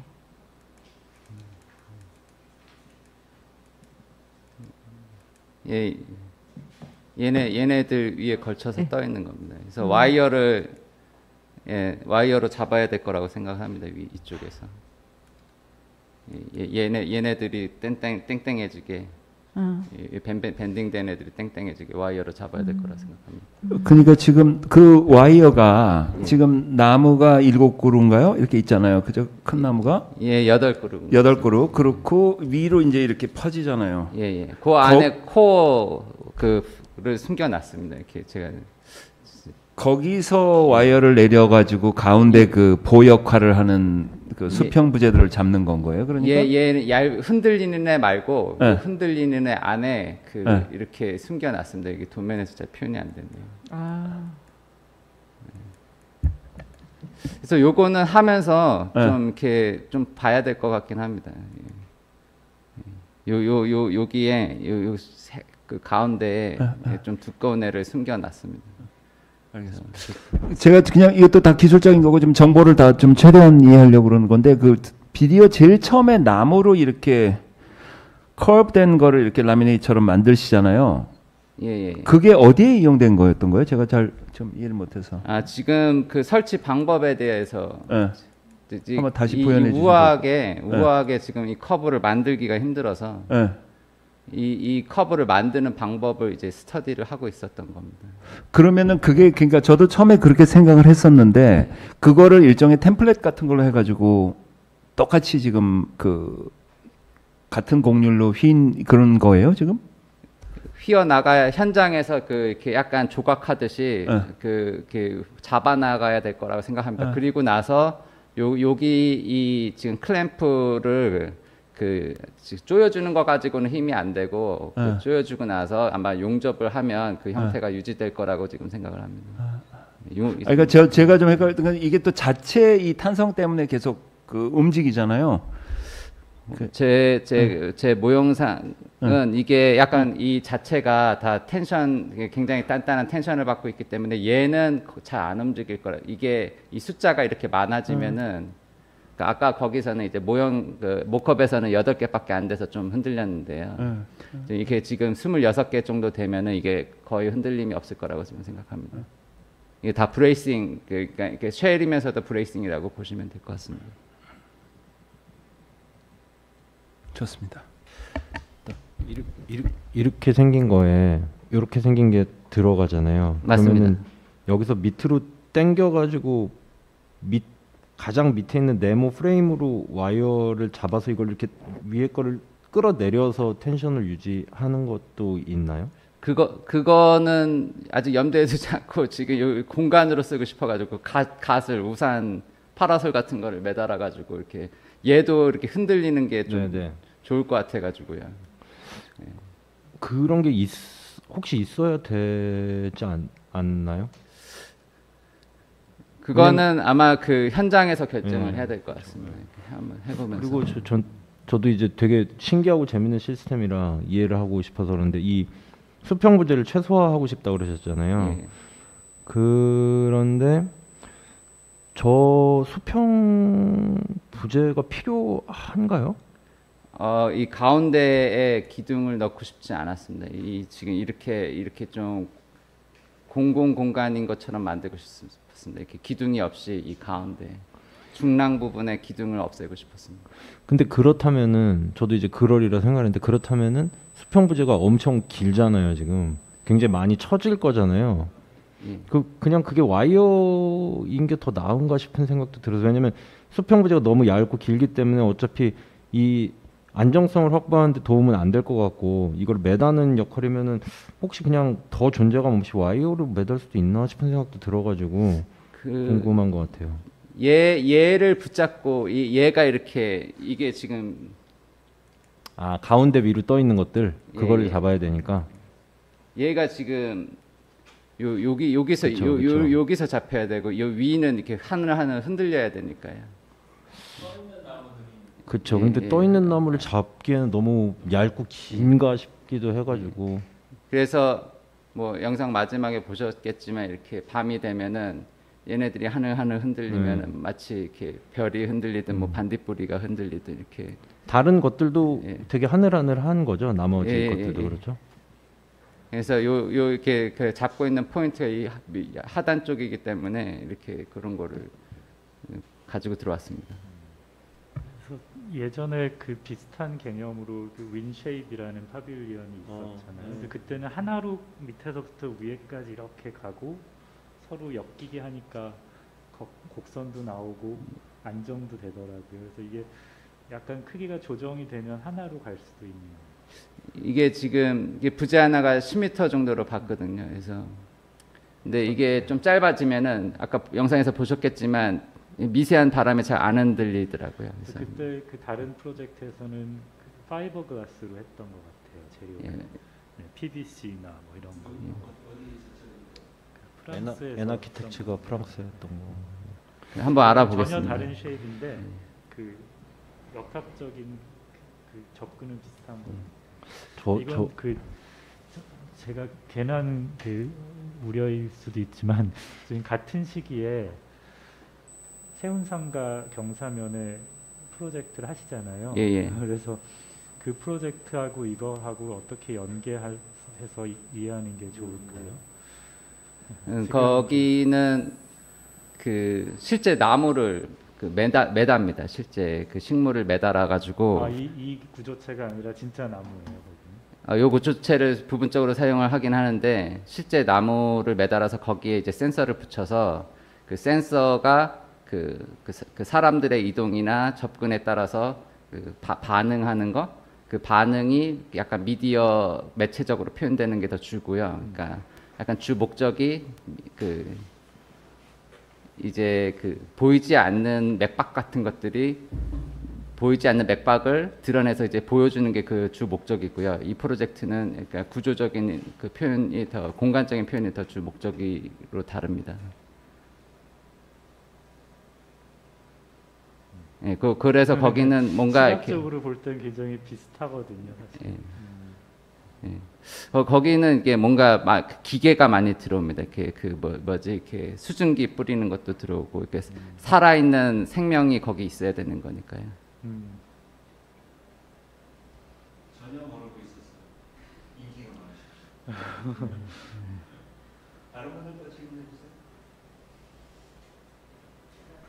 질문을 좀 드리겠습니다. 저도 좀 이렇게 이 계속 그 단시간에 설명을 들은 거라서 제가 잘못 이해한 부분도 있을 것 같긴 해요. 그래서 추가적으로 좀 그 설명을 주시면 좋을 것 같은데 일단은 첫 번째는 부재 사이즈거든요. 네. 생각하시는 것처럼 저게 이렇게 호리호리할까 이런 생각이 드는데 당장 이제 저희 이 방 디지털 심사 심사실 위에 있는 저 방에 어, 파이프 중에 하나가 저 정도 사이즈거나 쟤보다 더 얇지 않을까라고 생각이 들어요. 근데 아무리 저게 15m 물론 이제 러닝하는 길이는 중간 윗부분 나무의 이제 가지를 상징하는 부분은 그 한 절반 정도라고 보면 그 길이를 갖다고 해서 저게 하늘하늘하게 보일까? 물론 이제 어반 스케일에서는 좀 얇게 보일 수는 있을 것 같은데 그 어반 스케일이 아니라 마루에 올라가서 보는 시민들한테는 결코 하늘하늘하게 보일 만한 두께가 아닐 수도 있을 것 같아요. 그래서 직경의 예, 측면에서 그, 그것도 이제 좀 종류 그, 대, 답을 하겠습니다. 그 조- 종류별로 있는데 파이프가 그러니까 뭐 25파이가 있고 그 25파이에 뭐 0.8T 두께가 있고 뭐 1.3T가 있고 뭐 다양하게 있습니다. 그래서 그리고 25파이 밑에는 1.8파이 그러니까 아니 18파이 해가지고 다양하게 이제 그, 그 두, 이, 이, 이 파이프의 그 크기도 다르지만 이 파이프를 붙잡고 있는 두께도 다르고 그 me, metal의 이제 성격도 좀 다르기 때문에 예, 충분히 가능하다고 그러니까 조금 아쉽습니다. 제가 이게 거- 음. 걱정하던 부분에 대해서 이제 네. 질문을 주신 것 같습니다. 근데 하늘하늘하게 예, 만들 겁니다. 예. 네, 한 15mm를 넘어가면 일단 두껍다라고 보일 것 같긴 한데 일단 뭐 그거는 스케일을 가지고 뭐 하는 방식들이 있으셔야 될 것 같고요. 또 하나는 아까 목업에서는 이제 그게 이제 실제 목업이랑 같은 어 그 조인트들을 쓰실지 모르겠는데 클램프가 상당히 커요. 저희가 알기로는. 근데 그것도 지금 부재수도 목업보다 지금 두 배로 들어가게 되잖아요. 그래 그 얘기는 뭐냐면 지금 이 도면에 나와 있는 것과는 다르게 조이너리 부분들이 굉장히 두꺼워질 예정이라는 거예요. 뭐, 맞나요? 제가 잘못 이해한 걸 수도 있어요. 혹은 조이너리는 개선될 수 있는 여지가 있을까요? 일단은 그 목겁에서 그 밑에 하단에 하단에 붙잡고 있는 클램프는 아까 사진에서 보셨던 그게 그대로 들어갈 것 같고요. 그 상단에는 좀 줄일 수는 있습니다. 지금 조금 여러 가지 테스트를 해봐야 되기 때문에 그 이렇게 좀 이렇게 설치 부- 조이고 푸는 게 좀 용이한 클램프를 썼고요. 이제 음. 그 그렇게 뭐 이렇게 좀 이렇게 좀 이렇게 부피가 크게 나가지 않는 것들도 있습니다. 근데 목겁에서 높이만 높아지는 게 아니라 크기도 예, 커지는 커기, 거죠? 크기도 커지는 방 거죠? 크기도 지금 mock-up에서는 3m고 제한하는 거에서는 5.5m입니다. 그러니까 부재 수도 많아지는 거예요. 부재 수도 많아지고 길이도 길어지기 때문에 사실은 파이프 사이즈도 커지지 않을까라고 생각이 아, 들더라고요. 파이프 사이즈는 그 부, 부재 사이즈가 많아지니까 괜찮을 거라고 생각합니다. 음. 부- clam- 그 제가 마- 하- 아는 거는 만약에 이게 파이프 사이즈, 사이즈가 지금 mock-up에서 본, 본 것보다 커지면 휠 수가 없습니다. 사람 힘으로. 음. 그러니까 뭐 저는 이제 이거를 문제시한다는 게 아니라 그러니까 저게 지금 저희가 그림으로 보는 것처럼 경쾌하게 보일 수 있는 아웃풋이 나올 수 있는 어떤 솔루션을 지금은 못 찾았다 손치더라도 찾을 수 있는 어떤 그러니까 목업에서는 구현되지 않았더라도 찾을 수 있는 가능성들을 갖고 계시냐 그게 이제 궁금한 것 같아요. 왜냐하면 예, 예. 그거는 찾아가시는 과정이 있고 이거는 지금 오늘은 저희한테 개념을 설명해 주신 거라서 예. 저와 같은 방식으로 이제 구현이 됩니다라는 걸 이제 이해해야 되는데 목업만 봤을 때는 또 저희가 아는 실제로 약간 기성품들을 활용하겠다라는 계획을 보자면 다소 좀 염려스러운 부분이 있는 거예요. 그게 이제 한 가지 그 질문이랑 연결돼 있고 두 번째 질문은 조명을 이제 하면 근사할 겁니다라고 말씀을 주셨는데 마지막 시뮬레이션에서 보여주신 주, 그 조명은 지금 여기에서 주어진 예산으로 구현이 가능할 조명일까라고 또 생각이 들었던 거예요. 그 지금 마치 이렇게 풀밭에서 불빛이 올라오는 것 같은 인상들을 구현하셨는데 실제로 어떤 방식으로 하면 그런 조명이 구현되는지도 좀 궁금하거든요. 혹시 생각이 있으시면 좀 설명해 주시면 좋을 것 같아요. 그 말씀 주셨듯이 그 두 가지 중에 하나일 것 같아요. 좀 뭐 확실하게 말씀을 못 드리겠는데 파이버 글라스 아니면 그, 그 LED를 이렇게 붙여야 될 거라고 생각을 합니다. 그렇게 되면 이제 그게 아까 예산상 이제 구, 구현이 가능할 수 있, 있을까요? 제가 제가 그, 그 예산을 잡을 때 아까 말씀드렸을 때 그 좀 여유롭게 많이 이렇게 잡으니까 보, 보시면은 그 재료비는 사실 그 큰 비중이 없고 이게 다 인건비랑 이제 관리비로 많이 잡아놨습니다. 그래서 보시면은 이 보시면 이 재료비가 이렇게 큰 포션을 차지하고 있지 않습니다. 그래서 그 이 이, 이쪽에서 줄이면은 그리고 제가 거의 직접 시공하게 될 가능성이 높기 때문에 예, 크게 염려하지 않으셔도 될 것 같습니다. 예.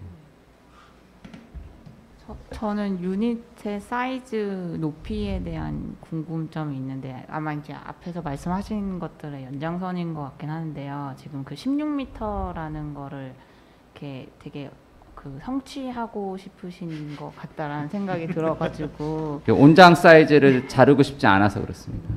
그게 그러면은 사실 그 mockup에서는 그 말씀하신 것처럼 낮은 고 작은 사이즈였는데 예를 들면 그 어떤 상황의 변화에 따라서 그 유닛 그 말씀하신 16m들이 뭔가 줄어들거나 변경이 됐을 경우에 계획에 어떠한 영향을 미칠 것인가 뭐 지금 말씀하신 뭐 shade라든지 이런 다른 장치들이 있잖아요. 그런 것들은 어떻게 고려를 하시고 계신지 궁금합니다.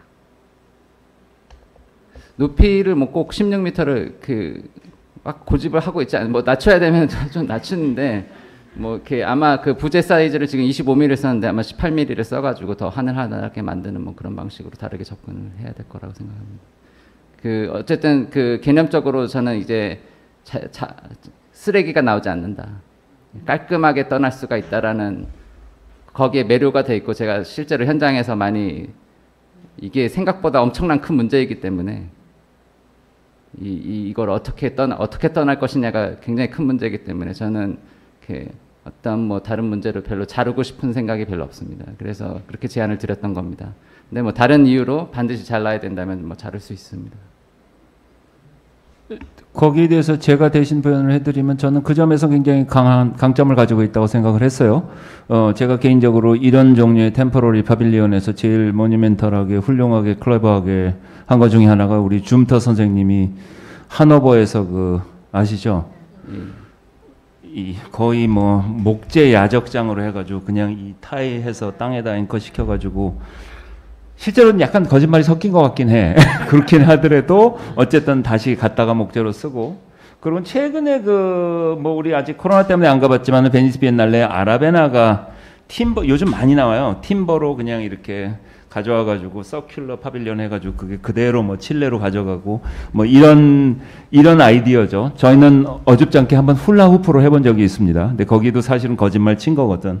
이- 그 들으면서 아까 그 horizontal 부재 얘기할 때는 그런 걱정이 났던 게 뭐냐면은 에, 나는 이게 간단하게 이제 zip tie를 묶고 뭐 이래 가지고 뭐 지름도 큰 게 아니어서 그래도 한 10m 정도 되는 지름이었는데 이게 계속 이렇게 지점토처럼 무조건 많이 붙이면 rigid 해줄 줄 알았는데 자체 탄성 때문에 이 계속 처지는 거예요. 그 그리고 이- 이게 계산이 안 돼. 오버랩까지 다 들어간대. 그래서 결국은 어 뭐라 그러나 그 아마추어로 만들어놨던 steel frame 자체를 그대로 그냥 썼어요.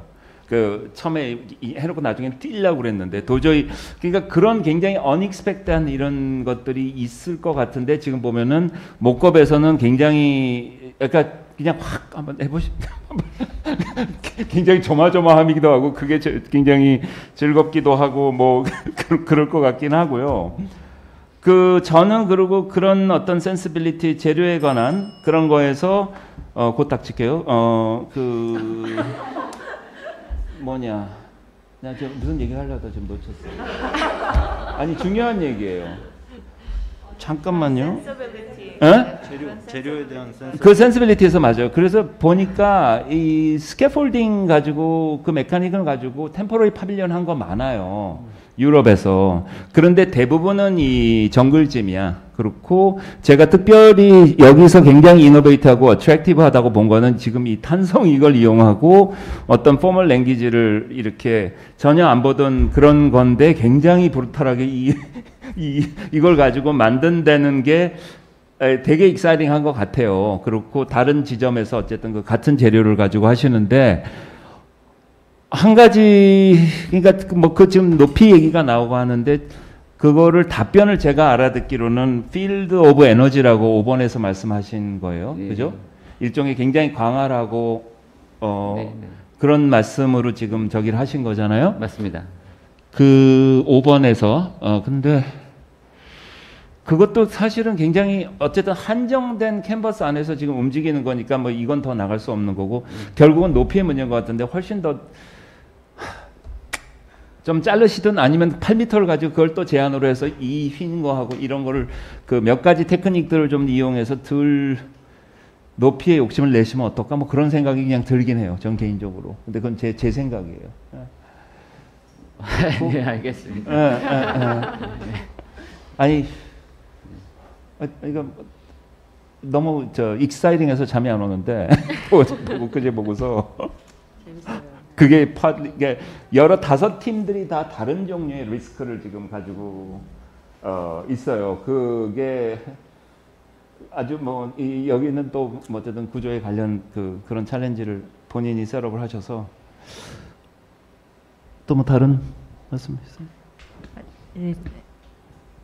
어, 저, 저 사실 아까 답을 들은 것 같긴 한데 네. 약, 저도 약간 걱- 걱정이 되는 게 저도 그 클램프를 조여서 뭔가를 한 적이 있었는데 알루미늄 파이프를 연결해서 이게 생각보다 결착이 굉장히 세게 했음에도 불구하고 금방 헐거워지더라고요. 그래서 음. 이게 아마 3개월 동안 물론 저는 실내에서 했을 때도 되게 문제가 있어 중간중간 가서 계속 조여주는 작업들을 계속 이어서 관리를 했었던 기억이 있거든요.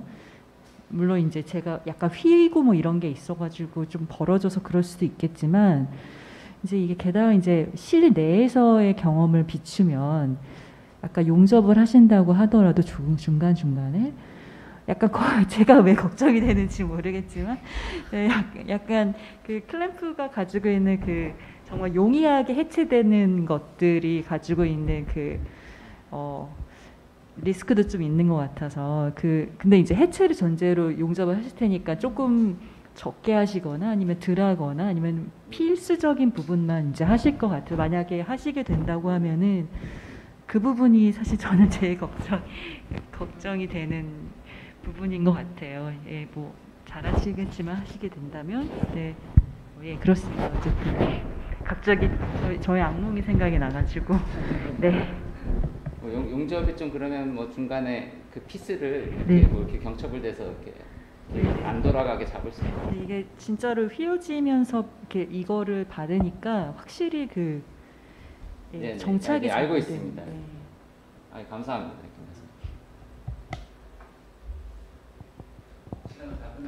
네, 1분 남아서 이렇게 우선 종료하면 좋을 것 같고요. 그리고 지금 모, 지금 다섯 분의 모든 우선은 발표는 다 끝났습니다. 하지만 그래도 조금 더 논의해야 될 사항이 있는 것 같아서 한 10분 정도 내외로 지금 테이블을 조금 정리하고 모두가 다 같이 앉아서 조금 더 발표하면서 했던 얘기들에서 좀 확장해서 얘기를 해나갔으면 좋겠습니다. 네. 그래서 한 10분 정도 조금 정리하고 다시 논의를 시작하도록 할게요. 네.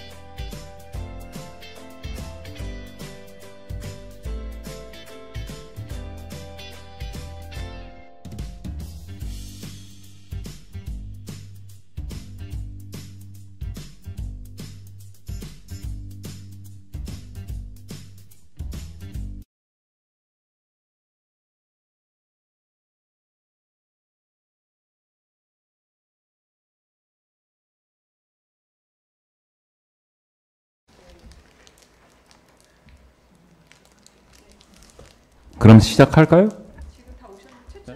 아, 최춘 쌤이 아직 안 오셨구나. 모셔온다기 보다 잡아오시고.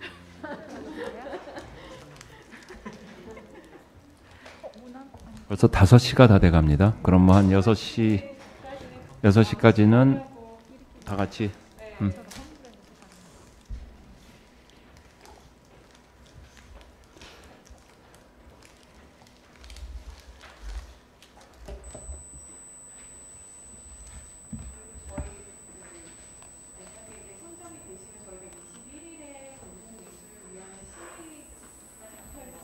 아, 너무 감사해요. 네. 네.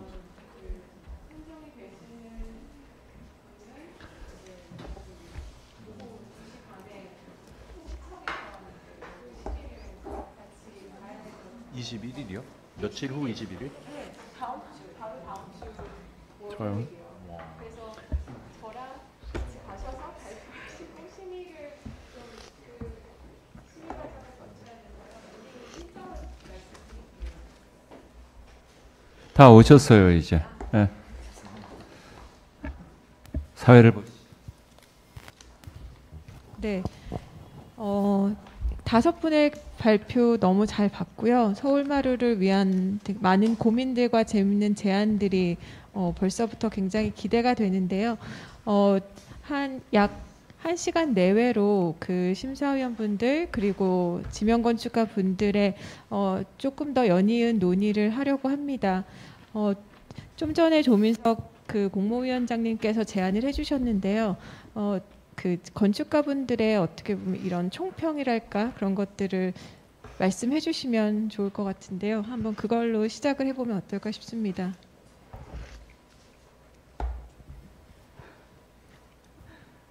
마이크가 다 있으시죠? 발표 순서대로 할까요? 아니면 다들 주저하시는 것 같아가지고 네, 네, 네, 네. 뭐, 총 총평은 아닐 것 같고 한 발, 음, 네, 아, 아, 네. 네, 의미 있는 이, 어, 마, 말씀을 드리는 건지도 잘 모르겠습니다.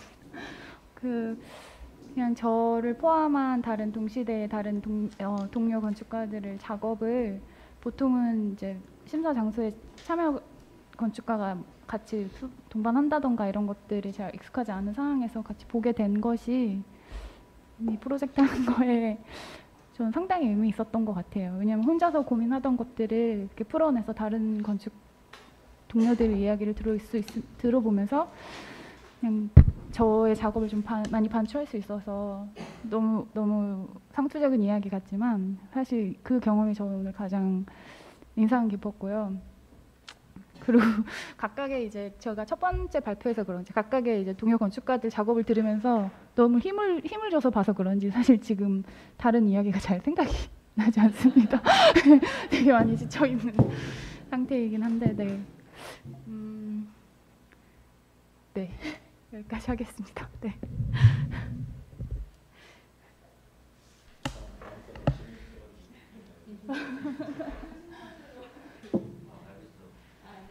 마이크 나오나요? 이번 공모 참여하게 돼서 좀 재밌게 작업을 했고요.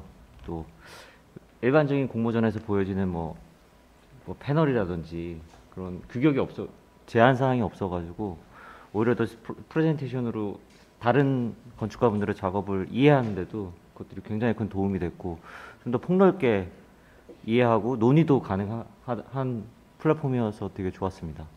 그리고 또 한 가지 이제 되게 재밌었던 거는 이 프로젝트 하면서 항상 우리가 저, 저희 나름대로 질문했 가장 많이 질문했던 건 도시건축 전시관이라는 특별한 장소에서 이제 코로나 계속 생각했습니다. 도시들이 다들 위기라고 생각하는데 이게 코로나 이후에 이렇게 아무 대답 없이 특히 우리나라에서는 뭐, 뭐 반성 없이 그냥 잘 극복했다 이렇게 지나가는데 우리 건축계에서는 과연 무슨 이야기를 해야 되나 이런 고민 되게 많이 했었고 그런 이야기가 도시건축 전시관이나 또 다가오는 비엔날레나 이런 곳에서 건축가들이 먼저 이야기를 무언가를 해볼 수 있는 기회가 되지 않을까 그런 생각 많이 했습니다.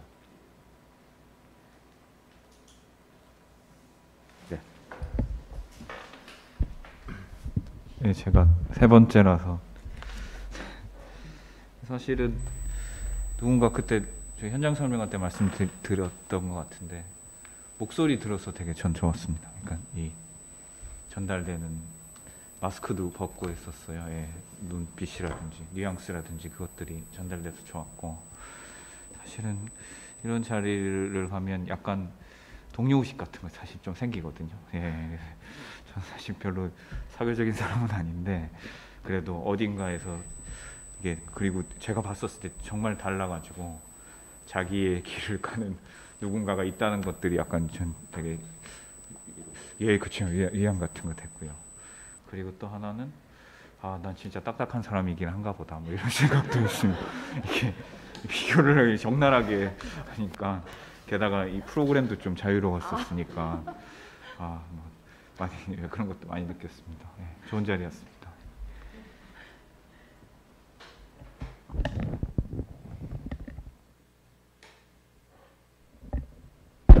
아, 네. 어, 저도 너무 재밌게 참여를 하게 된 것 같고 특히 오늘 같이 다 볼 수 있어서 다 똑같은 얘기지만 너무 좋았던 것 같아요. 더군다나 어, 다섯 분을 어떻게 이렇게 다 다른 분을 모아 주셔가지고 그리고 그 다 다른 분야에서 관심사들이 굉장히 또 깊게 질문을 다 이 프로젝트를 통해서 또 전지고 있는 것 같고 그 주제들이 다 다르지만 되게 진지하게 보여지고 있는 것 같아서 어, 저도 굉장히 자극도 되고 재밌게 잘 봤습니다. 어, 그리고 어, 사실 포맷이 없었던 거는 개인적으로는 너무 힘들었습니다. 보통 일반적인 공모전이면 해야 되는 게 명확하기 때문에 제가 시간을 좀 빨리 줄여서 할 수 있었거든요. 근데 이게 열려 있으니까 어, 어떻게 어디까지 뭘 해야 되지? 뭐 이런 생각이 들어서 뭐 물론 그렇기 때문에 조금 더 어, 노력을 하고 또 다른 방향으로 표현을 해보고 하는 것도 분명히 있었던 것 같습니다. 그래서 음, 하여튼 좋은 기회를 주셔서 자리를 주셔서 감사하고 네, 여기 같이 해주신 분들한테도 너무 감사하다는 말씀 드리고 싶습니다.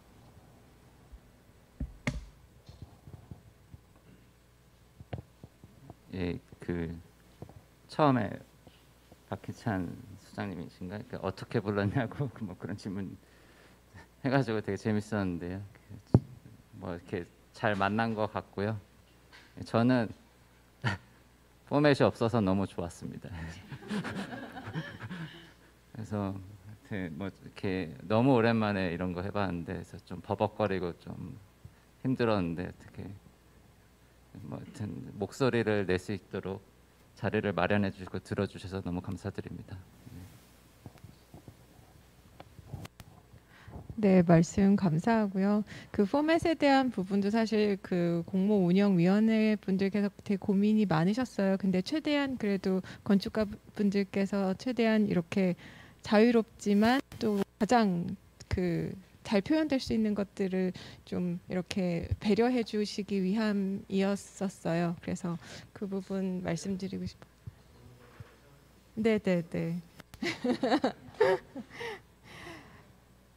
네. 그 그리고 혹시 그 발표하시면서 질의응답 시, 하시면서 혹시 좀 심사위원분들께서도 못 했던 질문이시거나 또 대답하지 못하셨던 혹은 더 하고 싶은 부분들 말씀해 주시면 좋을 것 같아요. 네.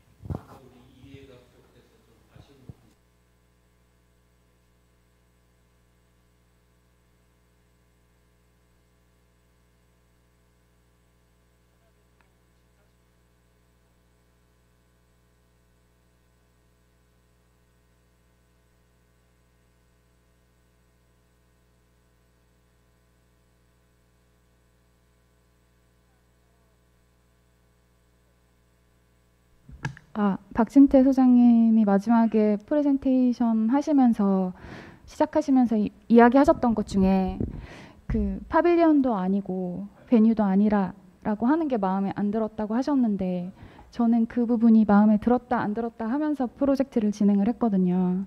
근데 그 대신에 공공 개입이라는 단어를 주셨어요 저희에게.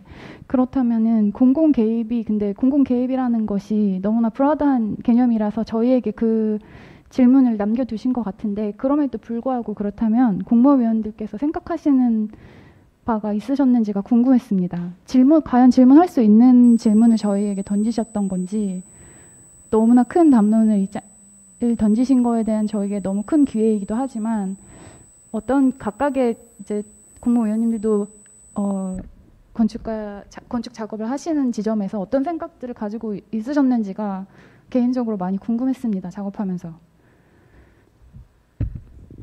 대답을 해야 되는 거겠죠. 뭐 지난번에 우리 처음 다 만났을 때 어쩌다가 우리는 비 오는 날 만나는 그런 어, 인연인 것 같은데 저쪽에서. 뭐 말씀을 좀 얼추 드렸을 때 처음 제가 어쨌든 이거를 그 부탁 받았을 때 이 역할을 부탁 받았을 때 처음에 생각은 아, 또웬 뒷북이냐.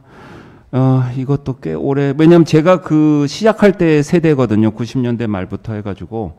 어 어떻게 보면은 건축하고 미술 쪽하고 굉장히 가까이 이렇게 연동이 된다 아니면은 미술의 어떤 어, 자비로움으로 우리가 건축가들이 좀더 어, 목소리를 가지게 되는데 어떤 그 어, 프레임 안에서 움직이게 되는 그런 상황들을 어떻게 보면 좀 꽤 오래 목격을 하고 말씀드렸다시피 꽤 많은 작업들을 어줍다는 아티스트 이름을 내놓고 했어요. 그래서 그, 그게 있었고 한 가지는 또 한 가지는 그 국립 현대미술관에서 제가 세번 네 번 하면서 사실 아시겠지만 제가 심사하고 뭐 뽑은 분도 있고 제가 죄송하게 못 뽑은 분도 있고 하지만은 한 4년 동안 또이 경험을 하면서도 마찬가지 그런 비슷한 좀 답답함을 느낀 것들이 있었습니다. 그래서 어, 사실 미술 쪽하고 이제 건축 쪽하고 이렇게 같이 심사를 하게 되는데 담론들이 너무 겹치는 데가 없는 거예요. 이게 이렇게 좀 더 생산적으로 부딪히고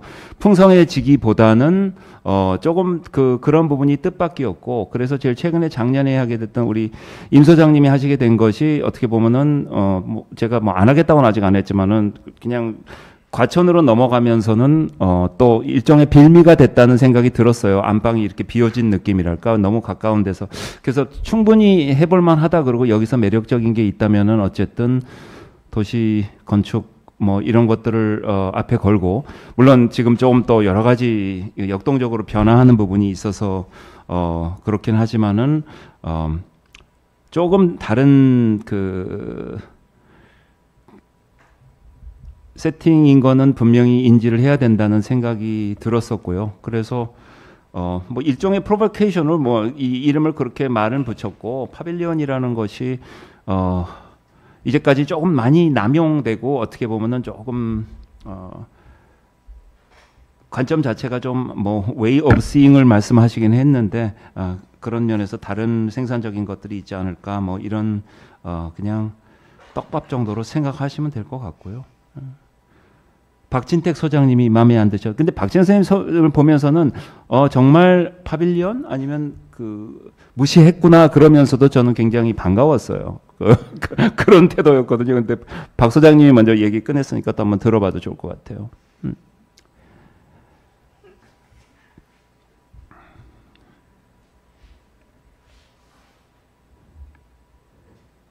별. 갑자기 별 생각이 없네.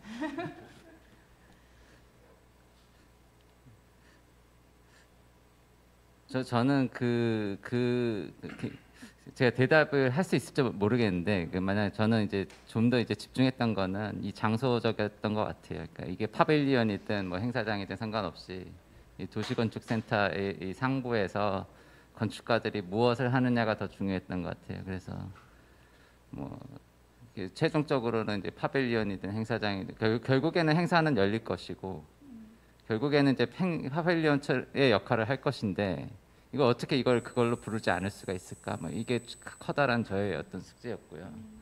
네, 그거를 이제 극복하는 과정에서 이제 사이즈가 좀 커지면서 그러니까 이게 이게 여기서 멈추면 안 되고 따 따 따 다 그러니까 어디론가 가야만 된다 이거는 그리고 이게 그리고 이제 무한한 상상력을 어떤 이렇게 뻗어 나가야 된다 어떤 뭐 근데 이게 저 다음 이거는 어떤 저, 저의 뿌리인 것 같기도 해요. 그러니까 이, 이게 이렇게 반복이 앞으로 될 것 같은데 이게 이게 앞으로 반복이 될 것 같은데 다음 프로젝트들도 저의 야심입니다. 이렇게 영향을 줬으면 좋겠다. 이런 태도들이 이 다음에 들어올 이제 건축가들에게도 영향을 줬겠다. 아마 조민석 위원장님께서도 아마 그런 야심을 가지고 계시지 않으셨을까 뭐 그런 생각도 듭니다.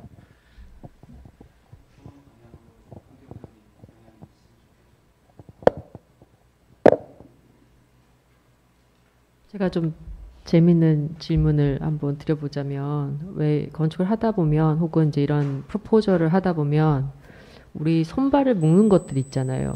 어떨 때는 막 사이트, 어떨 때는 이상한 건축주, 뭐 그다음에 여기서는 이제 예산이 아니었을까 싶거든요.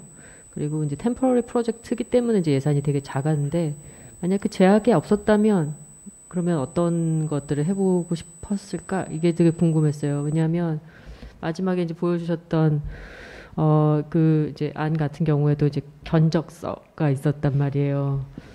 되게 마음 아픈 장면이에요. 저게 물론 되게 중요한 장면이기도 하거든요. 근데 다 그 고민이 있었다고 보여졌어요. 만약에 그걸 없앤다면은 좀 다른 생각들을 펼쳐 보실 수 있었지 않았을까 싶은데 혹시 그 부분을 푸시하고 싶으셨던 뭐 이전에 초기에 어떤 생각들이 있었으면 좀 공유해 주셔도 좋을 것 같아요. 어, 예산이 제일 주- 중요하고도 큰 제약이었습니다. 사실 이 프로젝트는. 그리고 요즘에 또 원자재난이 있어서 우리가 인테리어 공사를 얼마 전에 했는데 예전에 했던 공사 비에 한 30%더 많이 비용이 들더라고요. 구조 목재 같은 것들 뭐 비용이 엄청나게 올랐고 그래서 이 예산이 1억인데 한 1억 5천은 돼야지 솔직히 예전에 생각했을 때 그렇게 가능하다 이런 생각도 하게 됐습니다. 저 예산만 된다면 그러니까 처음에 생각했던 것 중에 하나가 이제 뭐 우리 pinball machine의 다양한 재미있는 메커니즘, 뭐 레일을 따라 공이 내- 공이 내려가게 한다든지 이런 재미있는 것들이 많았고 또 한 가지는 이건 우리 이제 아이디어 중에 나왔던 건데 우리 사무실에서 이 초기 단계에서 이제 아이디어 스터디를 하다가 되게 깊이 땅을 파야 되잖아요. 어, 그 도시건축 전시관이 그 위에 없고 그래서 이거, 이거 positive negative로 밑에 있는 볼륨만큼을 mass로 올려서 그걸 파서 carving을 해서 이렇게 그 안에 space를 만들면 정말 재밌겠다. 밑에 엄청나게 비어져 있는 게 있는데 근데 그러려면 이제 비용이 많이 들고 또 뭐 뭐 그런 문제가 있, 었겠죠 네. 그 예산은 다른 분 어떻게 당선은 누가 되든지 간에 좀 고려해 주셨으면 해요. 그거는.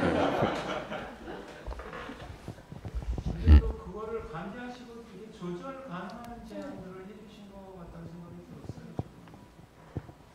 저- 저는 좀 다른 생각을 했었는데요. 이게 그 굉장히 중요한 스팟이고 예, 그 서울 중심부에 하여튼 그 되게 흥미로운 장소인데 저는 이제 제, 제가 이제 약간 요 한국에서도 컸지만 영국에서도 상, 상당히 오래 있었는데 가장 이제 인상 깊었던 게 이제 이 앤토니 검니가 이제 전시회를 할때이 템즈 강변에 서서 보면은 이, 이 조각상들이 건물 위에마다 탁탁탁탁탁 놓여 있고 이제 중심장에 그 헤이워드 갤러리 거기 딱 있었는데 너무나 서리얼했단 말이에요. 이게 너무 너무 좋았고, 그러니까 이, 이 문제가 조금 아쉬웠던 것 같아요. 이 경계 밖으로 나가지 말라 이런 것들이 예산보다는 아니, 아니 이게 왜 좀 이렇게 막 확 좀 확 저 남산에서부터 시작해서 뭐가 좀 오면 안 되나? 예. 그래서 건축가에게 더 많은 자유와 어떤 상상력을 좀 이렇게 하는 그런 플랫폼이 더 앞으로 더, 더 됐으면 좋겠다. 너무 너 네 거 내 거 하지 말고 빌딩 옥상도 빌려주고 벽면도 빌려주고 해서 정말 이게 공간이 공간 자체가 완전히 어느 한 순간 뒤집어지는 뭐 뒤- 뒤집어진다는 표현이 좋은 것 같아요. 그런 그런 프로젝트를 앞으로 해나갈 수 있게 해주시면 고마울 것 같습니다. 이번에 잘 되면은 앞으로 야금야금.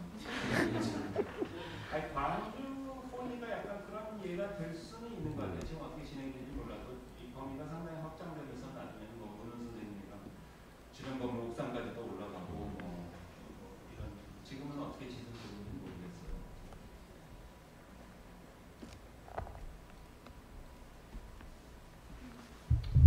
어, 저는 그런데 사실 예산이나 그런 어떤 제약들이 매 프로젝트마다 챌린지한 부분이 흥미롭다고 생각을 합니다.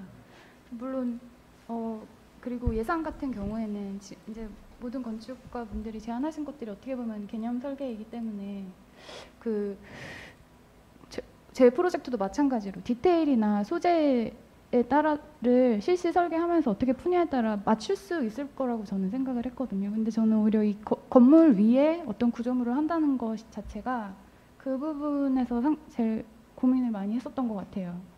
이 프로젝트의 태생 자체가 건강한 것인가? 에서부터 어떻게 하면 그럼 가장 가벼운 구조로 박진희 소장님도 말씀하셨지만 이따가 사라질 수 있는 것을 해야 되는가? 그런 고민들이 저에게는 가장 챌린지 했었던 것 같습니다. 네.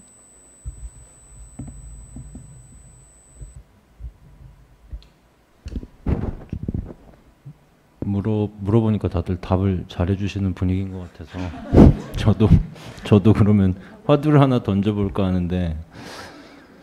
아 저는 이제 저희가 지난주에 이 제안서를 다 받았잖아요. 이메일로 다 받았거든요. 그래서 이제 주말에 여러 번 보고 아까 박 소장님 박진택 소장님 영화도 주말에 몇 번 보고 이러면서 이제 오늘 심사를 하러 오면서 누군가를 뽑긴 뽑아야 되니까 내가 뽑는 기준이 어떤 게 될까 이제 그리고 고민을 막 많이 하면서 왔어요. 근데 어 이건 또 여러분들이 알면 또 재밌을 만한 뒷이야기이기도 한데 우리 여기서 이제 이 후보를 선정을 할 때 이제 모 소장 모 소장님께서 건축과 결혼한 사람들을 후보로 해야 된다 이제 이런 발언을 했었어요. 되게 재미 재미있는. 그러니까 그 의미는 우리가 여기서 아티스트나 뭐 그런 걸 이제 뽑는 게 아니라 진짜로 앞, 혹은 이론가나 뭐 교육자나 이게 아니라 practice를 할 분들을 뽑아서 이제 어떻게 되는지 중간에 커리어에 좀 재밌는 시점이 될 수 있는 그런 걸 우리는 마련하고 싶다 이제 그런 공감대는 당연히 있었어요. 당연히 있었 있었지만 또 동시에 이게 되게 굉장히 public한 장소이기 때문에 저는 이제 그런 우려도 되게 됐어요. 이게 막 지나치게 현학적이거나 건축적인 논의가 과연 얼마나 근데 우리가 또 우리도 다 그렇게 하고 있고 우리도 그걸 중요하다고 생각하니 어느 정도의 진지함과 아카데믹하거나 혹은 어, 약간 노- 엘리트적인 그런 논의도 당연히 필요하지만 또 다른 차원에서는 그냥 산책 나온 엄마가 애기 데리고 갔을 때 좋고 느낌 좋고 기분 좋고 편하고 이런 것도 공존해야 되잖아요. 그거를 굉장히 밸런스를 잘 맞춰야만 되는 프로젝트잖아요. 그리고 각자 여기 있는 건축가들이나 심사위원들도 다 그런 차원에서의 기준점이나 성향이 굉장히 온도 차이가 많이 있을 거란 말이에요. 그래서 이제 각자의 제안을 보면서 어, 어떤 것들은 아 이거는 좀 지나치게 너무 건축가를 위한 제안인가? 이- 어떤 것들은 아 또 그런 게 너무 없나? 뭐 이런 고민을 되게 많이 하면서 이거에 과연 올 적당한 밸런스가 어느 정도일까를 계속 저는 고민을 했거든요. 근데 당연히 그런 고민을 많이 하셨을 것 같아요. 그래서 그런 그런 차원의 얘기도 좀 들어보면은 재미 재미있을 것 같아요.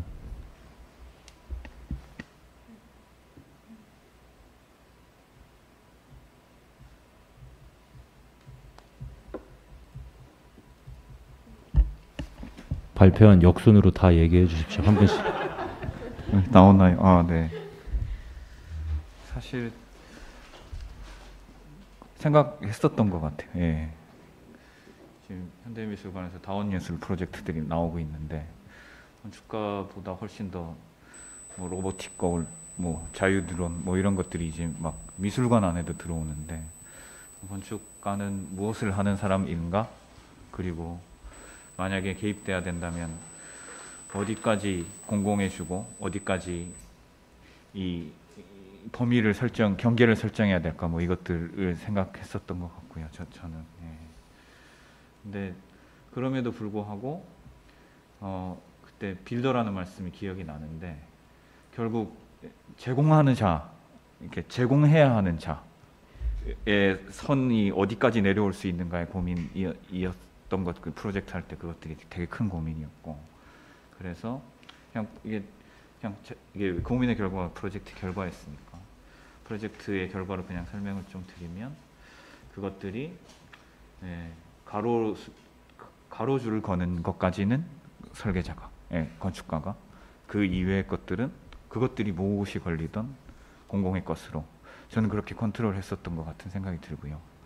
그러면 그것들을 이제 정하기 위해서는 예, 어디 제공하는 자는 어디까지 밀려야 되냐 뭐 이런 생각 좀 했었던 것 같습니다. 근데 그러면 이제 이건 제가 이제 아까 심사 때 살짝 궁금하긴 했는데 시간상 그냥 혼자 궁금해하고 말하는데 약간 논객의 입장에서 제가 반박을 해보자면 그 가로주 그러니까 세로주를 거는 거 있잖아요. 그걸 저는 이제 어렸을 때 특히 참여적인 작업을 되게 좋아해서 많이 하면서 마음의 상처도 되게 많이 받고 그랬었어요. 그래서 그 세로주를 걸게 하는 게 너무너무 불가능하고 힘들다는 거를 정말 체험적으로 너무 잘 알거든요. 그냥 걸지 않아요, 당연히.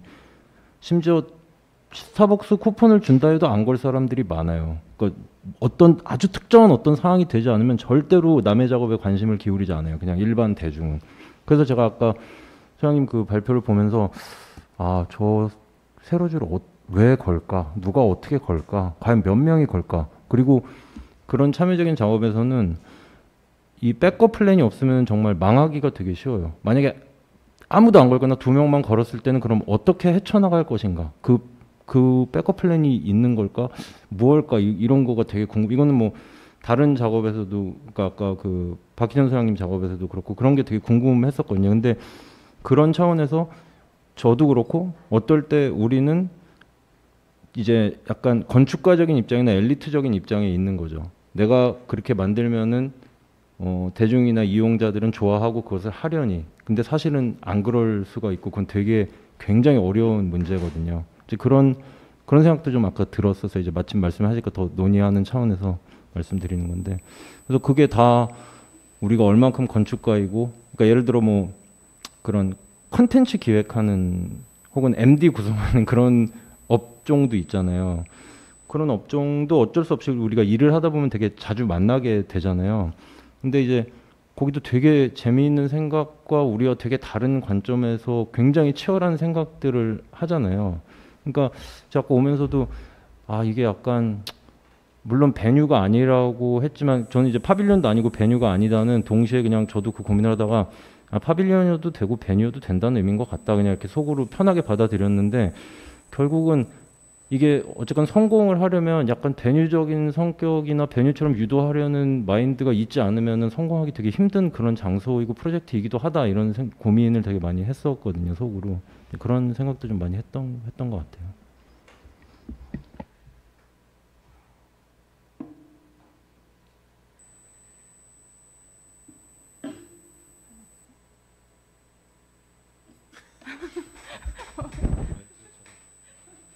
왜 저를 보시고 계시나요? 아, 저는 그 이게 참여의 얘기일지 어떨지 모르겠는데 어쨌든 건축을 그 우리가 건축을 하는 사람의 입장에서 또는 대중 그냥 일반 건 그 전문가가 아닌 사람의 입장에서 음, 그 두 개가의 입장이 서로 완전히 다르지 않아야 된다고 생각하거든요. 어, 어, 어 느 측면이든 그 접점을 만들어야 된다고 생각해요. 근데 그게 어, 어떤 사람은 전략적으로 그 얘기 두 개를 그냥 따로 숨겨놓고서 하는 사람도 있고, 근데 저는 그거를 어, 어떻게든 반은 엘리트적인 측면, 반은 또 발을 좀 담그는 심 마음으로 하려고 하는 측면이 있는 것 같아요. 제가 저는 스스로는 그렇게 하려고 노력을 하고 있거든요. 그래서 그게 서로 어, 굉장히 다른 것 같, 다를 실제 현재는 달라 다르게 향유되고 있지만 그 접점을 어떻게든 찾아야 된다고 생각을 하고 있고 이거 사실 지금 제가 말하고 있는 게뭘 질문하신 거에 맞는 건 얘기인지는 모르겠는데 음, 그래서 한, 한편으로는 제가 그 공감, 감정이입 이런 얘기 단어들을 굉장히 많이 쓰거든요. 그거는 상황에 따라서는 건축주에게 감정이입하는 것일 수도 있고 아니면 어떤 대지의 그 상황에 하는 것일 수도 있고 뭔가 그게 바탕이 돼야 그 서로 만나는 접점이 생길 수 있다고 생각해요. 그래서 어 그걸 많이 생각하는 편인데 이 프로젝트도 저는 좀 그 한편으로는 이 대지의 상황 또 흘러왔던 어떤 그 과정? 또 또 한편으로는 여기에 찾아올 아무가 또 모르는 사람? 뭐 그런 사람의 입장에서 생각해 보려고 노력을 했던 것 같고 그게 서로 다른 건 아니었으면 좋겠다라는 생각을 하면서 작업을 했던 것 같습니다.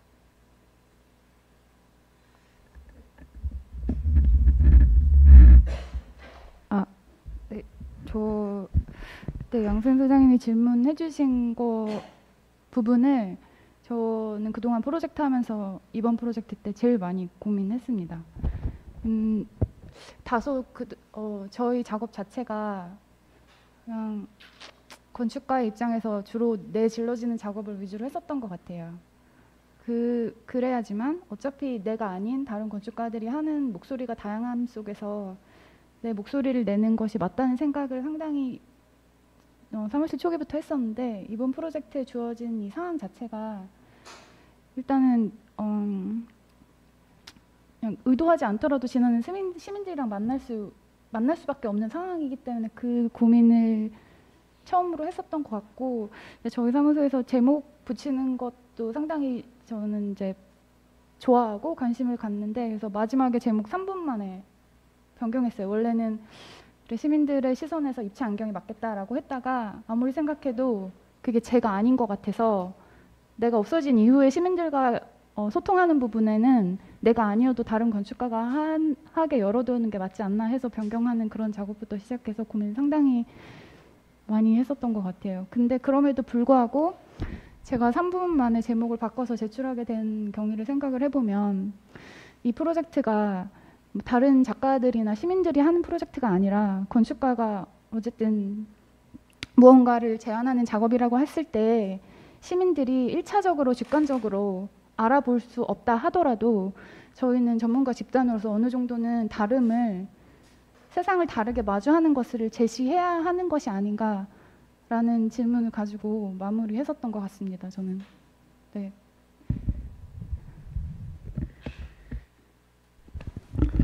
저도 조금 덧붙여 보자면요. 작업을 해오면서 항상 저도 저희 사무실도 그렇고 되게 엄격함이라는 주제가 항상 있어 왔습니다. 엄격함. 그러니까 뭘 만들어내는 것에 대한 엄격함, 뭐 그리는 것에 대한 엄격함. 근데 이번에 이제 이 프로젝트를 하면서 또 한 가지 마음속에 굉장히 크게 들었던 생각은 건축이 얼마나 중요할까 우리가 생각하게 하는 그 진지함과 엄격함이 일반 사람들에게 받아들여질 때 그래서 계속 질문하게 됐던 것 중에 하나가 우리가 생각하는 그 엄격함을 이렇게 강요할 수 있느냐 일반 시민들한테 그리고 사실은 하나도 중요하지 않을 수 있다 그 엄격함이 이 시민들한테 그런 고민들도 많이 하게 됐던 것 같습니다. 슬픈 얘기긴 한데 하나도 중요하지 않을 수 있다는 그 부분에서 근데 그 부분에서 저는 그렇게 생각합니다. 그게 중요하지 않다 하면 굳이 이 프로젝트는 건축가가 하지 않아도 되지 않은가라는 생각이 있을 수 있지 않을까라는 생각을 계속하면서 제 머릿속에 이게 어, 떤 포지셔닝을 해야 되나 이런 질문들이 계속 끊임없었던 것 같습니다. 저도 일하는 사람 입장에서 비슷한 고민을 항상 하는데 나는 나는 내 업계니까 엄격하게 일하고 우리 동료나 직원들도 엄격하게 일하겠지만 그 엄격함에서 나오는 결과물이 시민이나 뭐 건축주한테 좋은 경험이면 되지 그, 그 상대방이 그 엄격함을 느끼거나 알아야 그러니까 알 수 없는 측면이 많고 알아야 알지 않아도 되는 측면도 있는 것 같고 근데 엄격한 결과는 좋은 결과로 나와서 뭐 좋은 경험이 되지 않을까 그런 그런 생각은 자주 하는 것 같아요.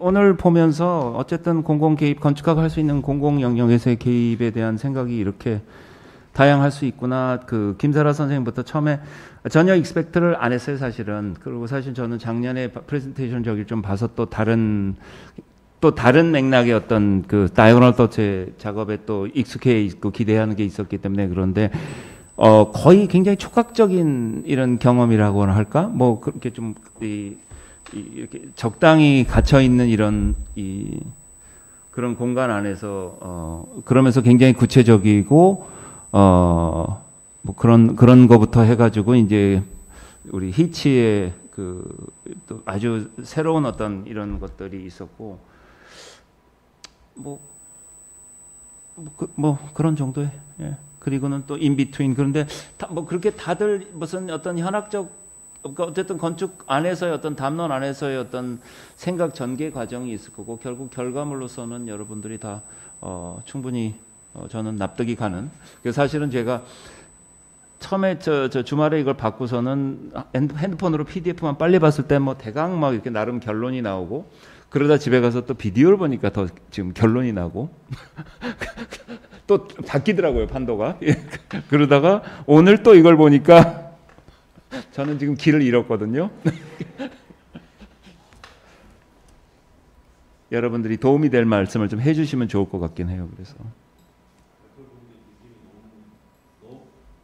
와서 오늘 이제 직접 말씀하신 걸 들으니까 주말에 몇 번 봤, 몇 번 읽고 비디오도 봤음에도 불구하고 느낌이나 받아들이는 게 너무 다른 달랐어요. 저는 오늘 되게 완전 새로 보는 것 같은 느낌이었어요. 다.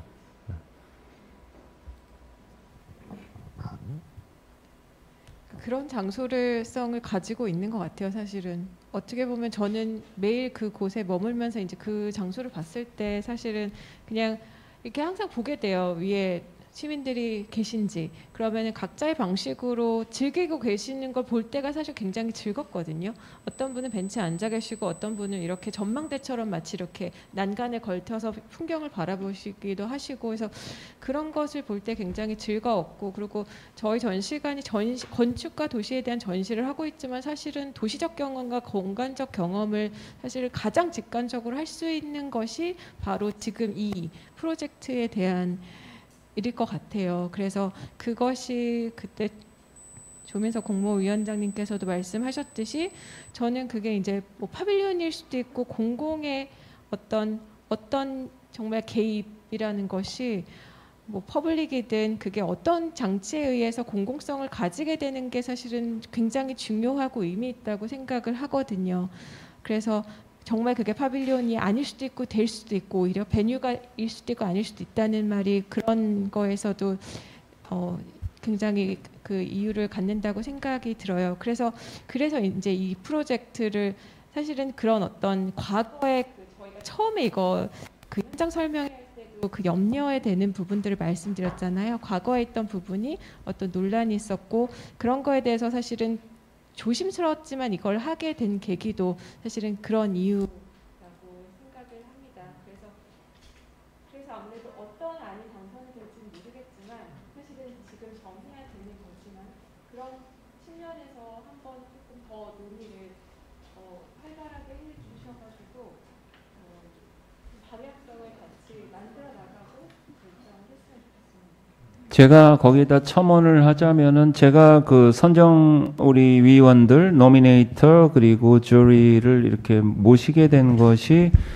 사실은 다 대부분은 최근 근자 몇 년에 에, 이 파벨리언 경험이 있는 분들이세요. 예. 그러면서 이 물론 학교에도 계시고 겸직하시면서 이론과 이 프랙티스를 같이 하신 분도 있지만은 기본적으로는 어떤 이런 프랙티스에 대한 이해가 있으시고 좀 더 여기에 대해서 뭐 이를테면 권위를 가지신 분일 수 있죠. 경험을 가지고 계시고 그런 관점에서 보는 것이 되게 중요하다는 생각이 있었고 제가 한 가지 부탁드렸던 거는 이제 우리 했던 거 좀 좀 여기는 너무 상황이 다르다. 그러니까 이제까지 경험을 좀 다시 어, 다시 재고할 수 있는 그런 기회도 될 수 있을 테니까 좀 열, 열려 계셔라. 어, 뭐 그리고 또 다른 목소리들을 들어야 되는 상황, 다른 장소에서 뭐 그런 공감대로 처음에 수락을 해 주셨던 것 같아요. 예, 뭐 그런 맥락에서도 오늘 어, 어떤 생각이신지도 궁금하고 어, 그러네요. 예.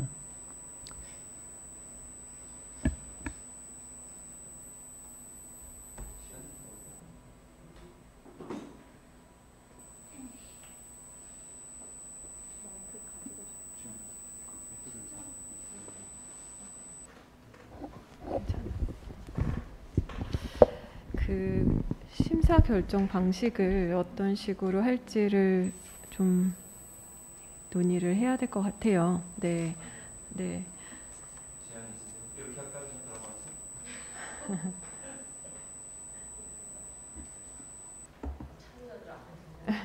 그것도 사실은 원래는 사실은 그 공모위원장님께서 그 그게 가장 어떻게 보면은 그 투명하고 그리고 좀 더 납득하기 쉽고 하는 방법이 아닐까라고 말씀을 해주셨어요. 제안을 해주셨어요. 예. 그랬고 어 네, 그래서 투표는 아닌 것 같아요. 여러분 동의하시죠? 참여자들 어떠세요? 이 무슨 다수결 하는 거 아닌 것 같아요. 그죠? 그러니까 관심 이제 밑에서부터 천안하는 수가 있고 아니면 관심 있는 부분을 이렇게 골라가지고 여기서 제일 많이 겹치는 네.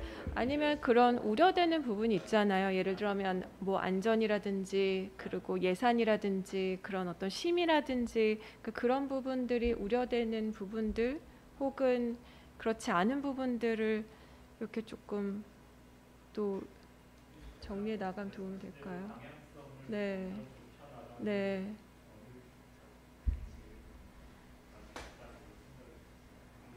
네. 음, 뭐 심의나 예, 그러니까 어느 정도 다 유연성을 갖고 제안을 하셔서 뭐 예산이나 위험성이나 심의 때문에 뭐 이건 안 되겠다 그런 거는 안타깝게도 없는 것 같아서 뭐 그런 게 좀 한 두어 개 있으면 좋을 것 같은데 없을 것 같 없는 것 같아서. 없는 것 같아서 예. 예. 너무 근데 사실은 굉장히 운영하시는 분 입장에서는 중요한 부분이긴 한데 충분히 이것은 다뤄지고 그 유연성을 가지고 있는 걸로 생각을 하고 보는 건 맞는 것 같아요. 그것 때문에 프레그매틱한 것만 가지고서 우리가 결정한 것은 아닌 것 같고 제가 그런 심사를 들어가 봐서 굉장히 적은 적이 있기 때문에 우리 심사 방식은 심사를 하는 공모위원회에서 치열한 토론을 하는 게 맞지 않을까 네, 네. 라고 생각을 들고요. 근데 그 전에 이제 만약 다 수용하신다면 참여하신 분들한테 근데 이게 겸, 겸손함이 미덕인 한국에서 될런지 모르겠지만 가시기 전에 다 하나하나 뽑혀도 값어치 있고 다 잘하겠지만 내 안이 정말 좋다라는 이야기들을 한번 하고 가시면 어떨까라는 생각이 들었어요. 개인적으로 저희가 안 가신다는 거 아니에요? 끝까지 계신다. 아 끝까지 계신다고요? 아이 같이 하는 거예요? 아 그래요? 이방 어 그런가요? 음. 그렇다면 뭐 공개 토론이 있더라도 그래도 어, 내안이 최고다라는 이야기를 하시거나 저와는 정말 내가 생각할 때 안 된다거나 뭐 이런 얘기도 과감하게 하셔야 되는 거 아닌가요? 참 왜냐하면 저희보다 그 사이트를 더 오래 고민하신 분들이신 것 같아요. 그래서 그런 얘기를 허심탄회하게 하는 것도 들어볼 수 있지 않을까 그런 생각이 들었어요. 없으면 없다도 괜찮습니다. 나중에 누가 한 명 치고 나가면은 이제 후회하실 수도 있어요.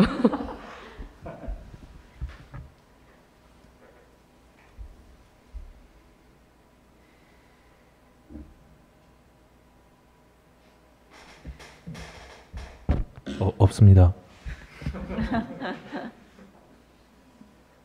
또 어느 안이 돼도 다 조, 좋은 안이라고 생각합니다. 저도 없습니다. 저는 있습니다. 어디서도 볼 수 없었던 어, 새로운 거를 어, 할 기회를 주셨으면 합니다.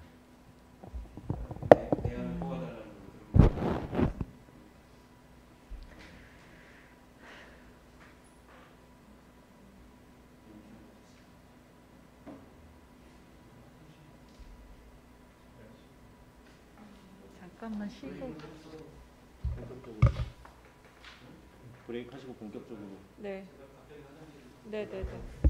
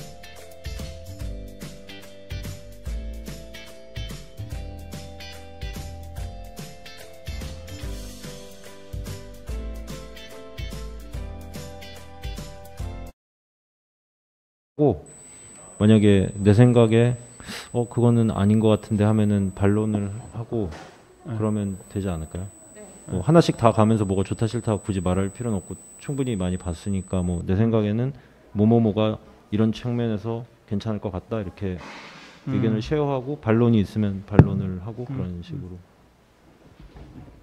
순서를 어떻게 그런 식으로 가나다 순으로 강예린 교수님부터 먼저 진행하시면 될 것 같습니다. 양수인 선생님 감사합니다. 그럼 전 좀 뒤네요. 제일 뒤네요. 여기가. 아니, 예, 저는 사실 지금 오기 전에는 계속 보다가 주말 내내 마음속에서 후보를 좁혔는데요. 오늘 와서는 사실 살짝 살짝 오늘 와서 살짝 바, 바뀌었 저 약간 길을 잃은 어? 길을 잃은 느낌이에요. 네. 사실 저 저 굉장한 선호 선호도가 굉장히 강하게. 두 팀 정도를 뽑아서 왔는데요. 네. 저 여기 온 다음에 왜 저 따라 하세요? 그런데 저도 딱 아니, 그건데 따라한 지금. 거 아니에요. 따라한 거 아니에요. 따라한 거 아니에요. 네. 근데, 근데 진짜 발표하시는 거 보니까 너무 다른 생각들이 들어서 어. 저 시간 조금 달라는 말씀을 하고 있어요. 시간 조금만 주세요. 저 정말 가나다 역순으로 갈까요? 근데 아까 얘기하신 것도 궁금한 게 있었는데, 그러니까 딱 보지, 휴대폰으로 보고 좋았던 거, 뭐 아까 타, 처음에 딱 봤을 때 두 개 좋았던 것, 그게 혹시 밝히실 수 있으세요? 네, 밝, 밝히실 수 있으세요? 첫인상. 첫인상. 그렇게 얘기하기도 또 애매하다. 이게 딱 본능적으로 끌렸던 거잖아요. 빨리 해야 되고. 있는. 가 다음에 저는 이응은 한참 뒤에 올 줄 알았는데 다 막 지읒 막 치읒 이래가지고 가 다음 가 다음에 저라서 제가 저는 집에서 볼 집에서 그냥 볼 때는 어 일단 박힌전 소장님께 되게 발랄하고 재밌고 그냥 제 성향상 약간 아 너무 막 진 빡 너무 엘리트적이지 않고 그래서 되게 좋았어요 일단. 그리고 음 박진택 소장님 거에 약간 약간 위험함이랄까 나쁜 남자 같은 매력 그런 거 있잖아요. 음. 약간 아, 뭔- 뭔가 될 것 같은데 조금 위험하기도 한데 어 그래도 지금까지 행보를 보면 해결해 낼 수 있을 것 같은 그런 느낌 그런 것도 좀 좋았거든요. 음, 그리고 집에서 봤을 때랑 심사장에서 얘기를 들었을 때 제일 달랐던 거는 음. 저는 김효영 소장님 아는 그냥 이 서류로만 봤을 때는 좀 아 약간 너무 둔탁하고 헤비하고 너무 막 좀 시리어스한가 그랬는데 막상 이야기를 들었을 때는 굉장히 명쾌하고 어 괜찮고 그 논리도 다 말이 되고 그렇구나 이런 생각이 들어서 되게 좋았어요. 근데 반면 어 심사 그러니까 프레젠테이션을 듣고 조금 약간 어 혼자 봤을 때보다 덜 덜 좋게 느껴진 거는 박희천 소장님 아는 어 근데 아 이게 진짜로 뭐 그렇게 해가지고 이게 어떻게 될까 이런 부분에서 오히려 조금 더 그냥 혼자 봤을 때보다는 약간 더 의문이 생겼달까 음. 그런 차원 그런 게 좀 있었던 것 같아요. 그래서 결론적으로 말하면은 저는 어 박진택 소장님 제안도 제안이랑 어 김용 소장님 제안이 그냥 지금 제 생각에는 좀 괜찮지 않나 이런 생각이 많이 드는 것 같고 다른 분들 의견도 궁금하고 반론도 궁금하고 그런 것 같아요. 가. 가나다면 저 잘한 거죠.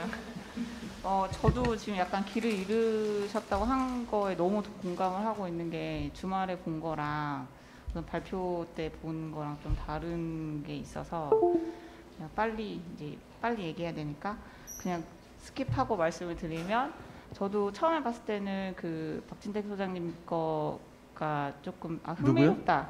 박진택 소장님께 네. 흥미롭다라고 생각을 했었거든요. 네. 그리고 김용 소장님 거 같은 경우도 정말 말씀하신 것처럼 어, 조금 되게 그러니까 뭐 되게 상대적으로 헤비하다라고 느꼈어요. 다른 안들에 비해서. 네, 네. 그래서 과연 이 사이트에 이렇게 헤비한 게 맞을까? 막 이런 생각을 했었는데 네.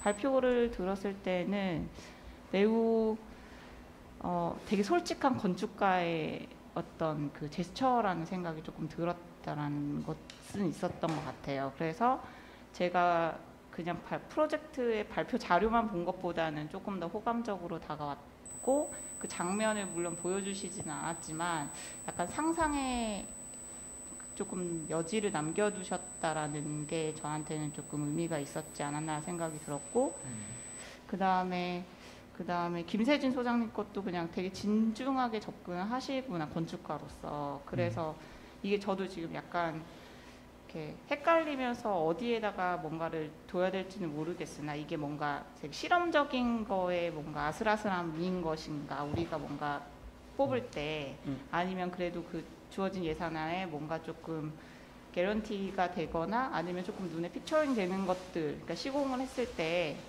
뭐 그런 것들에 대한 어떤 신뢰도나 아니면 이런 것들을 조금 생각해야 되는 것인가 이런 좀 고민은 되긴 해요. 그래서 저는 뒤에 세 번째, 네 번째, 다섯 번째 요게 약간 조금 관심이 있는 뒤에 세 번째. 네, 발표 순서로 봤을 때 네, 3, 4, 5. 음.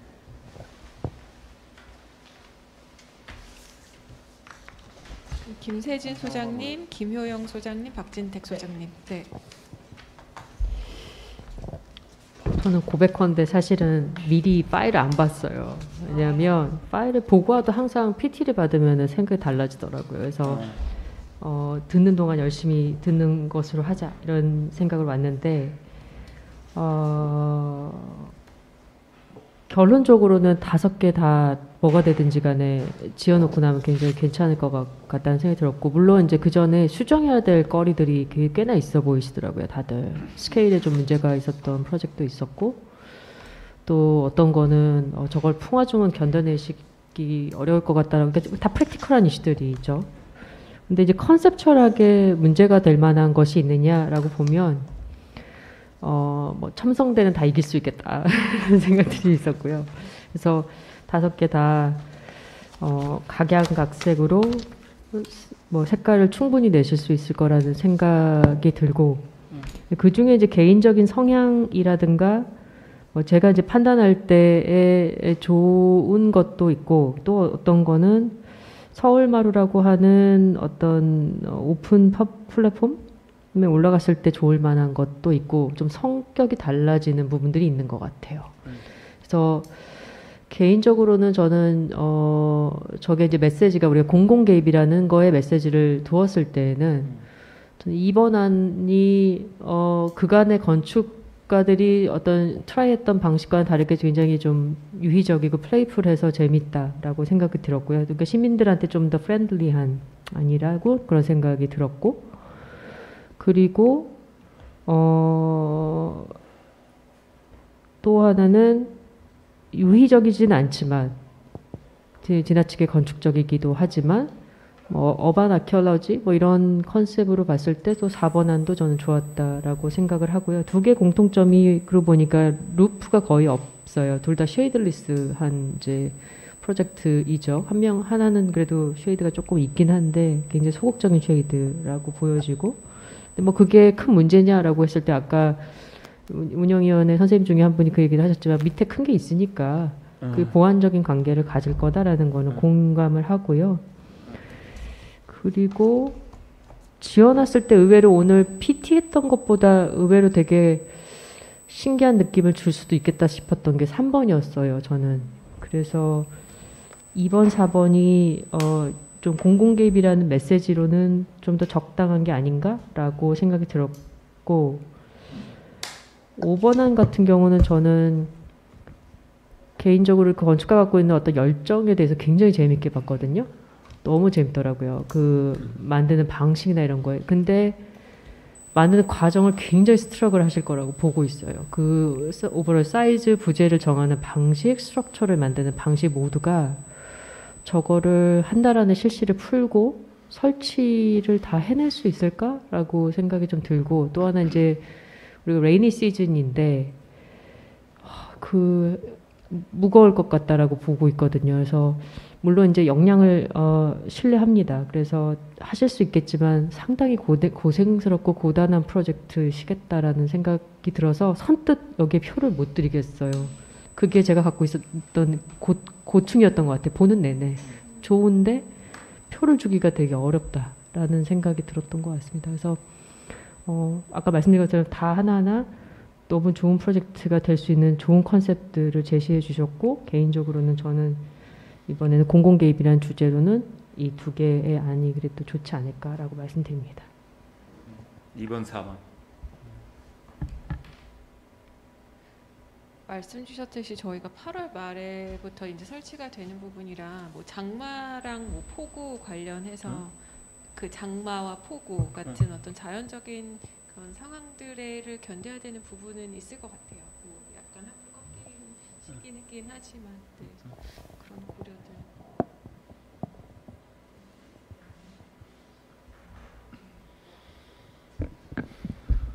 네, 저, 저도 저는 뭐 마음은 가벼운 게 다섯 개 다 그 좋은 작업이어서 뭐가 돼도 상관은 없을 것 같은데요.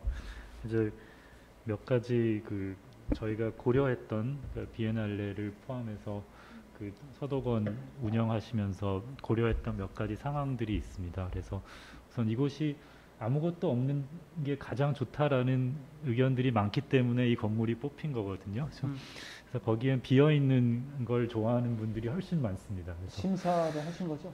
아니요. 아, 그- 네, 아니고 이 건물? 심사는 아니고 네. 제가 그렇게 이해를 했습니다. 네, 이 건물이 뽑힌 이유가 그렇겠죠. 네. 그 비어 있는 것이 좋다라는 압도적인 의견이 시민들에게도 있는 네. 걸로 알고 있어요. 네, 네. 그래서 여기에 올라가는 게 최대한 눈에 안 띄는 게 좋을 것 같습니다. 그리고 또 하나는 그 비엔날레라는 전시를 동시에 하는데 그게 예전과 달라서 내부로 많은 인원이 들어갈 수 없는 상황이거든요. 네. 그래서 전시를 하긴 하지만 어, 인원 제한이 있고 어, 온라인으로 많이 보고 네. 이곳에 옥상에서는 야외이기 때문에 많은 걸 할 수 있어요. 그래서 그 안에서 못 하는 걸, 그 안에 있는데 위에 뭐 필요하냐가 아니라 사실은 안에 있는 것을 대체하거나 보완할 수 있는 장소면 좋겠다라는 생각을 많이 갖고 있습니다. 그래서 그런 점에서 볼 때 어떤 작업이 좋을까라고 생각을 하면 최대한 가볍고 연약하고 눈에 띌 듯 말 듯한 작업과 무대나 이런 배경이 될 수 있는 작업인 거거든요. 근데 두 개를 다 만족하기는 어려운 것 같아요. 지금 다섯 개 중에 어떤 작업도. 근데 그 중에 저도 처음에 딱 그 5초씩 열어봤을 때는 핀볼이 제일 와닿잖아요. 제일 쉽고 우선 재밌을 것 같고 무대도 될 수 있을 것 같고 눈에 띄지도 않고 그런데 또 막상 그게 너무 그 full 스케일로 넘어가는 과정의 근거가 약간 약한 것 같아서 이게 약 이게 뭐 그냥 게임 만드는 게 목적이 아니잖아요. 그러니까 그게 약간 더 치밀하게 되면 좋겠다 싶었는데 오늘 또 발표를 들으니까 여전히 매력적이긴 하지만 말씀하신 대로 그 벽을 막 세워놓은 그 행위가 그 세 번째 작업이 그것 그게 또 뭔가 무거워 보이지만 굉장히 가볍게 짓는다면 그것도 재밌을 것 같고 그게 공간 구획이나 어떤 행사를 소화하기에는 아주 쉽지 않을까 싶은 생각도 들었습니다. 2번, 3번이시네요. 근데 다른 것도 다 좋습니다. 아, 예, 네, 예.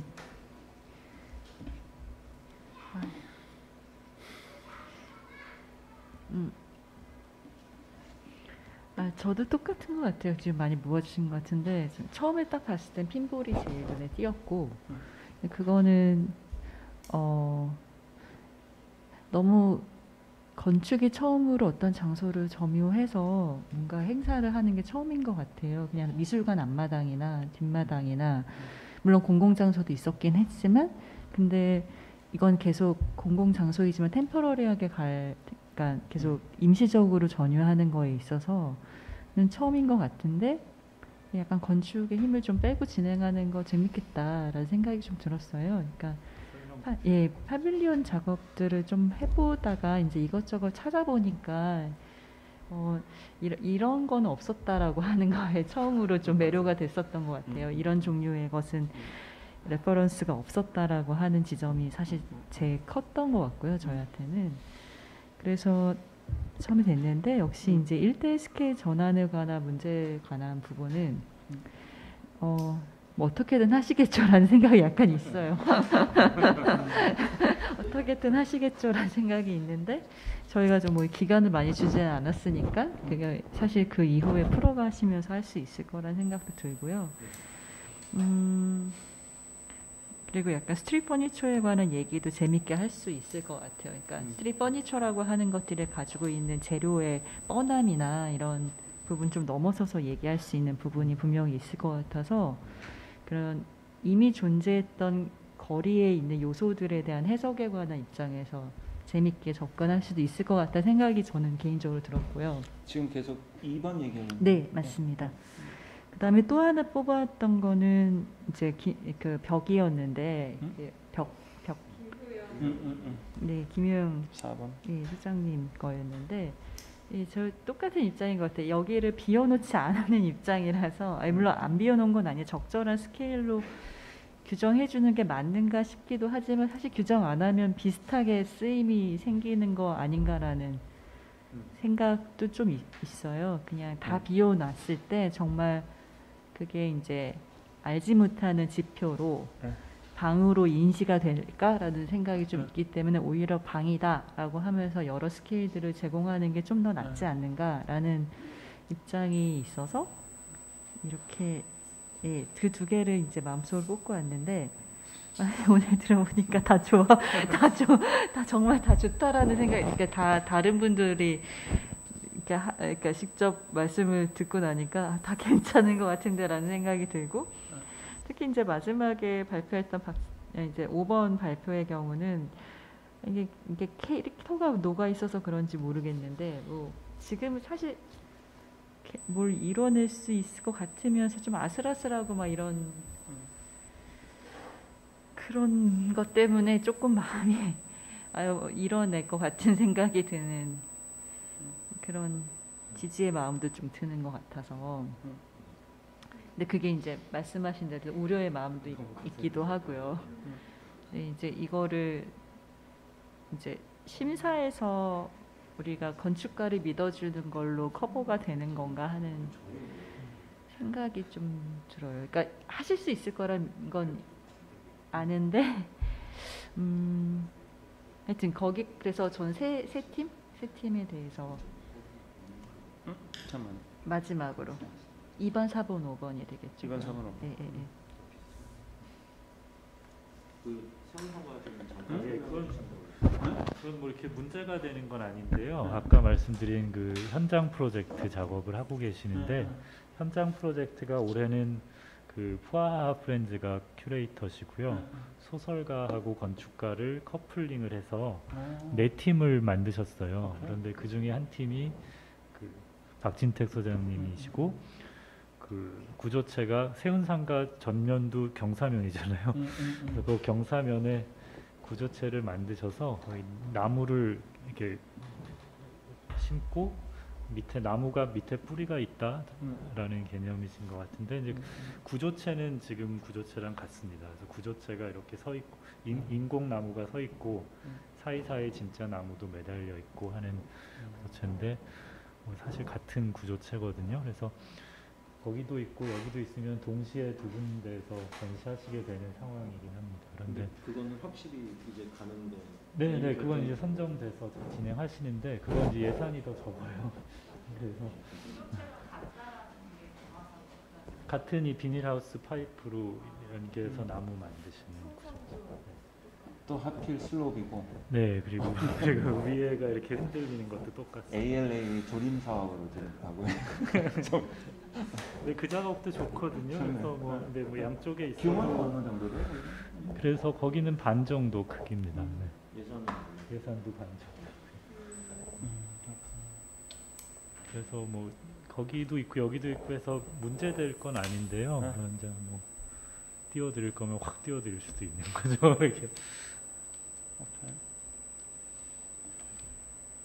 저도 말씀하신 대로 여기에 그렇게 커야 되나 싶은 생각이 들더라고요. 그래서 너무 고생하실 것 같아요. 방침상 괜찮나요? 같은 게 뽑고. 네, 방침 그런 방침이 있지는 않습니다. 전혀 시비될 사항은 아닌 것 같고요. 그냥 저희가 진정하게 선택했다. 그래도 그 부분은 알고 있어야 될 것 같아서 음. 말씀. 그러네. 음. 저만 남은 거네요. 그러니까 저는 그냥 저 저 저 공모위원 뭐 위원장 이런 거 붙이고 좀 어떻게 행동해야 될지 잘 몰라가지고 그런데 기- 기왕이면 영향을 안 미치려고 좀 뒤로 빠져 있었고요. 저도 근데 뭐 제가 지금 들은 생각이 들은 얘기들이 다 제가 공감하고 뭐 그런 생각들이네요. 네. 꽤 많은 부분이 그렇고 좀 근데 어찌 됐건 저희는 사실 다섯 분들이 충분히 영향이 되시는 분들이고 사실은 결국은 이 공모전을 어쩌다가 보니까 맡아서 어 생각 밑그림을 그리고 이렇게 팀을 모으고 뭐 이런 사람으로서는 결국은 이게 어떤 종류의 statement를 만들어야 되는 거고 어떻게 또 차별이 되는 그런 어 그런 결과물이었으면 하는 것도 있고 그래요. 그러니까 욕심상으로는 저도 좀 안 본 거? 뭐 이 바깥에 내놔도 정말 이, 이, 이 정말 어, 어떤 반향까지는 뭐 어쨌든 좋은 건축가들을 소개할 수 있는 플랫폼도 되지만은 이, 이 플랫폼 자체가 또 그렇게 좀 어, 차별이 돼야 되는 그런 근데 충분히 그것은 지금 이런 굉장히 페킬리어한 어, 건물을 다뤄야 되고 그런 그런 것들은 있는 것 같아요. 그래서 저는 그냥 계속 조금 더 냉정하게 여기가 아니고 꼭 좀 다른 세팅에서도 충분히 할 수 있는 작업들도 있겠다. 음. 뭐 그러면서 그리고 이게 굉장히 도시적인 환경을 조금 더 그 이렇게 더 우려먹는다고 하나? 그, 저는 그런 면에서는 그 2번 2번이 사실은 굉장히 그냥 클레버하고 원라이너 같이 처음에 느껴졌는데 이 되게 웃긴 프로젝트라는 생각 그냥 도시적으로 그냥 뒤로 돌아가지고 그쪽으로 배경 그리고 이렇게 보면은 앞에서 보면 굉장히 근엄하고 이렇게 우리 선생님 좋아하는 이런 탁 이렇게 해가지고 참 비우는 건데 사실은 저쪽 6월 선생님을 바라보면서 그 경관을 만들어 놓고 굉장히 이걸 그 exas, exasperate 하는 이런 이런 태도 자체나 도시 경관을 만들고 경험을 만드는 데서는 상당 이, 이 핀볼은 일종의 알, 알리바이고 어, 뭐 it might maybe work. 어, 그럼 그것도 그런데 뭐 그런 생각이 한 가지는 들었고 또 한 가지는 그 박진택 선생님 거는 저는 이 비디오를 보고는 뭐 그냥 wow했어요. 그렇고 사실은 굉장히 그러니까 두 개가 어떤 종류의 레디칼리티냐의 문제인 것 같고 어떤 종류의 리스크냐의 문제인 것 같고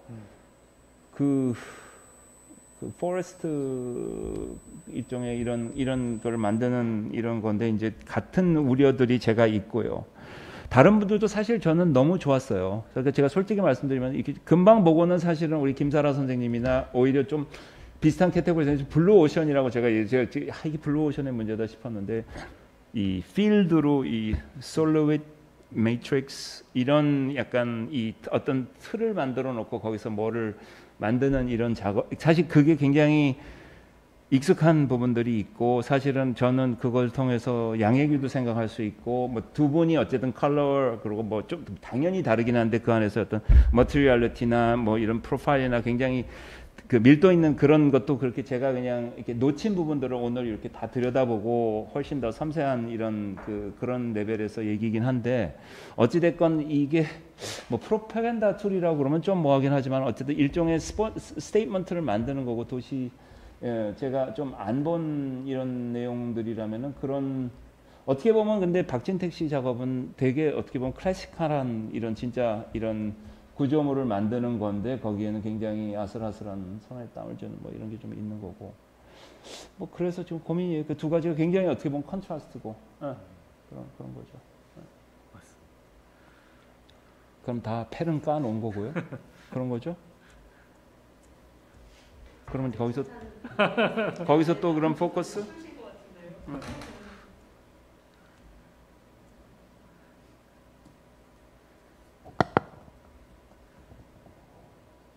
그럼 지금 가장 많이 거론된 그 참가자가 2번, 4번, 그쵸? 그리고 5번. 이사 오. 그럼 그렇게 한번 좁혀서 또 논의를 해나가면 어떨까 좋아요. 싶습니다. 네. 그럼 2번, 4번, 5번 참가자 중에서 또 한번 조금 말씀을 부탁드릴게요.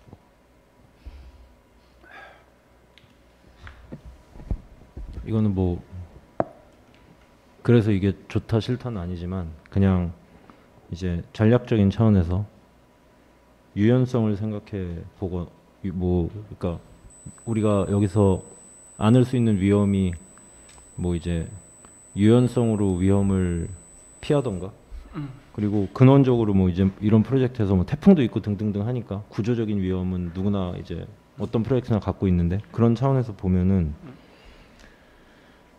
어 4번은 제일 제일 리지드하죠.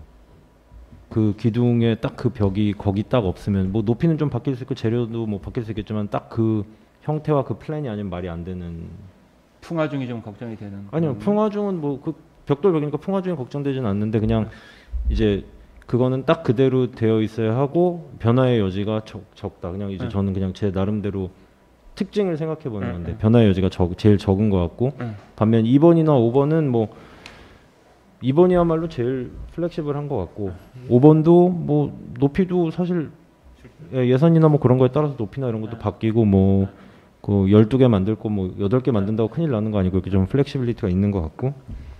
그다음에 구조적으로는 2번, 4번은 뭐 제 생각에 큰 위험이 없는 것 같고 그냥 되게 안정적이고.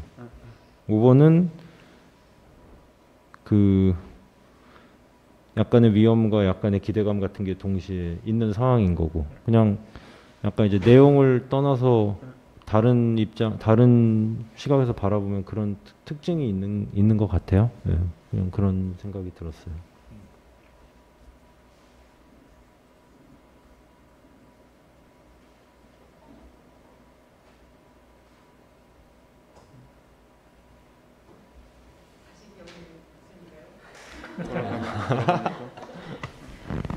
주제가 공공의 개입 이잖아요. 근데 공공에 어떤 식으로 개입을 한 건가 라는 거를 의 입장에서 좀 보면 어, 두 번째 프로젝트는 사실 우리가 공공에서 한국에서 잘 안 시도된 것 같아요. 약간 플레이풀하게 아 양수인 소장님이 좀 플레이풀하게 가끔 하시긴 하지만 그래도 많은 경우에 그러니까 움직임을 유도하거나 아니면 뭐 약간 플레이스케이프에 대한 생각을 잘 안 하는 쪽으로 얘기가 된 것 같아서 저는 사실 그런 지점에서는 재밌는 것 의외의 행동들을 유발하거나 행위에 개입하는 입장이 되게 분명하기 때문에 공공 사실 한국에서 그러니까 제가 느끼기에 혹은 제가 이해하기에 공공 장소에서 어 많이 하지 않, 않 공공장소 많이 하지 않은 행위가 약간 노는 행위인 것 같아요. 그러니까 예전에 서울숲에서 서울숲에서 조사를 한 적이 있는데 서울숲 처음에 개장을 했을 때 사람들이 거기 와서 하는 행위가 가든에서 하는 행위가 똑같은 거예요. 네? 고기 굽는 가든에서 행위. 어. 거기 가서 고기 굽거나 어. 화투를 쳐서 어, 어. 사람들이 그거 하지 못하게 하는데 되게 오래 걸렸대요. 음, 음. 그러니까 공공에서 공공장소 이용하는 행위의 문법 혹은 음. 어떤 종류의 DNA가 많이 작동하지 않은 입장에서는 음. 어, 뭔가 공공에 대한 개입이 좀 즐겁게 개입하면서 음. 안 했던 어떤 동작, 문법 뭐 이런 것들을 좀 하게 하는 거 음. 이런 입장에서는 되게 즐겁다고 저는 음. 생각을 하거든요. 음. 공공에 대한 개입이 뭐 아주 큰 게 아니라 음. 공공 장소를 좀 즐겁게 느끼게 해줄 수 있는 게다가 그 이전에 그 앞에 아까 지금도 물론 벌어지고는 있긴 하지만 그 충돌들 음. 뭐 이런 데서 좀 즐거운 경험을 하게 해주는 것들을 시도했다라는 점에서 의미가 있다고 음. 생각을 하고요. 그다음에 어, 네 번째 막 말을 만들면서 얘기하려니까 좀 힘들긴 음. 하지만 네 번째 경우에 공공의 개입에서 아 사실 이렇게 무겁게 공공에 개입하는 경우가 많지는 않은 것 같아서 음. 어, 그냥 그거 하나로 뭔가 공간을 제공하는 것 같아요. 새로운 공간을 제공하는 것 같아요. 되게 음, 이상한 다 비워놨는데 혼자 다 채워놓는 그런 음. 공간을 해버려서 그것도 되게 신기, 신기해요. 그러니까 음. 비어 있는 공간이기 때문에 모두가 다 비어 있어야 된다는 어느 정도의 전제를 가지고 다 접근을 하고 있는데 이렇게 완전히 채우고 밀도 있게 만들어 버려서 음. 새로운 평면 평면을 제안하는 거잖아요, 음. 사실은. 그래서 그런 입장에서 조금 의미가 있겠다라는 생각이 좀 들고요. 그게 조, 좋은 의미가 될 수, 될 수 있게끔 유도하는 건 필요한 것 같은데, 근데 어쨌든 평면을 제한하는 거 신기한 것 같아요. 이게 공공 장소에서 저는 음. 보통 지붕을 제안하거나 뭐 shade를 제안하거나 아니면 어떤 되게 가벼운 것들을 제안했는데 음. 그런 것이 신기하다는 생각이 좀 들고 음. 본인의 캐릭터랑도 맞는 것 같고 뭐하고 맞아? 본인의 캐릭터가 너무 맞는 어, 것 같아서 어, 되게 저는 그 벽돌 디테일도 아주 좋았어요. 이렇게. 아, 네, 너무 그러니까. 잘 맞아요. 아니 너무 다섯 본인의- 사람이 다 너무 다 아주 똑같아요. 너무 우리 다 저는 똑- 그게- 맞아요, 맞아요. 응, 예. 예, 그 약간 옛날에 그 뭐지? 응. 제대로 뽑았어. 우리. 그거 무슨 미술관 있었는데 그 점선 막 칠해가지고 했던 미술관. 응. 근데 그런 작업도 생각이 나기도 하고 응. 그리고 마지막 의 경우에는 어떤 개입일까 하다가 정말 내가 건축이다 뭐 이런 느낌도 약간 있고 서울 한복판에서 이렇게 건축을 왜 아니 건축이 아닌 것처럼 얘기하죠. 사실 되게 구축에 관해서 얘기하고 싶어 하시고 응. 건축에 대해서 얘기하는 것도 음. 첫 번째 프로젝트로 의미는 있을 것 같다라는 음. 생각이 들어요. 그러니까 음, 음. 그 공공의 개입인데 늘 이제 요즘에는 다 뭐 파빌리온이 됐건 공공 설치물 이런 음. 데 가보면은 건축, 조경, 그다음에 조형 예술 이렇게 세, 세 분야에서 음. 뭐한 다섯 명쯤 뽑아가지고 경쟁을 시키는 분위기인 것 같은데 이제 정말 건축만 모아놔서 음. 공공 장소에서 얘기를 했을 때 어떤 얘기를 할 수 있을까 음. 이런 얘기에 대한 조금 답이 될 수도 있겠다 음, 뭐 이런 음. 생각은 뭐 그게 얼마큼 얘기가 될지 모르겠지만 음. 예 그래서 하여튼 공공 개입이라는 입장에서 좀 정리를 해보면 음. 그러, 그렇게 정리할 수 있지 않을까라는 생각을 해봅니다. 근데 뭐 좋아요. 어, 너무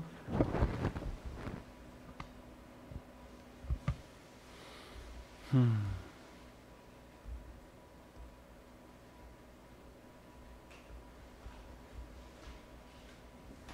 또 돌아가요?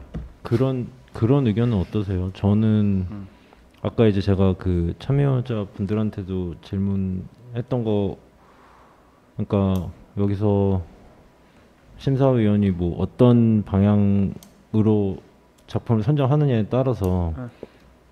이 공모전이나 이 이제 작업의 어떤 관점이 또 드러나기도 하는 거잖아요. 근데 이제 저는 저는 개인적으로 뭐 건축가가 했다고 막 너무 건축적이거나 꼭 그런 담론이 있어야 되거나 그런 거 네.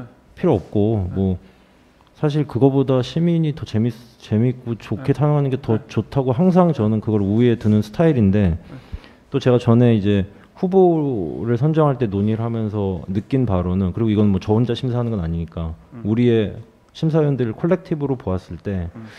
그냥 내가 내 개인적으로 생각하는 것보다는 조금 더 어떤 건축적인 담론이나 그런 게 더 중요하겠다라고 그냥 저는 받아들이고 또 그, 아 그렇게 또 어, 생각을 또 해봐야 되겠다 이런 느낌도 좀 있었 있었거든요. 근데 그렇게 봤을 때 만약에 2번, 4번, 5번은 되게 다른 스펙트럼에 있는 거죠. 그리고 음, 어떤 거죠. 작업을 선정하느냐에 따라서 그냥 제 개인적인 신념이나 생각 이, 이상으로 이 그룹의 어떤 지향점이나 신념도 같이 밝혀지게 되는 거잖아요. 음. 그러니까 그런 차원에서도 좀 논의가. 그러니까 혹은 그런 차원에서 논의가 되면 어찌 보면 자연스럽게 당선자 결정될 수도 있는 것 같아요. 왜냐하면 뭐 만약에 우리가 2번을 뽑는다 그러면은 뭐 막 굳이 우리가 건축가를 모셔서 공모를 했다고 해서 그게 막 아주 건축적인 어떤 discourse나 이런 게 꼭 있어야 되는 건 아니고 건축가 혹은 건축이란 건 이렇게 유연하고 flexible한 거라는 statement가 될 수도 있는 거고 뭐 아니면 또 다른 게 될 수도 있고 도시. 건축 전시관이에요. 도시 쪽. 조경에 가깝기도 하고 뭐 그런 거잖아. 어. 그러니까 이제 그런 그, 예, 그 그런 이 관점에 대한 논의를 어. 해보는 것도 괜찮 음. 괜찮을 것 같아요. 음. 개개 작품도 물론 중요하지만. 그러니까 지금 2, 3 어떻게 되지? 2, 4, 245. 5가 그 스펙트럼에서 도시에서 약간 건축 이렇게 이렇게 얘기해야 되나? 엄격한 건축부터 그냥 이제 좀 더 플레이풀한 무엇 그다음에 중간에 있는 약간 뭐 구조도 되고 약간 설치 미술이기도 하면서 건축적이도 한 어떤 것 이게 이렇게 딱 1, 2, 3 스펙트럼이 딱 있는 것 같거든요. 어떻게 보면. 맞아요. 건축 조경, 조형 예술 이런 느낌 조금씩 있는 것 같아요. 저는 사실 그 2번, 4번, 5번을 보면서 그냥 생각이 든 거, 저, 저 지금 너무 헷갈리긴 하는데 이 사이트여서 가능한 거로 포커스를 먼저 맞춰볼까라는 생각이 조금 들었거든요. 음. 그러니까 그 소- 소장님께서 말씀하신 것처럼 여기 아니고도 가능한 음. 것들이 있냐, 음, 음. 아니면 스페시피컬리 이 사이트이기 때문에 음. 이게 가능한 거. 음. 가 우리가 좀 접근해 볼 수 있는 방안이 아닐까. 왜냐면 다 다섯 개 다가 다 되게 좋잖아요. 다 음. 가능하고 있을 법한 일- 일인데 음. 이게 처음에 서울 마루에서 이루어지는 음. 이런 이런 지금 저희가 하고 있는 것이라고 한다면 음. 어 그래 이 사이트니까 꼭 여기서 일어날 수 있겠다. 이 얘기가 있어야 되지 않을까라는 생각이 조금 들었고요. 음. 그런 면에서 만약에 이 세 개를 본다면 그다음에 거기에 첨가적으로 예를 들면 이제 다른 것들을 보는 저의 관점이 들어갈 수도 있을 것 같긴 한데 어, 이번 같은 경우 저는 약간은 우려스러운 점이라고 음. 한다면 물론 이 사이트이기 때문에 가능하긴 한데 음. 이게 그 예산에 관련된 결과물이 나중에 다 만들어지고 났을 때 얼마만큼의 시민의 참여를 유도할 것이며 결과물로서 보여질 것인가에 대한 우려는 조금 있긴 있어요. 예를 들면 예전에 언제 몇 해 전인지는 모르겠는데 PS1에서도 이런 류의 전시가 있었던 걸로 알고 있는데 뭐 모마 피선 네, 파빌리언이요? 네네네. 소일에서 한 거. 네, 그러니까 뭐막 그- 뭐난 내가 본것 테이블 중에 소일. 네. 어. 그랬을 때 아니 뭐 네트도 있고 네. 공놀이도 하고 어, 거 뭐. 이렇게 그냥 이렇게 뭐 playful한 어떤 그런 응. 것들을 올려놓은 것들이 있었어요. 응. 뭐 이렇게 뭐 table tennis도 할 수 있고, 그러니까 사실 참여 유도형이죠. 결과적으로는 어떤 퍼니처들이 들어가 있는 상태고, 응. 제가 정확히는 기억이 이 짐볼도 있고 공도 있어서 네트 위로 던지고 되게 이 전체가 그냥 play structure인데 굉장히 light하게 만들었어요. 그거 그거 어, 아닌가요? 그거 아니고 그거 아니고 그거 말고 네. 가구 같은 거 뭐 이런 걸 사서 전시를 하고 그거를 응. 끝나고 주변 사람들한테 나눠주는 거였어요. 아 그럼 그 이유인가 보다. 매트 뭐더라 그 무슨 인터 Interboro Interboro가 했던 거. 근데 어. 저, 저의 경험으로는 이게 이제 뭐 재미는 아니었고 개념적으로나 그럴 네. 법하다. 왜냐하면 그것도 이제 어떤 그 history들이 있잖아요. 걔네들이 음. 어떤 트렌드 안에서 뭐가 이번 해에 올라가고 다음에 뭐가 나타나고 뭐 이런 것들 안에서 있을 법한 제안이었다라고 생각은 하는데 음. 결과적으로는 저는 그렇게 재밌진 않았거든요. 솔직히 음, 음. 이게 과연 뭐 공간을 사용하는 방법에 있어서 음, 건축가일까?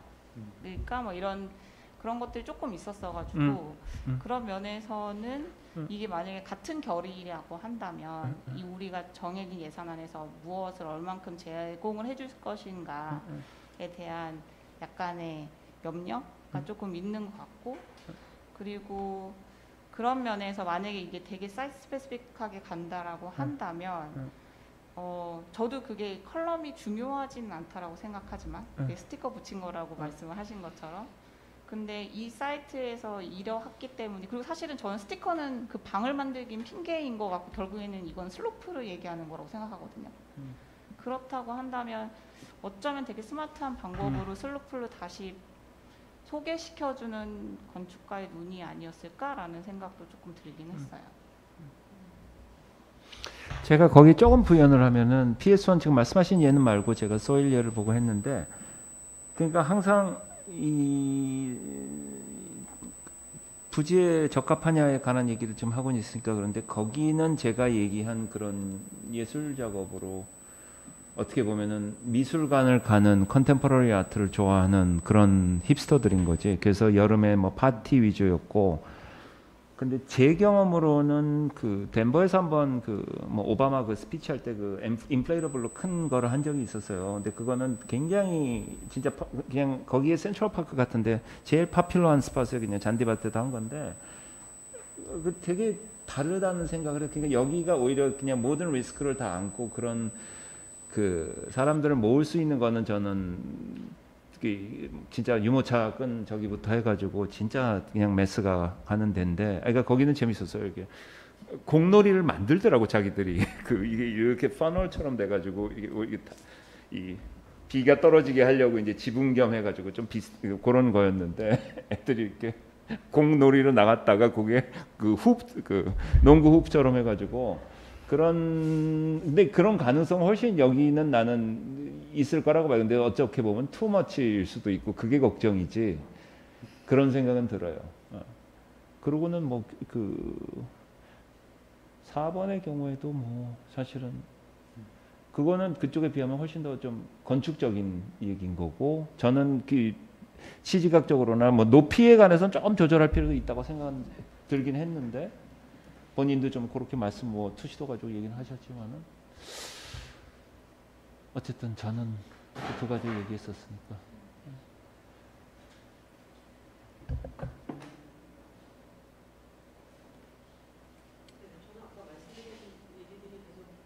반복? 음.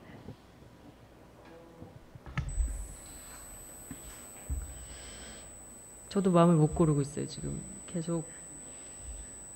근데 저는 이제 개인적으로는 아까 1번하고 5번 같은 경우는 좀 좀 그러니까 선호도가 좀 떨어지는 편에 속했던 것 같고요. 다섯 단 다 좋다고 말씀드렸지만 그 중에 두, 소- 두 안이 좀 선호도가 좀 상대적으로 떨어졌던 이유는 그 서울 마루 위에 이제 다시 돌출되는 구조물들 특히나 어, 높이가 굉장히 높은 구조물을 세우는 거에 대한 좀 고민이 있었던 것 같아요 개인적으로 그거에 대해서 좀 선호되지 않는다는 좀 개인적인 생각이 있었던 것 같고 그래서 이제 2, 3, 4를 처음에 뽑고 그리고 어 이제 3번 같은 경우에는 저 스토리를 어떻게 만들어 줄 거냐에 대한 고민이 있었는데 그거를 또 이제 그 제안하신 분께서 또 선뜻 그 스토리 라인을 완결을 못 시켜서 그때 이제 제외를 시켰던 것 같고요. 2번과 4번이 계속 고민 중이에요. 지금도 계속 고민 중이고 어 이것에 지금 이제 어떻게 보면은 공공개인 프로젝트 첫 번째가 될 수도 있게 이게 첫 번째가 될 거냐의 분기점에 놓여 있는 거죠 저희가 아, 아. 그런 맥락에서 보자면 저 두 개 다 site specific했다고 봐요 두 개다 음, 음. 굉장히 경사지의 경사마루라고 하는 그 독특한 지붕에 대응을 하고 있고 뭐 핀볼이라고 하는 컨셉 자체는 굉장히 그냥 하나의 one one big idea를 그냥 구현한 케이스라고 본다면 제안 주신 저 landscape 자체에 뭐 100% 동의하지는 않지만 어 뭐 더 해가는 과정에서 재밌는 landscape를 만들어 주실 거라고 보여지고 거기에 이제 recycled material을 쓴다라든가 그런 부분에도 또 재밌는 메시지를 함유하고 있는 것 같고요. 그런데 아까 양수희 선생님 말씀하신 것처럼 어떻게 참여를 유도할 거냐는 이슈가 계속 있는 것 같아요. 그래서 저게 거기에 이제 어반 플레이그라운드를 만드는 셈이죠. 그리고 이제 휴게하는 공간이고요. 그래서 건축이 아니어도 사실은 뭐 도시적 뭐 건축적이라고는 하지만 그냥 도시 일상에다 매핑을 해버린 것 같아요. 저희가 일상 일상의 공간에 어떤 시간을 타임라인에 그냥 딱 끼워놔 준 것 같아서 어찌 보면은 건축이나 도시가 그 동안에 이제 일, 일반 공공에 가지고 있었던 약간 좀 접근하기 어렵다라는 거에 쉽게 대응하는 하나의 솔루션이 될 수 있을 거라고 생각이 들었고 4번은 어 그거보다는 조금 이해하는데 한 결을 더 걸러내야 되는 것 같아요. 그렇지만 이제 또 한편에서는 정동이라는 곳을 찾는 시민들의 입장에서는 그분들은 또 정동이 갖고 있는 time layer에 대한 이해가 어느 정도 있는 사람들일 가능성이 굉장히 높거든요. 그러니까 그 옆에 있는 의회 건물들도 그렇고 고궁도 그렇고, 그러니까 거기에 사실 숨어 있는 많은 어, 시간의 layer들이 있거든요. 그래서 그거를 그거의 메시지로 우리가 도시와 건축을 이- 시간이라는 메시지와 혼합시킬 수 있다라는 거 굉장히 큰 장점이라고 생각이 들고요. 저도 ALC 블록은 동의하진 않아요 개인적으로. 근데 뭐 때문에 고민했는지는 납득을 해서 그거는 건축가의 숙제다라고 말씀을 드렸던 거고요. 어, 높이나 이런 것들이 조절될 수 있다면 그것도 서울마을 굉장히 좋은 메시지가 될 수 있을 거라고 생각해서 저는 사실 두 개 다 손색 없는 프로젝트라고 생각해요. 그리고 그거를 손색 없이 풀어낼 수 있는 역량을 갖춘 건축가들이냐가 저희가 이제 고민할 이슈인데 네. 뭐 포트폴리오 이미, 이미 저희가 다 봤기 때문에 그거를 해내시라고 말을 해야 되겠죠. 해, 해내실 것 같아요. 그리고 네 그렇게까지만 의견을 드리겠습니다. 저희가 심사 이후에 총평을 적으셔야 돼서 지금 이제 컴퓨터 화면을 키셨어요. 그 이게 프로젝트 서울에 이제 올라가서 그 지명 공모의 과정이기 때문에요. 네, 그 절차에 따라서 해서 사실은 그 지금 그래도 조금 좁혀진 음. 걸로 봐도 될까요? 네, 그래서 네 2번 4번으로 좁혀지는 것 같은데 음. 그거에 동의하시는지 그리고 그 안에서 그러면은 한 안이 선택이 되는 거에 동의하시는지를 조금 서로 논의해 보시는 게 어떨까 싶습니다. 네. 저는 두 중에서 한 사람을 드랍한 거네요. 그러니까. 셋 중에 아, 그러니까 저는 두 명을 했으니까 2번 2번 5번을 아, 네. 했는데 오케이. 제가 두 분 중에 한 분을 선택하라면 그렇게 할게요. 예. No secret. 음. 음, 저 저는 2번 4번 좋은 네. 좋은 것 같아요. 특히 이건 약간 부당할 수도 있는데 네, 말씀. 아, 네. 아, 저희가 그 그래도 그러니까 등 순위는 안 매기지만 그래도 이제 당선안과 그 2등을까지는 고려를 해야 돼서 네, 아마 네. 이두 안이 그렇게 될 것 같아요. 그래서 네. 그거 고려해 주시면 될 것 같아요. 알겠습니다. 2번 4번. 아 2번 4번. 그리고 박진태 소장님은 저기서 충분히 아, 그러니까 저도 그래서 좀 부담이 예, 그래서 부담이 있- 약간 있는 것 덜- 같아 사실은. 부담이 그러니까 약간 내가 그래서. 조금 나 몰랐잖아. 부담이. 덜한 것 같아요. 그러니까 약간 많어. 있지만 어? 부담은 덜한 보고 것 계셔. 같아요, 확실히. 아니 그게 이유가 되는 건 아니에요. 아니지만, 그런데 네, 아니지만. 한편으로는 또 덜 미안한 그런 거지. 좋습니다. 그러면 맞아 지금 더, 더 얘기를 해야 되는 거예요? 어, 그 중에 이제 Two and 당선안을. 최종 결정해 주시고요. 그 안에 대해서 이제 심사평 작성까지가 이제 오늘의 마무리고요. 원래는 그것까지가 7시까지 마무리가 돼야 되는 게 맞아요. 그래서 조금 시간이 촉박한 좀 상태입니다. 네.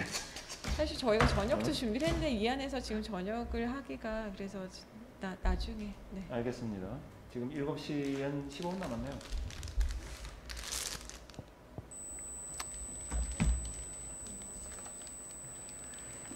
그냥 각각 양각 태기를 해서 좀 볼까요? 3대 3 나오면 박 터지고 이상한가? 이 1위는 어떻게 투표를 해야 되나요? 아니면 각자 선호도를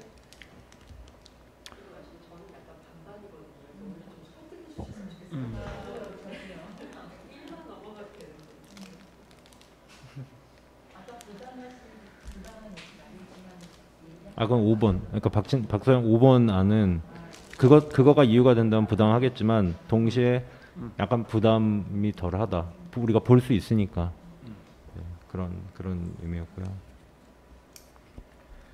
그러니까 아까 강 교수님 좋은 얘기 하시는 게 공공 개입이라는 주제를 정했으니까 그 틀 안에서 뭔가 판단 근거를 만들어야 될 것 같은데요.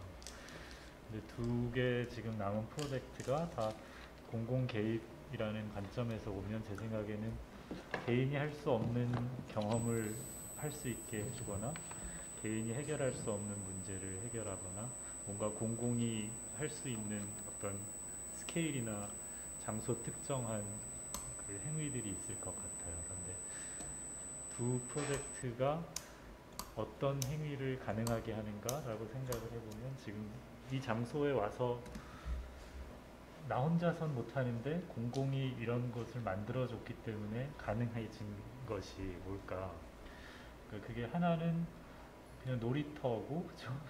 또 하나는 뭔가 사색적인 것 같지만 그게 오히려 전 파티하기 좋아 보이거든요. 그래서 그래서 저희가 어떤 행위를 더 그 장려할 것인가, 어떤 행위를 더 유도할 것인가 생각해도 될 것 같아요. 과연 그게 뭘까? 약간 약간 폐쇄적이라는 그 우려가 있었잖아요. 그것도 저희는 해결할 수 있을 것 같거든요. 폐쇄적이지 않게 벽을 쌓으면 될 것 같아요. 조금 낮추거나 뭐 캐노핀 더 올리거나 그리고 핀볼도 사실 지금 대부분 문제가 과연 사람들이 와서 놀 것인가인 것 같아요. 참여할 음. 것인가? 참여하지 않고 그 놀이를 핀볼 머신을 하- 실행해야만 노는 걸까 생각은 또 들거든요. 거기서 다른 일도 많이 할 수 있을 것 같다는 생각이 음. 들어서 이건 얄팍한 얘기일 수 있는데 그 인스타그램 현상도 충분히 그렇죠. 근데 이건 모든 다섯 개 다 통하는 일이거든요. 근데 그게 좀 한탄스럽긴 하지만은 이게 이게 지금 세상을 말아먹고 있는 것 같아요. 네. 네? 모든 공간을 이- 인지하고 다니고 경험하고 그러고 그냥 가잖아. 응?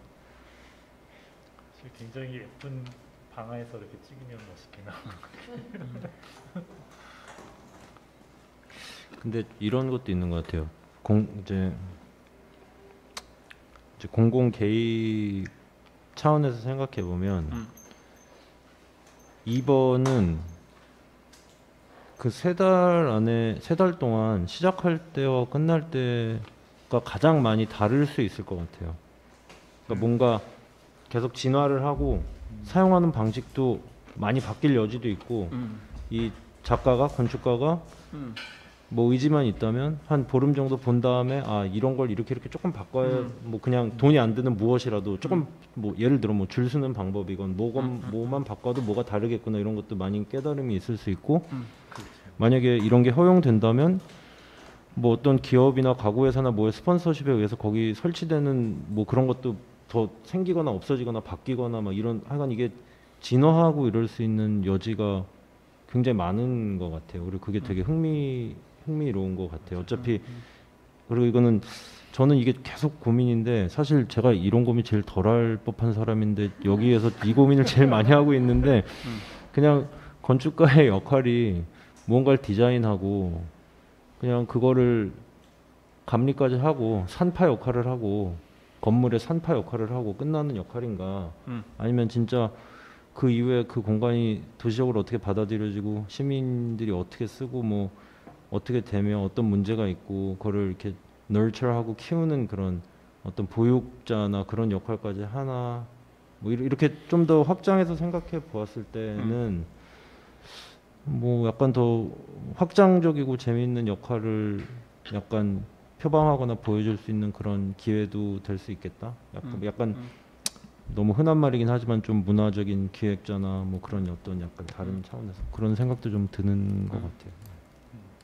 그게 뭐 좋은 그냥 떠오르는 얘기로는 그런 그 Realities United United라는 친구들이 있죠. 저랑은 또 그 시청 앞에서 샹들리에도 하고 뭐 특별히 뭐 미디어 이런 쪽으로 했는데 이 친구들이 한 20년 20년 전에 그 베를린의 스, 그 스프리 강의 한쪽에 수초로 이제 이걸 필터링 해가지고 urban 여기 수- 강을 수영장으로 만들자.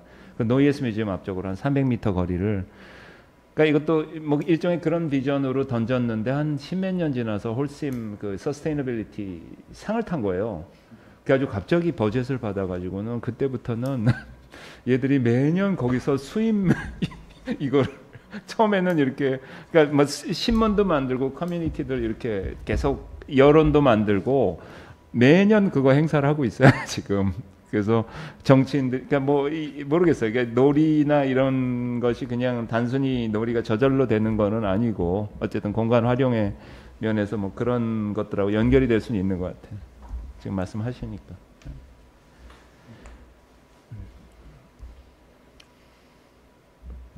뭐 다른 종류의 앰비션이고 좀 도시적인 앰비션일 수 있는 거죠. 그 프로젝트 알고 있어요? 몰라요? 어. 나한테는 이 타월도 하나 만들어 갖고 줬어 이렇게. 그런 어. 그런 어. 측면도 좀 있으면 좋을 것 어. 같아요. 공간 왜 더하기 뭔가 그러니까 뭐 애드켓 같은 역할인 건데 디자인만 하고 저기 하는 게 아니고 던져놓는 게 아니고 어. 그런 뭐 다, 어. 고민스러운 부분은 뭐였냐면 어. 사실 제가 이제 아까 약간 50-50이라고 말씀을 드렸었는데 지금도 그게 완전히 기울어진 상태는 아니 아니에요. 근데 어. 다만 염려가 아까 보여주셨던 일련의 이미지들의 음. 이 스케일을 이제 적용시켜서 이제 상상을 해보기 시작하면 음. 우리가 봤던 이미지는 다 우리가 조감을 했단 말이에요. 위에서. 음, 그러니까 이제 스케일을 보면은 그 반원도 굉장히 커요. 음.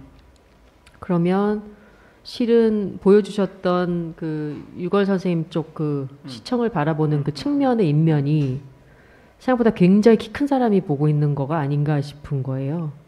그러니까 왜냐하면 경사가 1.1밖에 안 되거든요 높이가. 근데 우리가 지금 이게 22m짜리니까 실은 그렇게 드라마틱한 view가 안 나오는 거죠. 키로 보면. 그러니까 아까 인스타그램에서 보이는 어째 재미있는 어떤 익- exciting하고 playful한 어떤 공간을 보여주기 위해서는 높이가 일정 부분 확보가 돼야 되는 게 아닌가 싶은 생각이 들었어요. 좀 전에 듣다가 까딱 잘못하면은 이제 저희가 가장 바라지 않는 의자 몇 개 갖다 놓은 곳이 될 수도 있는 거죠. 그거는 이제 완전 피하고 싶은 거거든요. 그래서 그 부분은 좀 고민이 필요한 것 같아요. 제가 지금 정확하게 기억이 안 나거든요. 음. 우리 시선이 조금 높았던 것 같아요. 맞나요? 그 view가 뭐 eye level 아니었나? 그래도? 근데 저도 그 얘기 했잖아요. 아까 성공회하고 좀 얘기를 해서 이렇게 관객석도 좀 위 성공 성공회하고 과- 지금 사이가 어때요 옆에? 예, 이웃으로 아니 이거 잘해놓으면 배경으로 올라가서 좀 찍게도 해달라고 좀 얘기를 한다든가 뭐 그러면 윈윈 아닌가 그쪽에서도 좀 사람들이 방문하는 뭐 싫어하나 아무나 어? 이미 굉장히 좋아졌잖아요. 예? 존재하는 거. 그러니까 어. 어떻게 공존할 수 있는 그런 네 개가 될 수 있는 또 저기가 뭐 생길 수도 있는 것 같아서.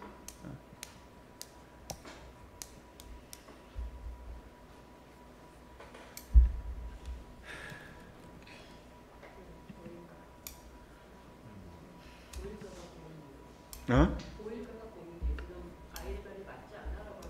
어. 아, 시청이요? 시청 측면은 아까 그 투시도 뷰가 어. 그 너무 다 낮게 깔려 있어서 뭐 특별히 뭐가 존재감이 없지 않아요. 안 보인다. 어. 어. 사진 보여주시면 tilted ground.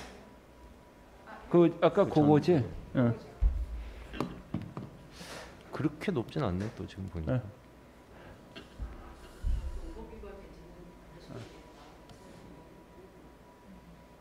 근데 워낙 볼드한 그 그래픽으로 지금 가겠다는 거니까 뭐. 그러면 찰스 모어의 공장 이렇게 되는. 찰스 모어. 근데 아무튼 저 프로젝트가 위험도는 가장 적은 건 확실한 것 같고요. 그죠? 근데 근데 그만큼 그만큼 썰렁한 근데 지금 모든 분들이 그래서 썰렁하면 어쩌나라는 음, 그건 이제 또 다른 있는 것 같고. 또 다른 위험인 거죠. 그러니까요. 이게 이게 뭐지? 그러면 또 큰일 나는 것 같고 음, 다른 건 또 어쩌면 너무 과하다 싶을 수도 있을 것 같고 혹시 이런 경사도는 사실 또 조절할 수 있지 않을까요? 만약에 실제로 너무 플랫했을 때 약간의 어떤 스트럭처 빌드업을 어차피 하니까. 네. 굳이 이렇게 막 만들어야 될까? 거죠. 난 그 걱정은 맡겨도 될 것 같은데. 워낙 네, 양쪽 다 반대 우려가 있고 네, 그런 것 같아. 근사함이 김혜영 소장 그때. 그렇죠. 벽이 또 너무 낮으면 그 분위기가 안 날것 뭔가 들어가 있는 제일 높은 데가 4,500. 예. 네. 아, 그렇죠. 4,000. 2,200. 어, 높이가 제일 높은 데가 4,500인데, 4.5 예, 이랬을 4,500인데 제일 높은 쪽이 거의 정사각형 정 큐브 프로포션 정도 될것 4,800 같아. 크기라고 그랬어요. 높은. 경사가 1.2m 차이 나는데 더 재밌어요. 여기 1.2에서 시작해서 아 올라간다 그랬죠. 그러니까 평평- 제일 높은 평평하게 안 오고. 곳은 4,500 아, 저는 이에요. 평평하게 4,500. 안 오고. 진 짜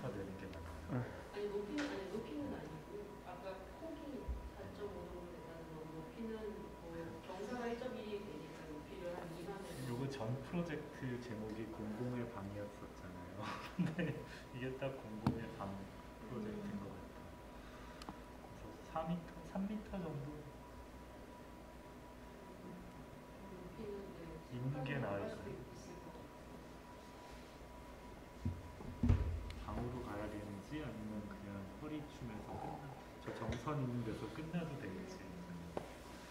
그런 건 저희가 바꾸면 안 되는 것 같고 작가가 결정하는 거고.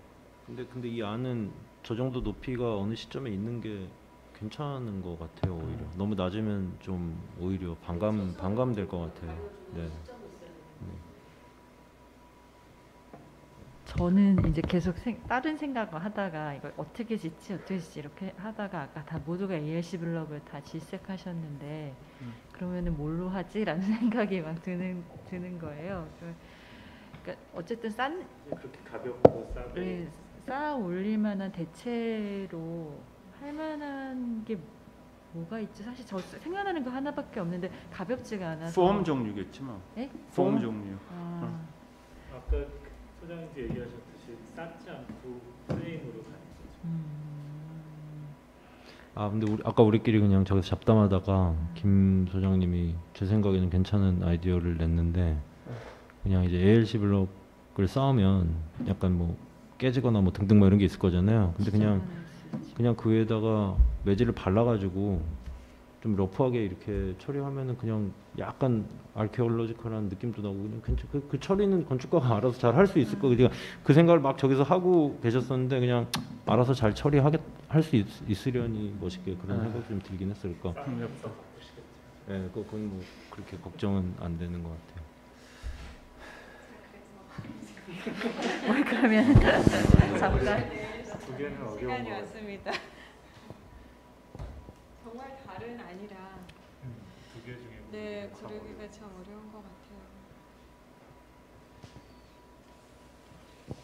이럴 때 두 분이 딱 계셔서 어떻게 바꿀 수 있을까 가위바위보. 얘기하면 좀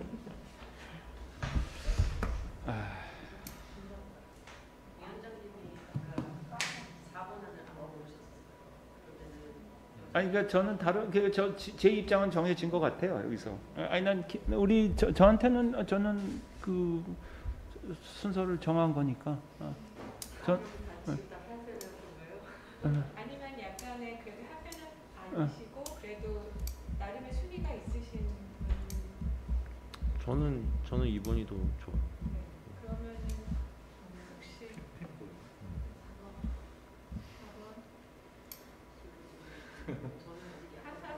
팽팽. 같이 가면 4번 4번. 2번. 응. 기울여서 이렇게 핀볼처럼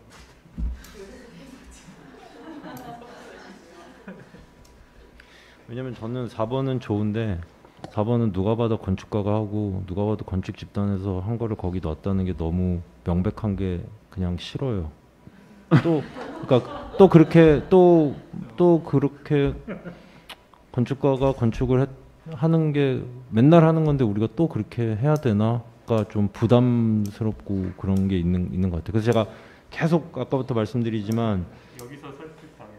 그 계속 말씀드리지만 여기서 어떤 컬렉티브하게 어떤 이미지나 뭐 그런 걸 낼 것인가에 대해서 그러니까 처음 미팅 때부터 다른 분들이 꽤나 이렇게 좀 더 시리어스한 건축적인 디스코스가 중요하다고 느끼고 왜냐면 그것도 기회이기 때문에 여- 이번에 그런 기회가 있어야 된다고 생각하는 걸 느꼈기 때문에 그거를 굉장히 저 스스로도 좀 배려를 하고 많이 받아들이려고 하는 입장이 있, 있고 아직도 있고 그, 그런 반면 동시에 뭐 또 그런가 싶은 생각도 동시에 있고 뭐 아예 다른 좀 voice가 있어야 되나? 그런 느낌도 있고 뭐 그래서 이건 한 한 작업 그러니까 작업을 고른다기보단 그냥 어떤 attitude를 고르는 약간 음. 그런 시점인 것 같거든요 지금은 음, 음. 그래서 이제 그런 차원에서 네.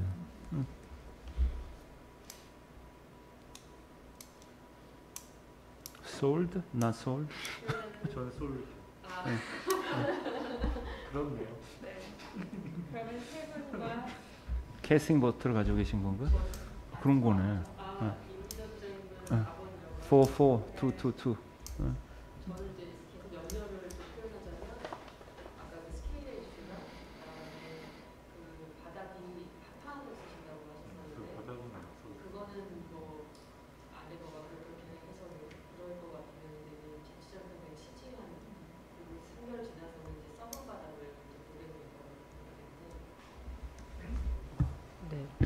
해서 그럴 것 같으면 이제 자칫하면 치질한 그리고 3개월 지나서 이제 썩은 바닥을 이제 보게 될 거라고 생각했는데 네. 그래서 그 엑세큐션을 하는 방법에 대한 것들이 어, 명확하게 좀 구분이 돼야 될 필요가 있는 것 음. 같아요. 자칫 잘못하면 street furniture를 그냥 알록달록하게 놨다라거나 합판 위에다 페인트로 소위 말해서 패턴을 그렸다 이렇게 되어서는 안 되는 거죠. 그래서 그거에 대한 거는 저희가 그런 요구 사항들을 붙일 수 있어야지 그 안이 수용 가능하지 않을까 이런 그냥. 평상이다. 그건 아닌 거. 네, 그건 안, 돼, 안 되는 거죠. 왜냐하면 그게 잘 만들어진 놀이터보다 뭐가 나으냐라고 했을 때는 할 말이 없는 거예요, 저희가. 음.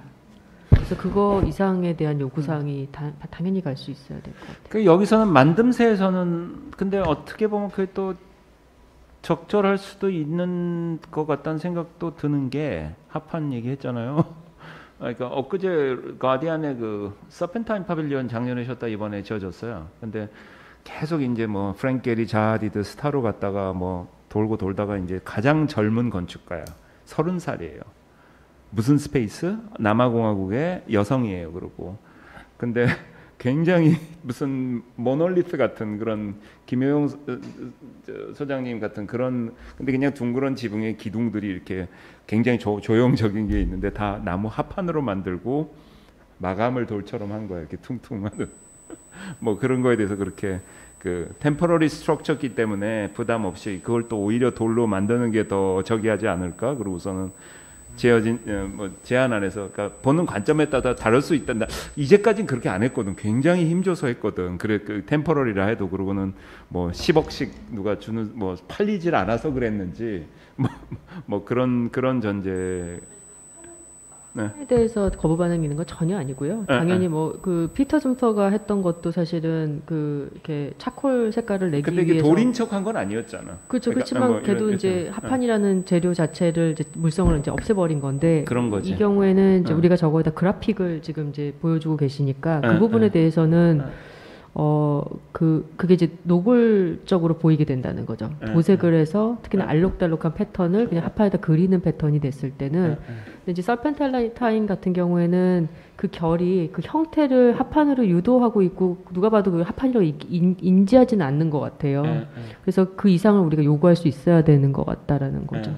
저게 그냥 정말 임시로 만든 무대에서 와서 노는 것 같이 street furniture 몇 개 올려놓고 해- 하는 것처럼 보이면 안 된다라는 거예요.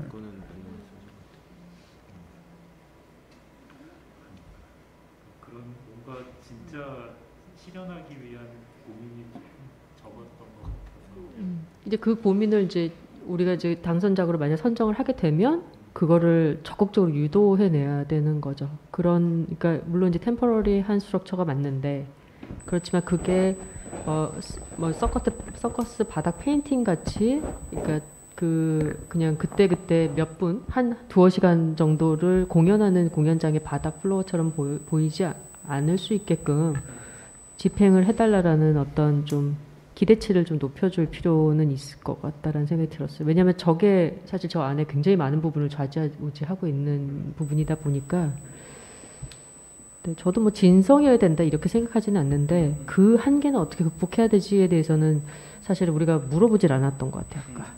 근데 이, 이 안은 진짜로 모든 렌더나 뭐 사실 도면이 없기도 하지만 렌더에서조차 물성이 참 안 느껴지는 것 같기는 해요. 이렇게 플랫할 수가 없는 거는 사실인 것 같기는 하고 그게 제일 우려되는 바이기도 한 것 같기는 해요. 뭔가 가구들도 다 디자인을 다 해야 되잖아요. 아직 핀볼 그냥 크게 해놓은 거라. 아까 얘기하신 전망대라도 하나 있어야 될 것 같은데.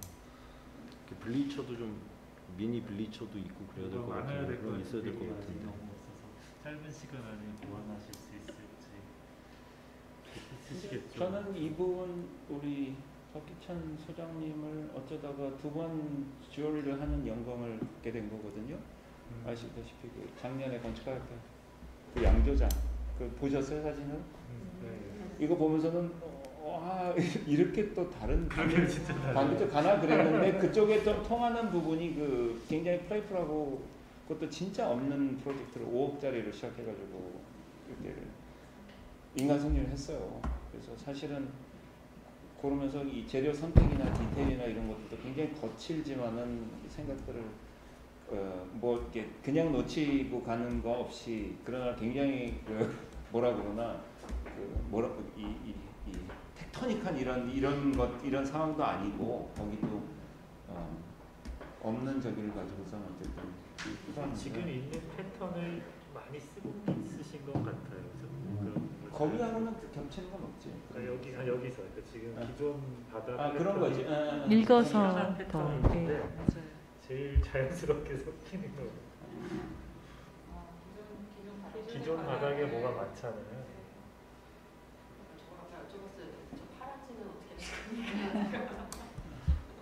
사실은 이 이렇게 그 U자로 된 거 아까 뭐라 그러셨지? 무슨 플- 어떤 어떤 종류의 플라스틱 같았는데.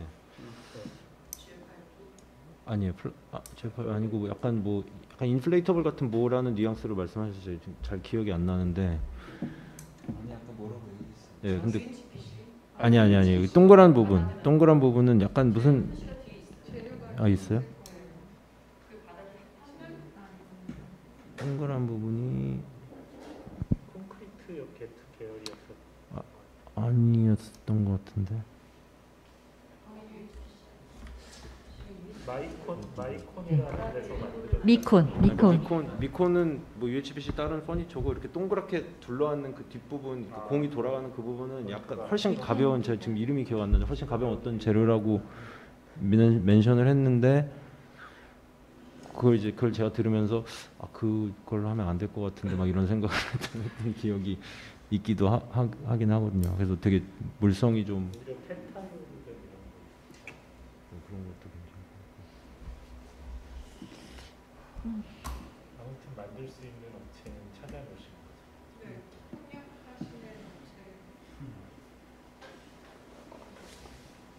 시간이 지나니까 40일부터가 서클은 직경년 10일부터 가야 되는 것 같아요. 전체적으로 4분일 정도 돼서 뭐 그 정도면은 비율이 잘될 것 같아요. 진짜 밤에 할 수 있으면 좋을 것 같아요. 시청에 불 들어올 때.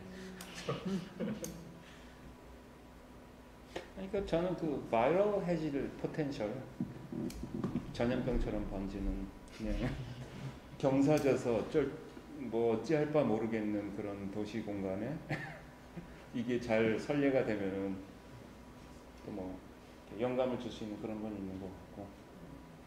힘을 뺀 듯 하지만은 구체적인 부분들이 같이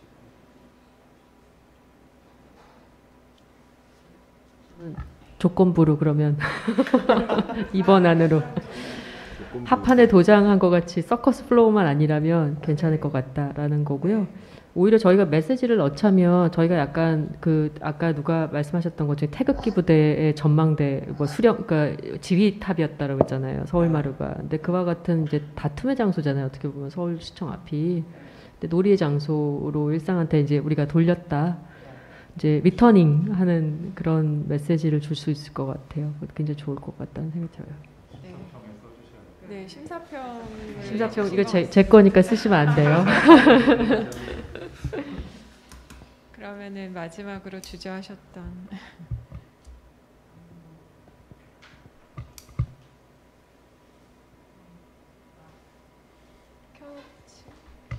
네. 아, 막 흔들렸어요. 막 계속 듣다가 아, 저 어떻게 만들지? 막 이런 생각하다 그래픽 말고 뭘로 채우지 한참 생각하게 되는 것 같아요. 뭐 의미는 당연히 동, 동의를 하는데 이제 시간으로 극복될 수 있는 문제인가라는 생각이 계속 들어가지고 저런 바닥도 다 저런 재활용 소재들을 타일화해서 만들거나 하여튼 뭔가 약간 음, 의미가 조금 확산될 수 있는 방법들을 좀 찾아줘야 될 것 같다는 생각이 들어서 그냥 기성제가 아닌 거를 쓰는 방식으로 유도를 하거나 이를테면 물론 그러니까 타일링을 할 수 있을 것 같아서 뭐 이를테면 아니면 이- 그런 식으로 좀 이게 어 바닥을 칠하고 얇게 만드는 게 아니라 그냥 어 저런 새로운 리사이클링 재료이던 뭐 업사이클링 뭐 어쩌고 저쩌고 이런 것들이 한 판으로 다 깔리는 너무 큰 요구일 수도 있지만 하여튼 그 정도쯤 조금 돼야지 뭐 오는 게 있으려나 이런 생각도 들고요. 근데 사실 그게 가능할지는 잘 모르겠어서 그 가격 안에서 가능할지 모르겠어서 그런 얘기를 던지는 게 맞는지는 음. 모르겠어요. 그러니까 그런 생각이 들었다가 지금 막 철회했다가 아 근데 그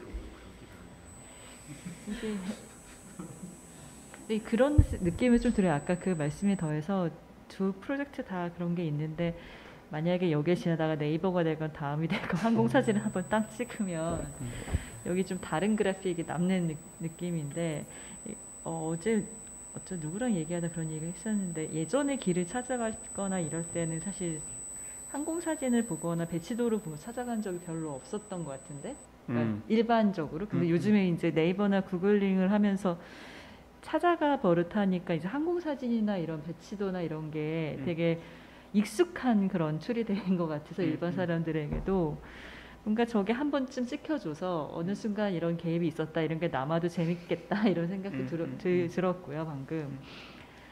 어 근데 여전히 재료나 이런 것들에 대한 해결이 이 한 달 안에 될까가 자꾸 걸, 걸려가지고 저도 뭐 조건부로 근데 그런 예, 해야 되나 이런 생각이 들고. 사실 그때 풍선 프로젝트도 당선됐을 때 굉장히 요란했거든요. 그런데 음. 실현된 건 뭐, 그건 tone down 뭐. 음, 음. 이거 이게 만약에 tone down 되면 음.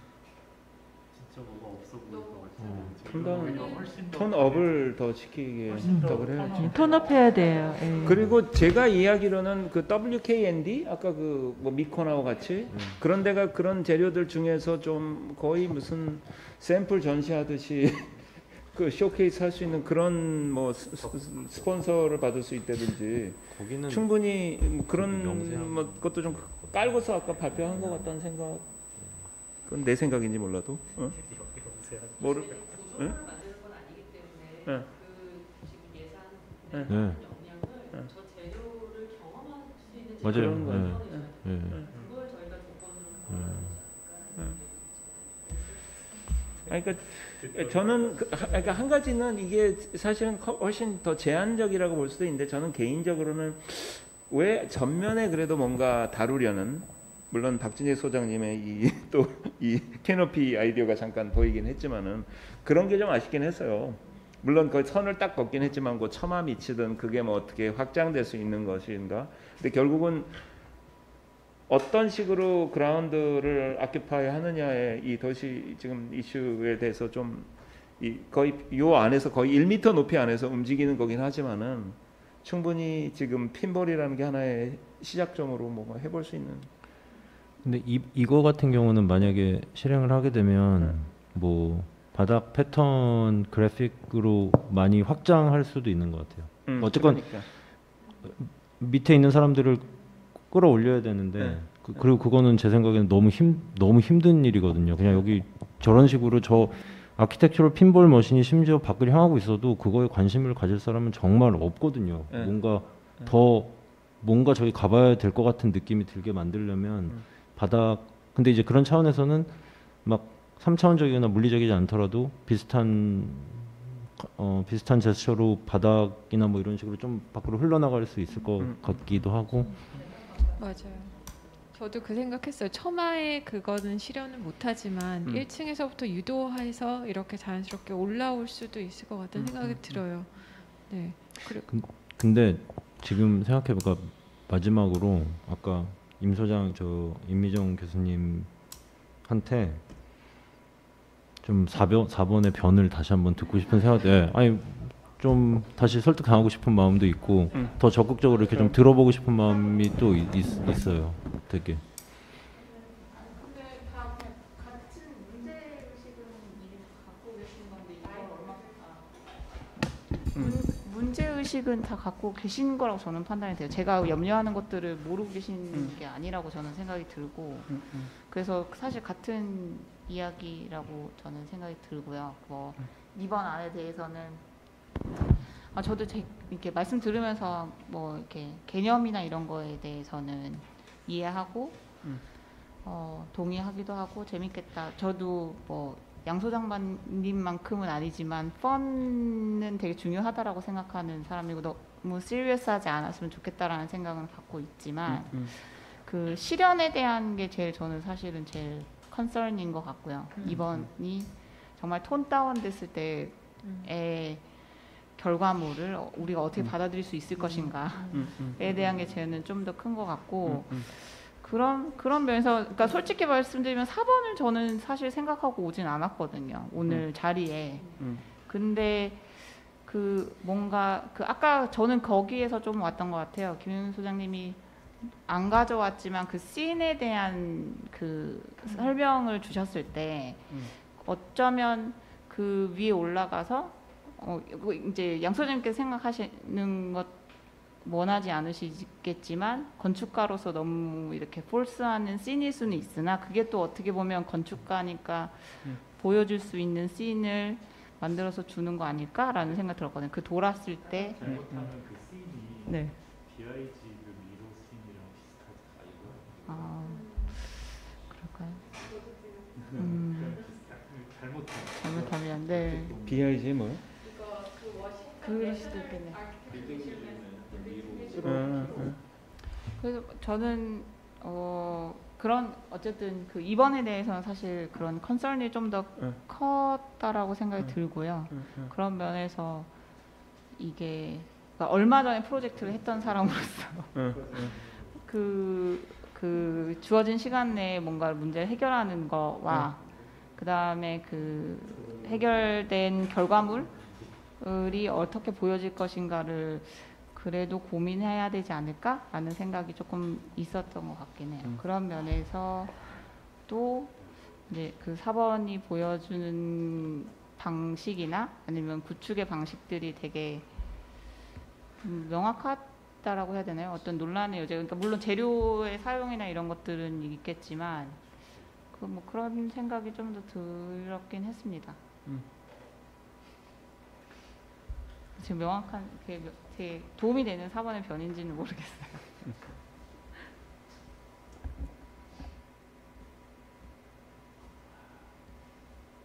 도돌이표를 다시 만들고 있는 건 아니죠? 음.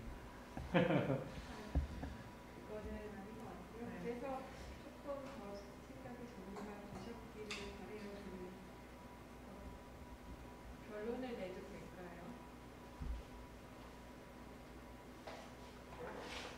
장 소장님 처음 들으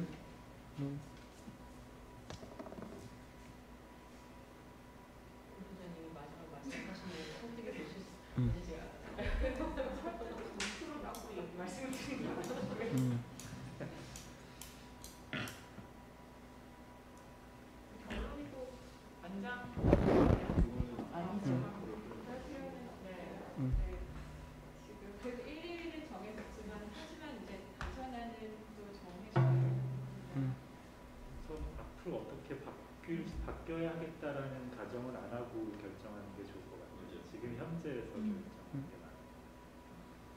그 어떻게 바꿀지 우리가 예측할 수 없는 거니까. 맞아요. 작가가 알아서.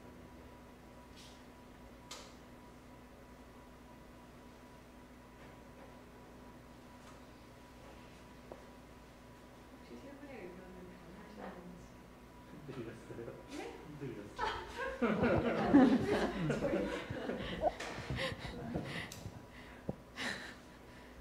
흔들리셨어요? 그러면 흔들렸지만 변하지는 않으셨는지. 네. 결정을 못하고.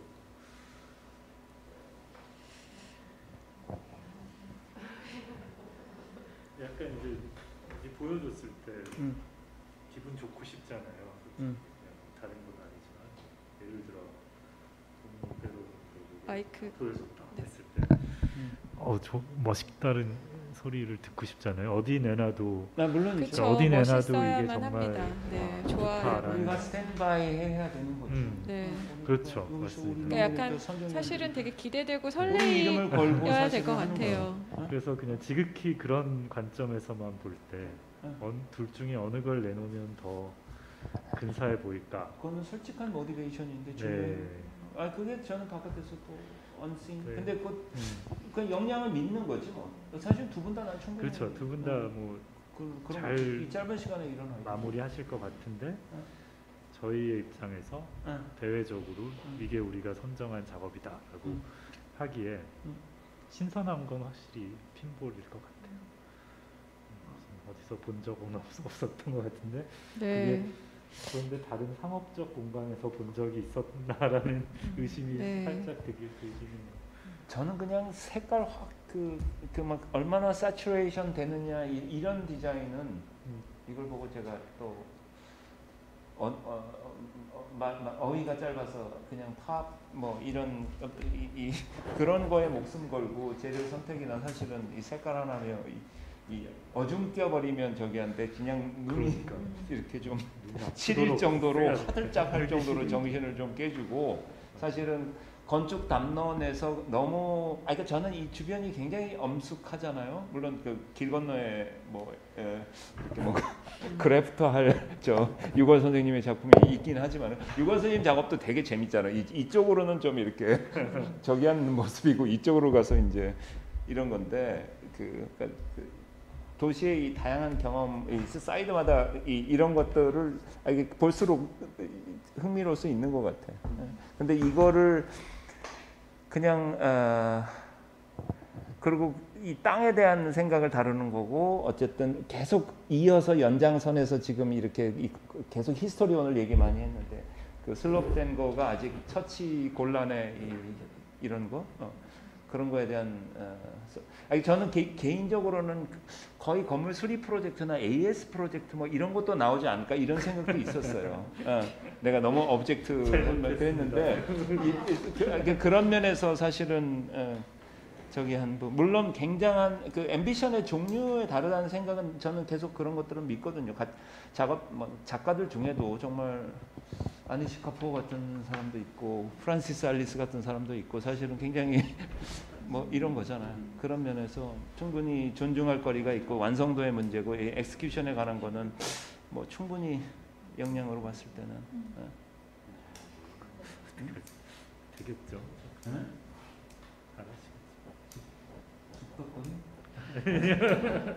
뭐? 이건 첫 번째 프로젝트. 아니, 김세나 선생님 것도 되게 좋았어요. 그것도 멋있어요. 쑥떡 쑥떡. 네, 다 네, 정말 다 좋고 너무 안을 받고 기대되고 그랬습니다. 그래서 더 오늘 심사위원분들의 의견이 궁금했던 것 같아요. 어떻게 바라보시는지 사실 그 논의한 시간들이 있고 또 주제와 이런 그 지명 건축가들을 선정하는 과정 중에서 정말 많은 논의를 했잖아요. 네. 그래서 더 굉장히 궁금했었어요. 네. 사실은 오늘 이 심사가. 네. 그래서 고민하시는 부분도 알겠고. 네? 그 만듦새에 대한 거는 그 기억을 더듬어 보면 아까 모형을 가져오셨잖아요. 근데 모형에 여러 가지 메커니즘들이 막 녹아 있었는데 그 이형 재료들을 붙이는 방법 같은 것들은 굉장히 이렇게 만듦새가 좋으시다라는 생각을 했어요. 그뭐 단시간에 만드는 모형이기 때문에 사실은 모형도 만듦새를 만들기가 되게 쉽지는 않거든요. 그래서 개인적으로는 어 이미지만 볼 때 이제 좀 고민스러웠던 것들 아까 말씀드린 것처럼 그 지금 되게 재미있는 유희적인 이미지를 만들어 주시는데 그게 원투원 스케일에서도 저런 거가 손색 없이 구현됐으면 좋겠다라는 시- 희망을 실어 보내 는 걸로 뭐 저는 결론을 내려도 되지 않을까라고 어 이제 이제 더 이상 안 흔들리겠습니다. 뭐 합판을 써서라도 만듦새가 좋으면 괜찮다. 그거는 어, 그런 생각이 들었고요. 어, 그 위에 네 애매한 것들을 안 하셔도 되지 않을까. 아, 두개 다 너무 놓치기 아까운 프로젝트인 것 같아요. 네, 일단 저는 예, 한쪽으로 그러면은 네 하셨죠. 만듦새를 좋게 만들어 주십시오로 결론을 내리는 네. 걸로.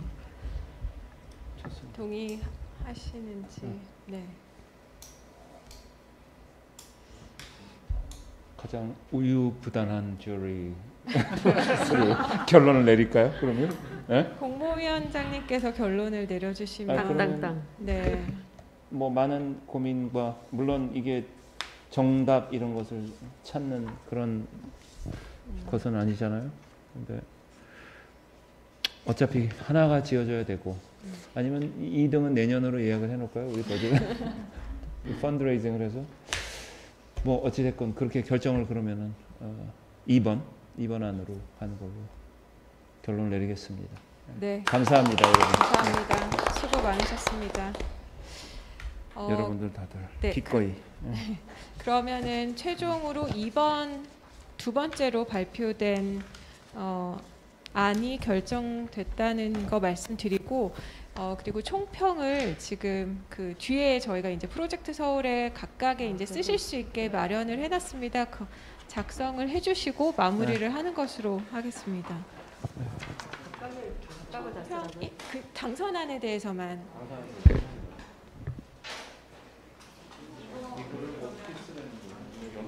이거를 해서 쓰라는 거지? 그 프로젝트 서울에 바로 직접 적어주셔야 돼요. 얘는 여기 여기 아 여기서 하는 거예요? 로그인을 아 로그인을 이미 해놨고요. 네네네. 아 네네. 키보드 안내 드릴 거예요. 나 쓰는 거 뭐라고 쓰는 거 그리고 다섯 분을 다 해주셔야 된다고 합니다. 각자 여기서 각자 컴퓨터로 하는 거예요? 네, 각자 컴퓨터로 해주시면 이런 이런 뽑아요? 어, 다섯 개 안에 대해서 다. 1등 안에 1등 안에 대해서는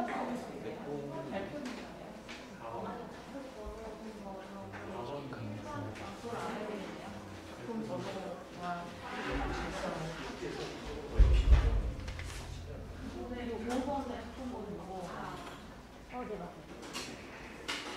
당선자에 대해서는 네, 아니 아니 다 적어주셔야 되는데요. 우선은 당선자에 대해서 조금 더 저기 자세하게 적어주시고 어, 적어주기 시고 다 적어야 돼요. 네.